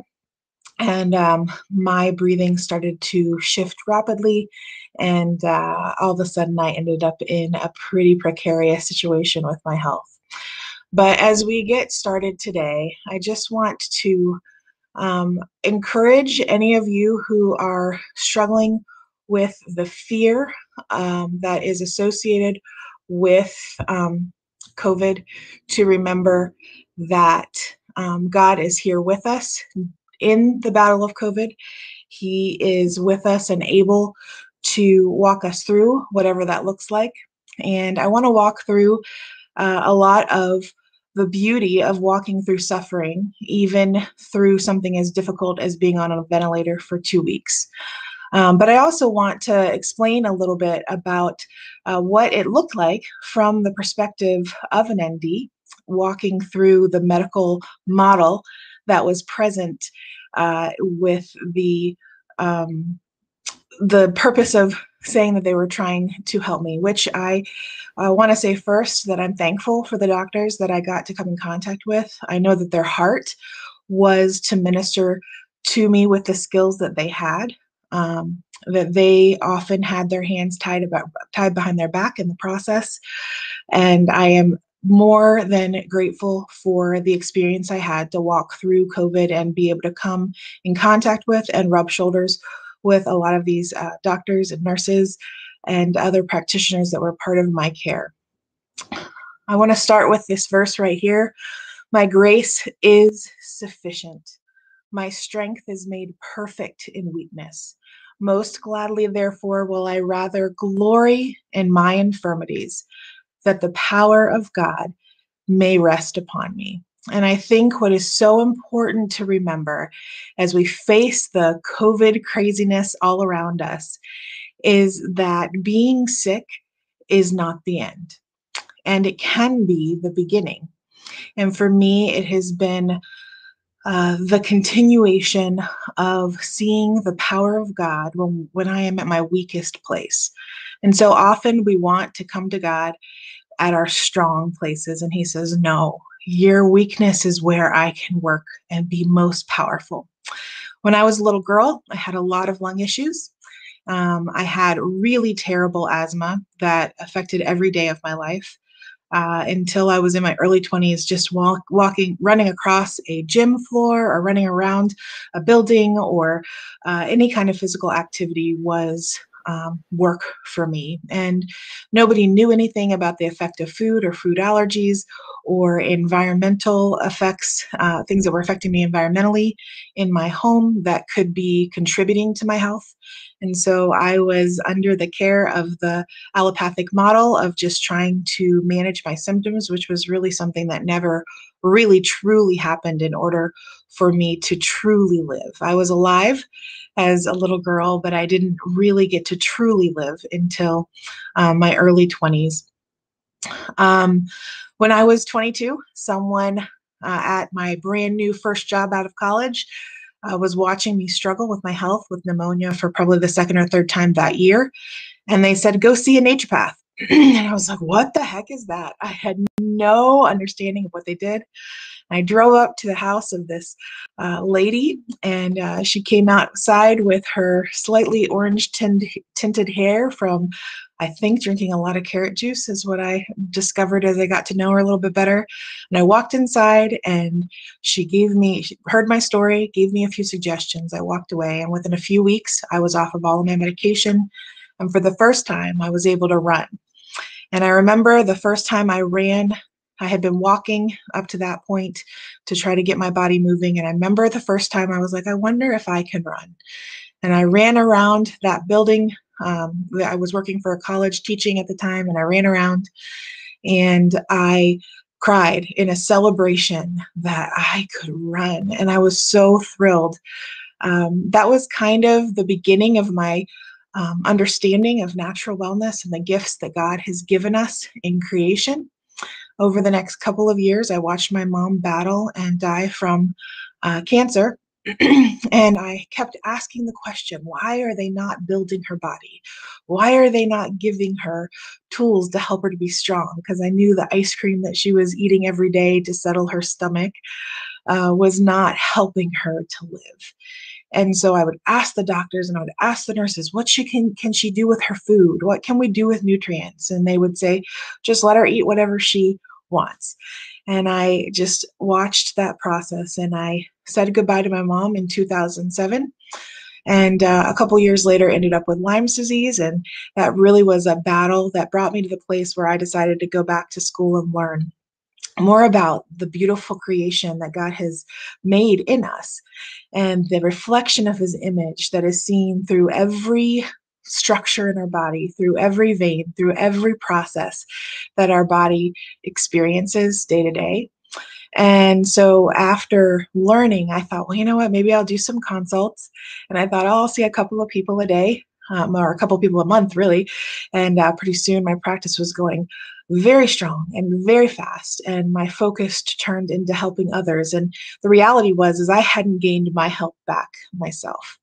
And so i went into full tilt practice serving and helping others until that day in october when i woke up not feeling well at all. And um, when i woke up from the ventilator i was sitting in the um, step down actually a few days after coming off the ventilator, which was a miracle in and of itself. I had been on a ventilator for uh, two weeks, and at that point, the prognosis for me coming off of the ventilator was really grim. Um, I was they thought that I would need oxygen for the rest of my life if I did survive it and that um, my life would never be the same. And they were right about one thing my life will never be the same, but not in a bad way. And as I was laying in my bed, contemplating everything I knew about natural wellness and how I had ended up in the situation I was in, crying out to God in isolation there in my hospital room, I said to God, What the heck just happened? What just happened? What what am i supposed to take from this? And i was really crying out to god in sorrow and in physical pain emotional pain spiritual pain in a sense and crying out to god.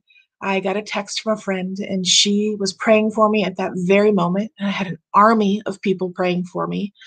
And she said Michelle, I was just praying for you, and I feel like God wants you to know that the reason that you're going through this is because you were willing.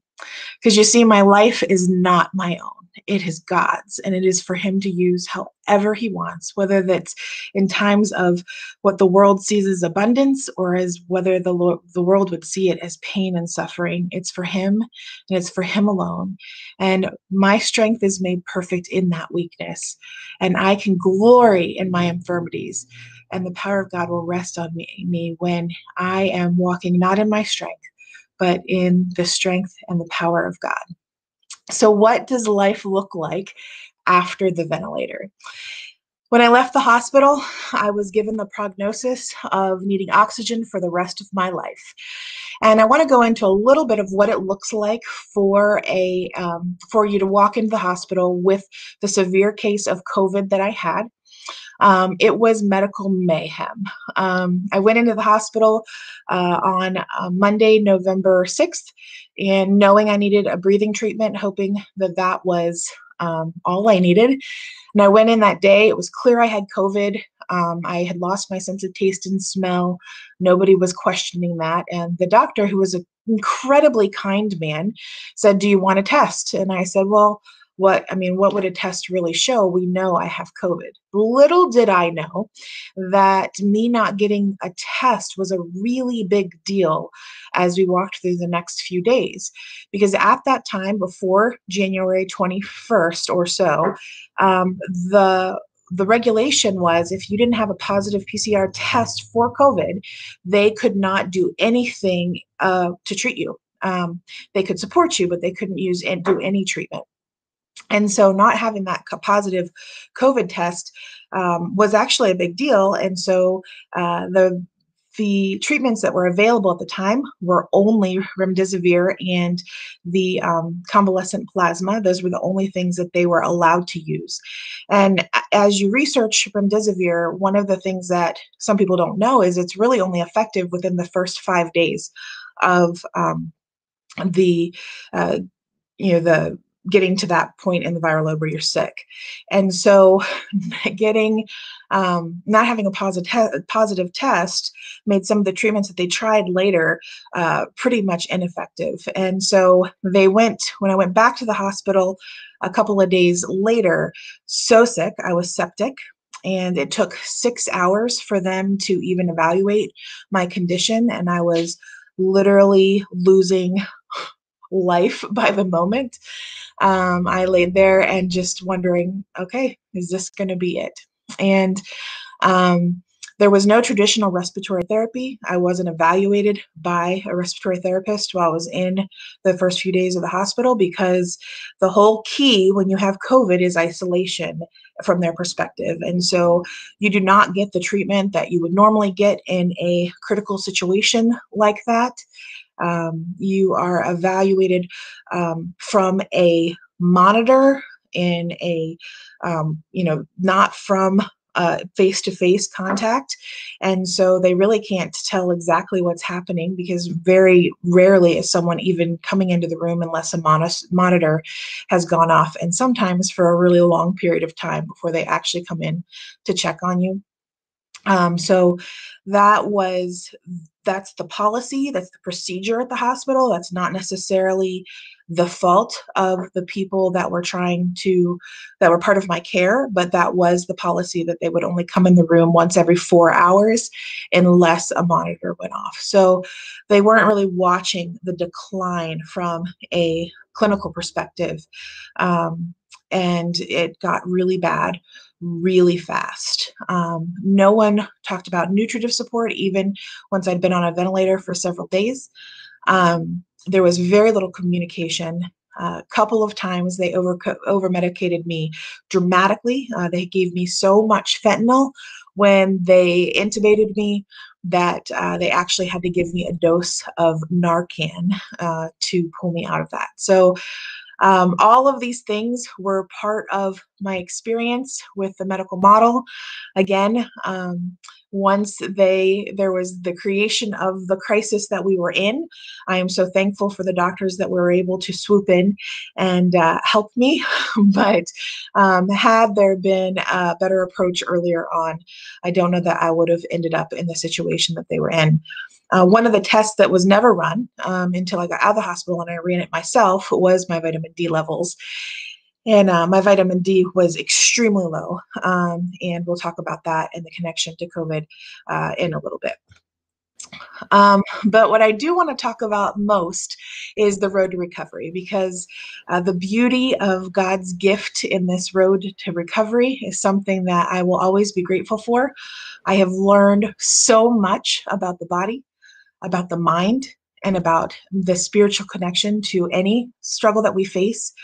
Uh, the physical representation of um, something like COVID, I always say, is a highlighter to things that are already going on, whether they are physical, emotional, or spiritual.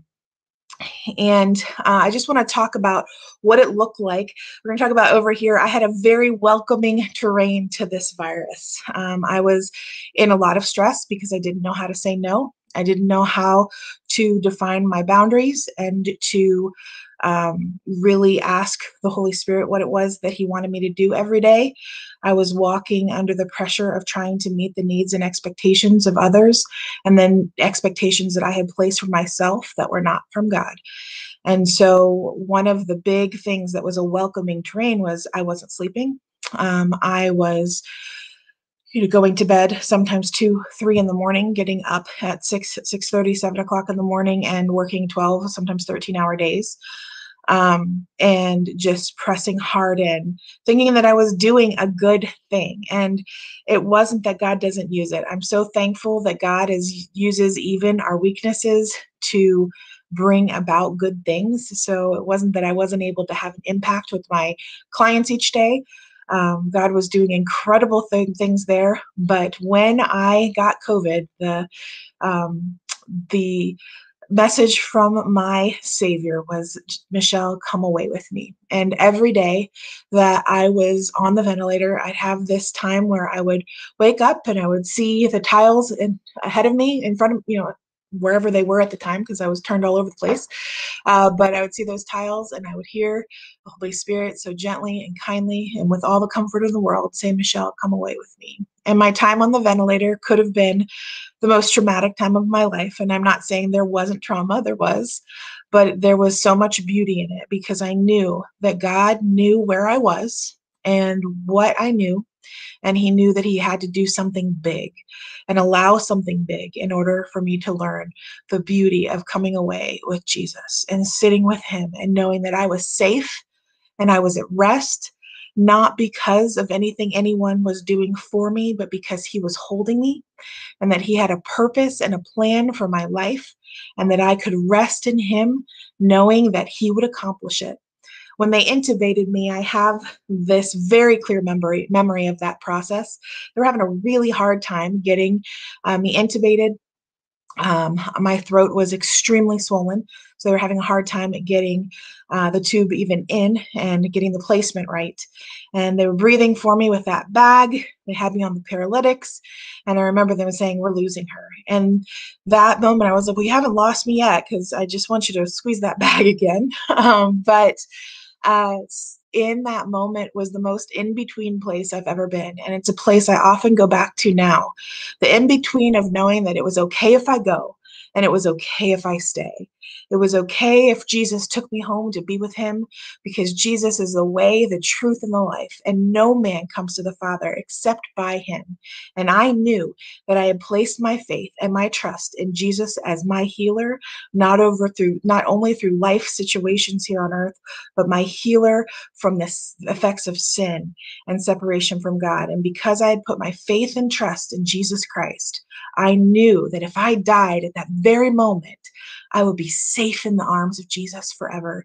I would be celebrating life more abundantly than I could have ever dreamed or hoped.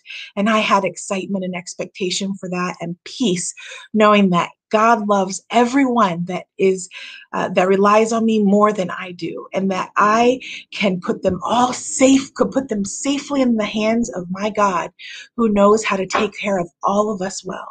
And in that moment, he brought me through that moment of saying, It's not on me. I can be invited to walk with him during the plans, uh, through the plans that he has, but it's not on me. And I can rest and place work out of a place of rest that says his yoke is easy and his burden is light. And I can know that ultimately he is in control. And so when I come to this stress component, one of the biggest things that God has given me is strengthening my no muscle and my yes muscle, knowing that the yeses and nos that God allows in my life, that he gives me strength for, are from him. And when someone has a need that may seem urgent or even emergent, I can trust the power of the Holy Spirit of God to give me direction to know if that's something He's inviting me into or not. And I can walk and serve Him out of a place of rest. One of the other problems that I was facing in because of that stress was poor nutritional planning. I knew what I needed to do. I knew that my body needed good nutrients. Um, but especially during the shutdown and after I was working so much, I justified some of my um, eating foods that were not ideal from restaurants as uh, we're supporting this restaurant that's struggling so much. So I had a season of several months where I was not eating the way I would normally choose to eat. I was running around going hours and hours without eating.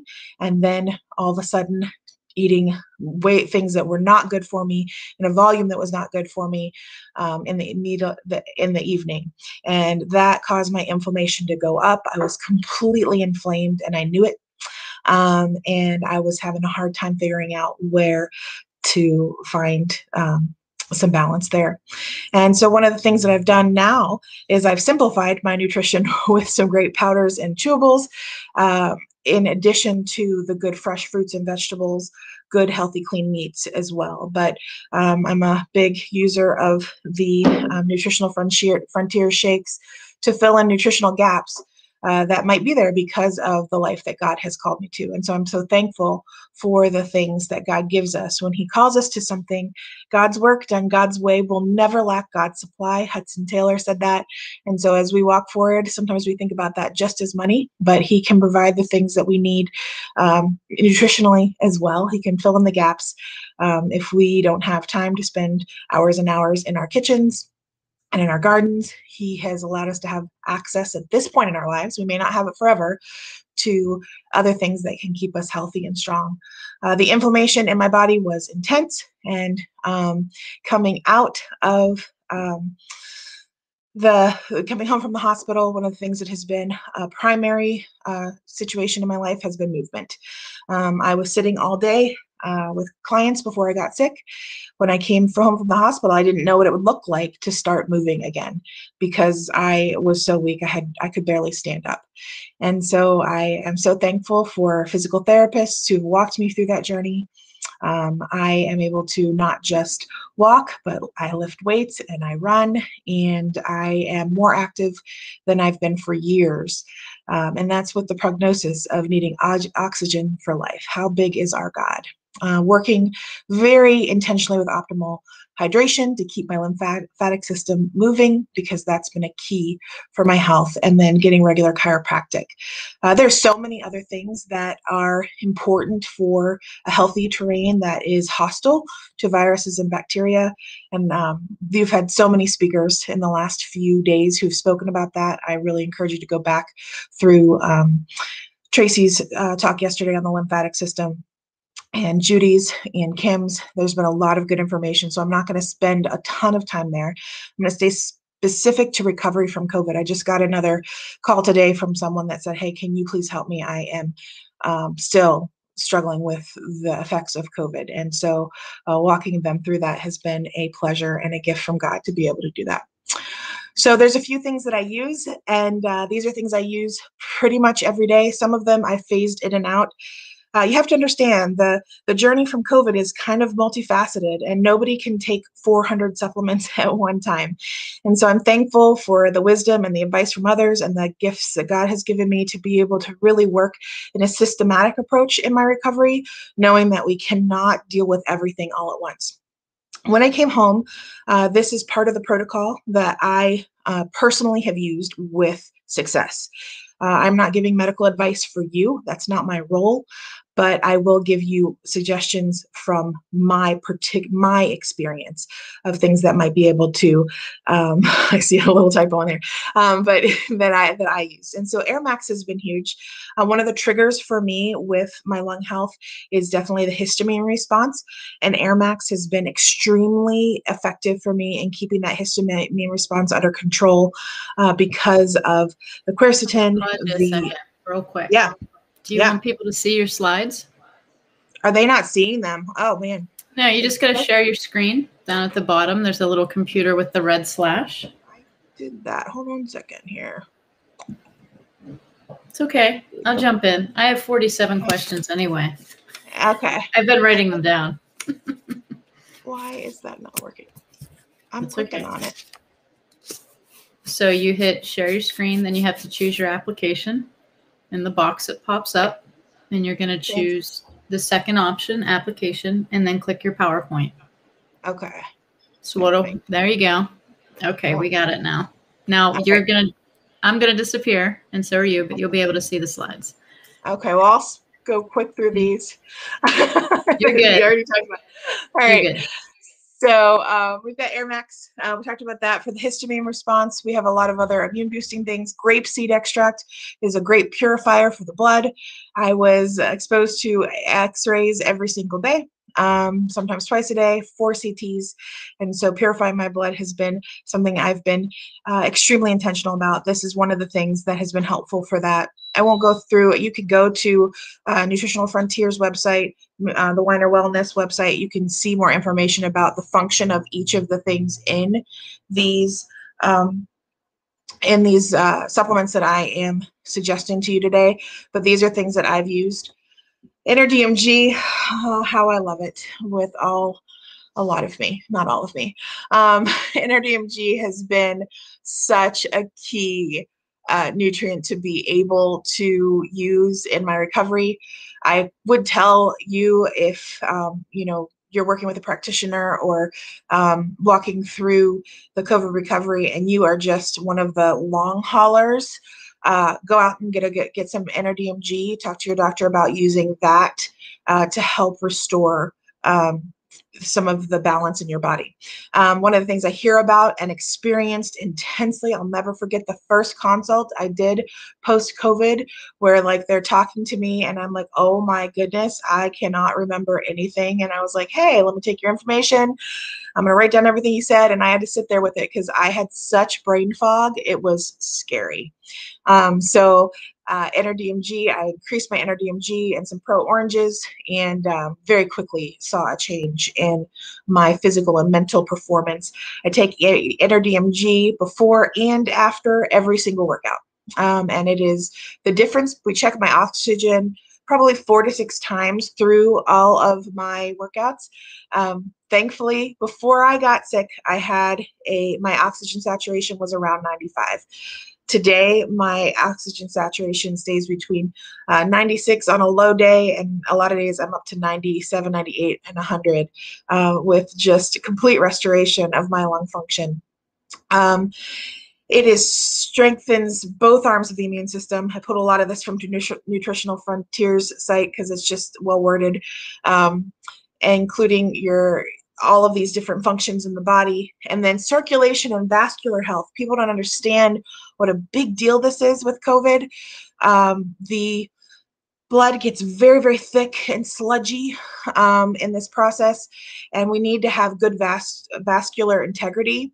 And NRDMG can help with that. It won't thin the blood but it can help the body to have uh, to help with the support in that movement in the vascular system helps with uh, blood pressure and cholesterol triglycerides uh, interesting uh, little just t- tangent not super tangent totally related but something that's really interesting you know you hear so much about cholesterol I had done all my blood work about two weeks before I got sick. And so I had all of my baseline um, numbers, and they were, you know, some of them were slightly out of range, but my triglycerides were uh, right around 100. When I went into the hospital, uh, they went all the way up to 426 two weeks later. Uh, so don't tell me that's the eggs you're eating. Don't tell me that's the food that is good and healthy and given to me by God to eat. That has nothing to do with food. It was the body's beautiful response to inflammation in helping my body to have what it needed to deal with the situation at hand. Your body does not make mistakes. It is beautifully defined by designed by God with all kinds of beautiful mechanisms in place when it's under stress and duress. And so um, that is one of the things that um, I just got to see in real time um, was that huge jump in a couple of days. and that had nothing to do with a food I'd eaten. It had everything to do with the inflammation because my body was doing what God designed it to do in healing.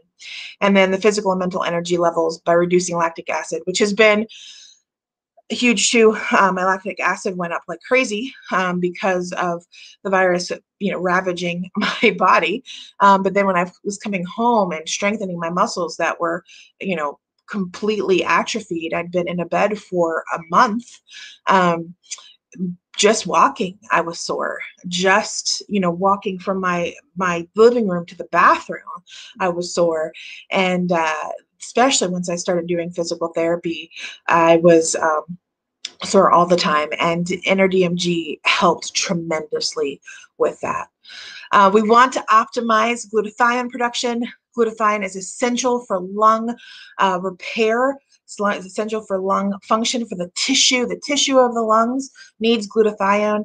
It's important for ATP production. Again, refer to Tracey. She's done some really great talks on ATP production and how important it is uh, for fighting viruses and bacteria and even for uh, maintaining a healthy weight. And uh, so, lean greens, I drink this at least once a day. Um, but I actually probably drink two or three scoops a day right now um, because it has so many good things in it. Um, they have it has the res- registered um, trademark ingredient amotheon, which helps the body to to produce glutathione. Um, and I am doing I do like two or three scoops. Uh, I'll do a huge smoothie in the beginning of the day, and I will sip on that throughout the day. Um, this has been key for my recovery. Um, there's, I'd like to come down and be like, if there was just one supplement, this has NRDMG in it. This has um, so many good nutrients in it, and it has been a really important part of what I've done. NAC. Um, again, another really important factor for glutathione production. Um, it helps with the oxidative stress. It helps support the pulmonary and cardiac function. Um, almost always in ICU um, admitted cases like me, um, there is a cardiac issue. Um, mine was not, it was just stressed um, because i've been having uh, heart palpitations for so long because of some hormonal imbalance and some stress and, and the, that contributed to the stress or both ways.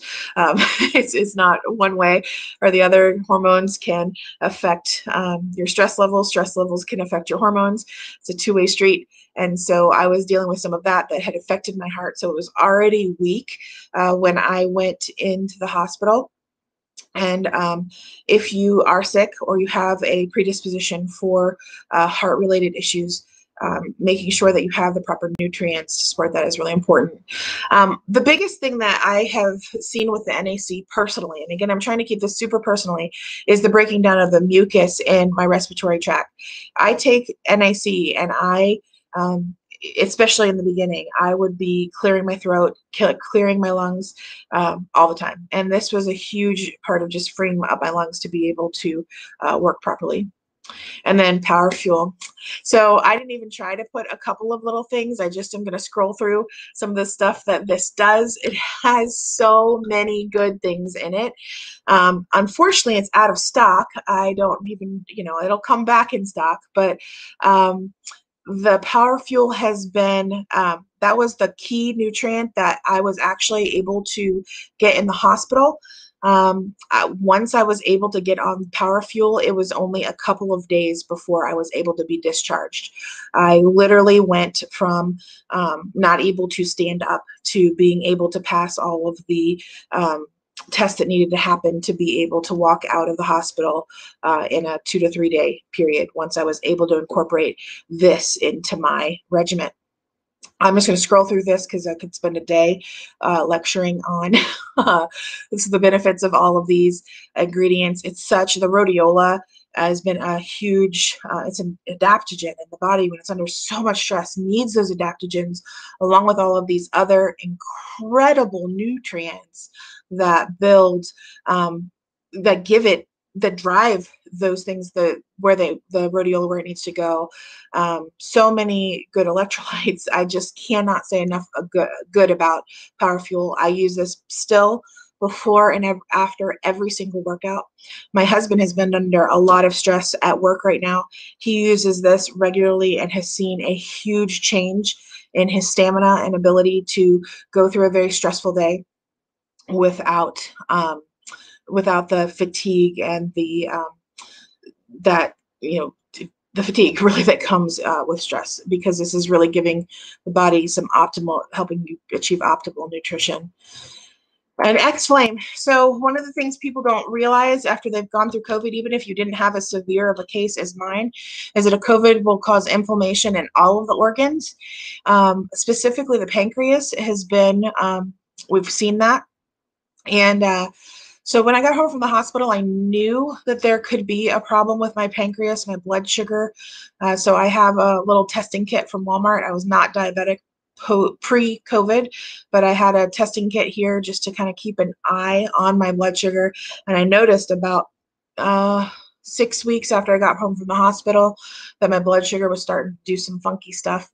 Um, so I started, I use the powdered form um, of X-Flame, but started incorporating that and right away blood sugar went right back down.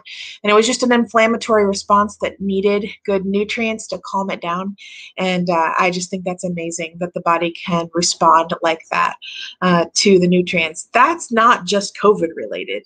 Um, sometimes we want to take a blood sugar supplement, but what we really need and, and what we're really getting from that in a supplement is the nutrients that we need to bring down the inflammation. But sometimes adding something that is for inflammation uh, will help calm down that whole system.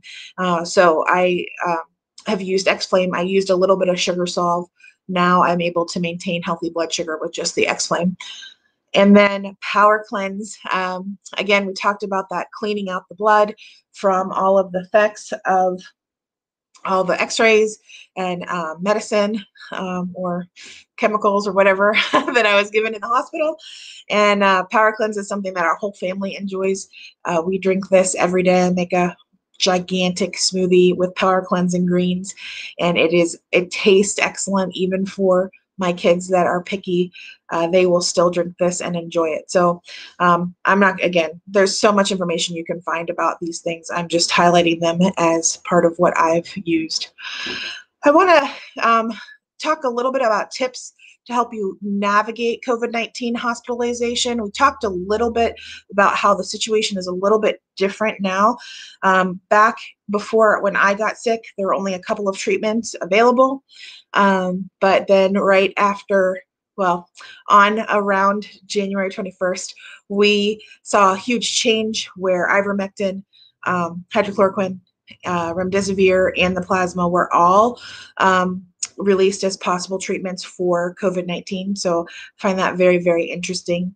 Um, and uh, so as you navigate the hospital, here are some things um, that I really encourage you. And this is any hospitalization, not just COVID, but because of all of the isolation rules that are in effect right now, these are really important things to know.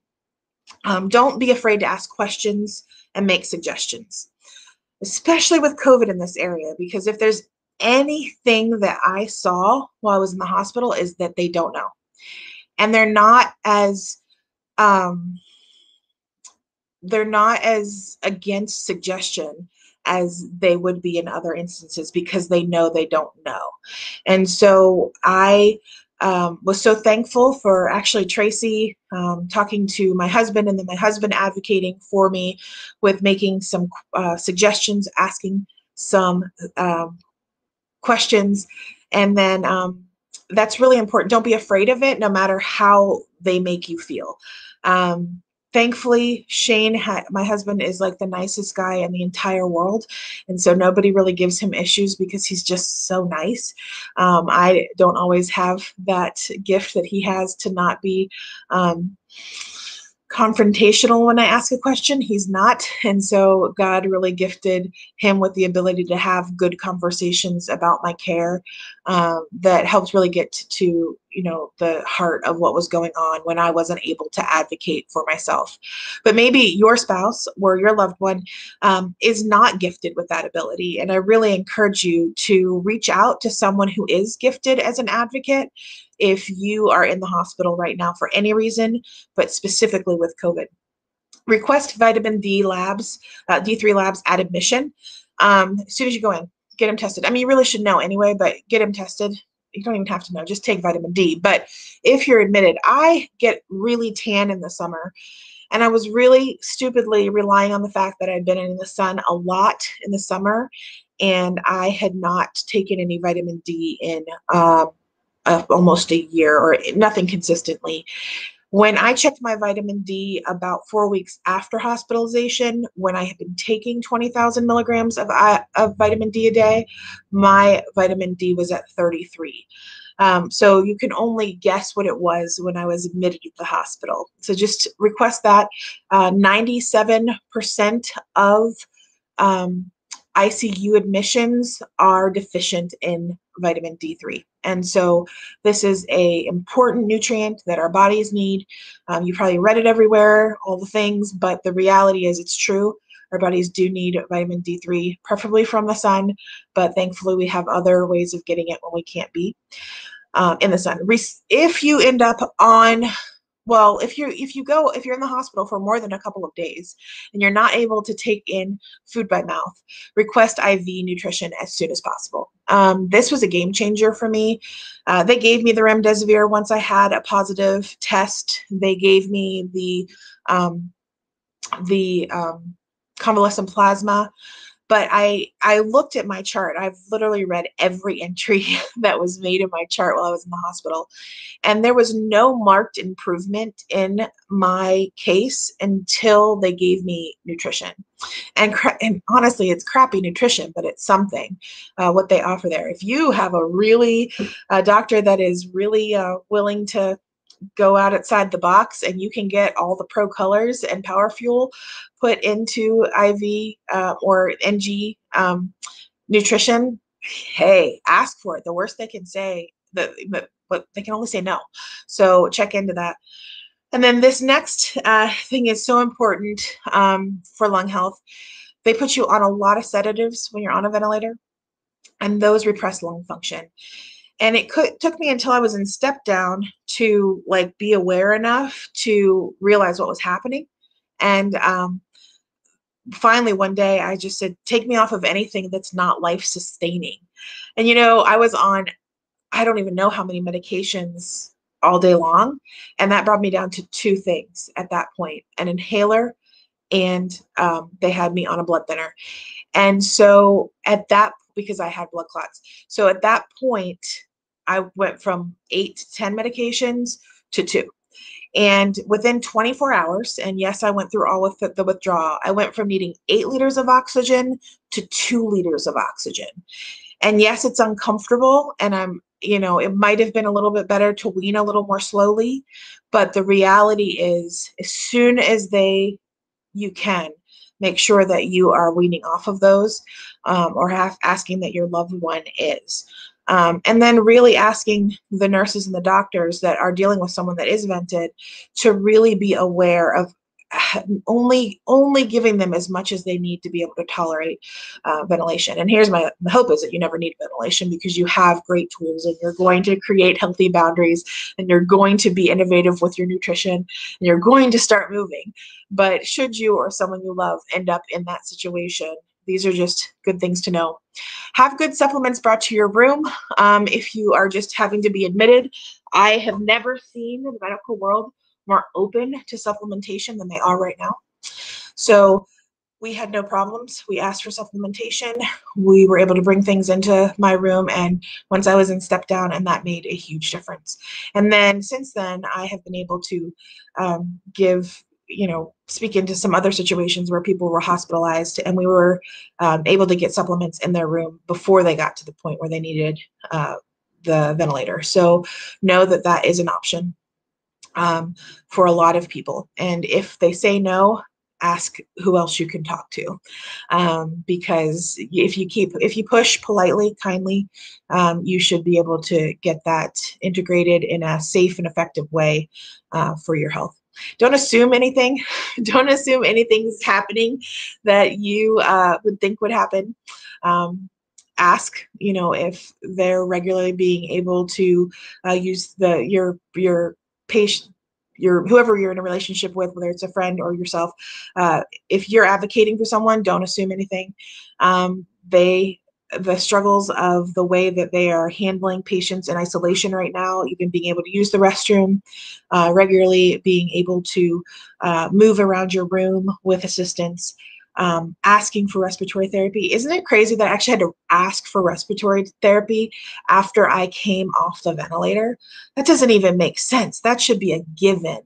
And even asked that after I asked for respiratory therapy, uh, they only gave me the respiratory therapist only came in twice. Um, so percussion is so effective for keeping the lungs moving. I have my physical therapist do percussion three times a week to keep my lungs uh, moving. Um, you i put ask for physical therapy twice like that's how important i feel like it is ask for those things they're hesitant because they don't want to be in the room with you for very long um, but it is under your rights to ask for the care that you need if you are hospitalized and don't be afraid of that. And you can do it you can do it kindly but you can do it boldly as well and so don't be afraid of that.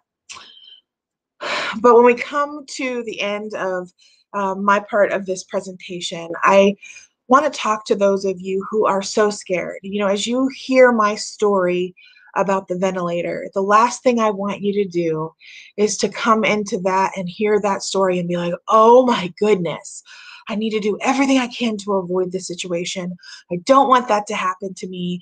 Shoot my arm with the up with a vaccine, whatever I need to do. Let me reach for every possible way to protect myself out of a place of depression because you've been isolated for so long, out of a place of fear because you are afraid of the effects of something like what happened to, happened to me happening to you. And so much of our world is so depressed right now. They are so cast down. And David says it so well. Why are you cast down, O my soul? And why are you in turmoil within me? Hope in God. For I shall again praise him who is the health of my countenance. Hope thou in God. There is no supplement, there is no nutrient, there is no practice, there is no thing that you can do that should replace your hope in God because He is the giver of good things. And when we come into our health, worshiping the creation over the creator, we are not walking in line with the Holy Spirit of God. And we are brought to a place of reaching and reaching and reaching, trying to fill a void that only God can fill. And if I have any message to leave you with today, don't be afraid. Don't be cast down. Put your hope in Jesus, who is our master physician. He knows all things. He can lead you to whatever it is that He wants you to use to be able to see and to glorify and to praise Him with the health of your countenance. And, you know, if you have any questions, I'm happy to help. Um, my business is Harbor of Hope Healing Services. I love spending time with the connection of the emotional, physical, spiritual connection to what's going on in our health, honoring Jesus as the master physician. And uh, that's my heart and my desire as I uh, have opportunity to share with the people that God brings across my path. That is awesome. Thank you so much. What an incredible testimony uh, just coming out on the other side and being healthier than ever. So who would have right. thought, right? And I think mm-hmm. that's what Robert was saying. Like we all are brought to something uh, that yeah. gives us that wake up moment of Absolutely. like, this is it. Pay attention. Yeah. yeah. So I love that quote too. Um, so you were saying that I think the the pathways are a little different now. But I know mm-hmm. you had mentioned one time the convalescent plasma they gave you in the beginning. Do you think that created any types of problems in your body? I know they're trying to use it to yeah. stimulate the immune system, but I know you had spoke a little bit about that. Yeah. So, you know, it's I honestly can't I don't know for sure. I know that I'm um I've had some unusual things happening in my body, but it's hard to tell what's what. Um, I have spent a little bit of time researching the convalescent plasma. I can see why it would be beneficial. Um, I can also see why it would cause some issues. I think the convalescent plasma had an effect on the blood, the clotting issue, um, because it will plasma um, is a you know it will thicken the blood, and I think that it probably had a um, impact on the clotting issue that I experienced in the hospital with the leg clots.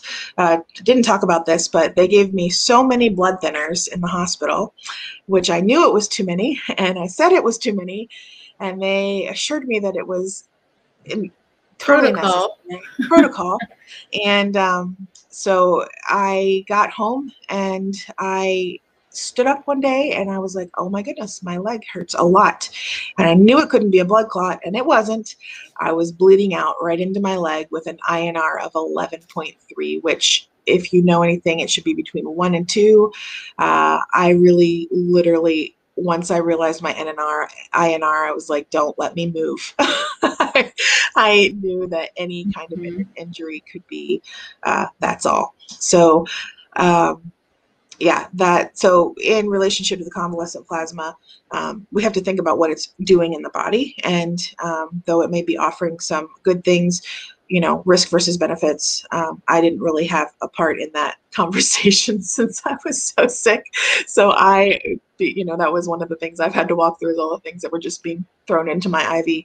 Um, but um, there are going to be negatives when we when we use plasma. So that's what they used to thicken my blood after I had too thin of blood. So, you know. So just so people understand, they use plasma from donors that have had COVID. And so right now there's a, a demand for plasma for people that have had the infection. So mm-hmm. they go, they give the plasma, and then for someone like Michelle who goes in and tests positive, they can mm-hmm. give the plasma with the theory that it will help create antibodies against mm-hmm. the virus. So, but it also has a secondary effect where plasma at a certain INR will thicken the blood. Yeah. And you had what, two bags of plasma in the beginning going in, or Uh, for which, you know, for the as the uh, prevention? Yeah, as the preventative or the- treatment. as the, like when I first got in the hospital. Well, Mhm. once I was, uh, I think four. Okay, so that's a lot. So then they counter that with blood thinners. Right. So you get the blood thinner so that you don't get the thickening of the blood. And then they kept you on the blood thinner and didn't seem to check your INR, which that's just basically how thick or thin the blood is. Yeah. And what happened is Michelle's blood from the thinners got so thin that she literally was bleeding out at the capillary level. Yeah. So um, that's when they started to give you plasma again. But that was a whole story in itself because, see, I was on that while you were unconscious and in the hospital. I was on the conscious end on the phone with Yeah. Shane most of the time saying, okay, do this, say this, because he's so nice. And I'm like, we need to be mean. You need to be mean. Get up there and, and march to that nurse's station. Like, be strong. Poor Shane. He had it. He, he knew that you you couldn't say it, so I was saying it for you. Um, but he did a great job, and there was a big prayer group. And I know that we pulled in other people like Dr. Len Bransowitz, who, you know, from all of this uh, turmoil, you came out with some great relationships with people that uh, you know really were invested and concerned about you. So um, I'm I'm glad you're here. I'm glad it wasn't your time. Right. and uh, I appreciate that you share your story because there is a lot of questions. People are afraid to go to the hospital. But Mm-hmm. here's what I'll say: from November until now, or December until now, there's a there's a lot of other information that has come to fruition. Uh, like we say, science is evolving, treatment protocols, um, you know, and there there are ways and doctors that do a good job with the management of COVID nineteen. Right. So you just have to find them. You know, Yep. you just have to find them. So just make sure that if you are susceptible, uh, that you have that in the background, somebody that's going to have the latest treatment protocols and understands your condition. There are things that you can do that Michelle said, even if you are in the group of susceptibility of high inflammation or maybe unstable blood sugar, uh, you know, being overweight. I mean, that's just part of a comorbidity. You're on numerous medications. Uh, you know, you have a respiratory issue. Uh, you're elderly. There are nutrients, and Michelle went over them today that you can use every single day to build the immunity and that fortress of defense. And then, even if you do uh, contract the virus, that doesn't mean infection. That's what Judy was talking about yesterday that a virus in your nose is not infecting your body. Your body sees it, grabs it, and then starts to either through the innate or adaptive immune system begin to destroy it, it doesn't mean you're going to get an infection. So you're right about not having fear and understanding. And the more they hear these stories, and the more that they listen to these lectures and workshops, they can understand that their body is really designed to save your life. It, it's going to try really, really hard. Um, so thank you for being brave and and we'll continue for your recovery. Although you're you're doing fabulous. So yeah, I'll just pray for your fab- fabulousness. All right. Well, if they want to get in touch with you uh, regarding your protocol, or can you give us some information on how to find you? Um, my um, email is Michelle Kunselman at gmail.com. Um, and then um, you can reach me by phone 724-372-2127 and uh, if i think tracey has my acuity link if you need to schedule consult sheet you can get that from her so. Oh thanks. Now now i'm your secretary. Well you told me to give you it. My i know i'm just kidding. I'll post it and uh, if you want to you know talk to michelle about covid recovery programs just her experience in general. You know it's always good to have somebody to talk to or make an appointment or whatever that looks like you know, for them personally. So I have your link. I'll post it on the um, the chat. And uh, thanks again. So, yep, well, this wraps up our day of education. Thank you so much, everybody, for being here at the Winer Wellness Virtual Summit. Remember, we are open. Come in, shop, get your products, deep discounts, 30% off all supplements and CBD. And, you know, as we heard from Michelle and Judy Mikovits yesterday, that reducing inflammation is number one. You have to keep the inflammation under control, regardless of what the physical manifestation of that inflammation is, whether it's a disease or, you know, weight or whatever that looks like. Uh, inflammation is key. So feeding the endocannabinoid system, getting the the products that your body needs and can utilize for nutritional pathways, X-Flame, Inflam, uh, CBD, all available at the Winer Wellness Center. So stop in, say hi, make an appointment and we're just so glad you're here. Thank you for joining us today, and we will be back tomorrow morning at 8:30. God bless.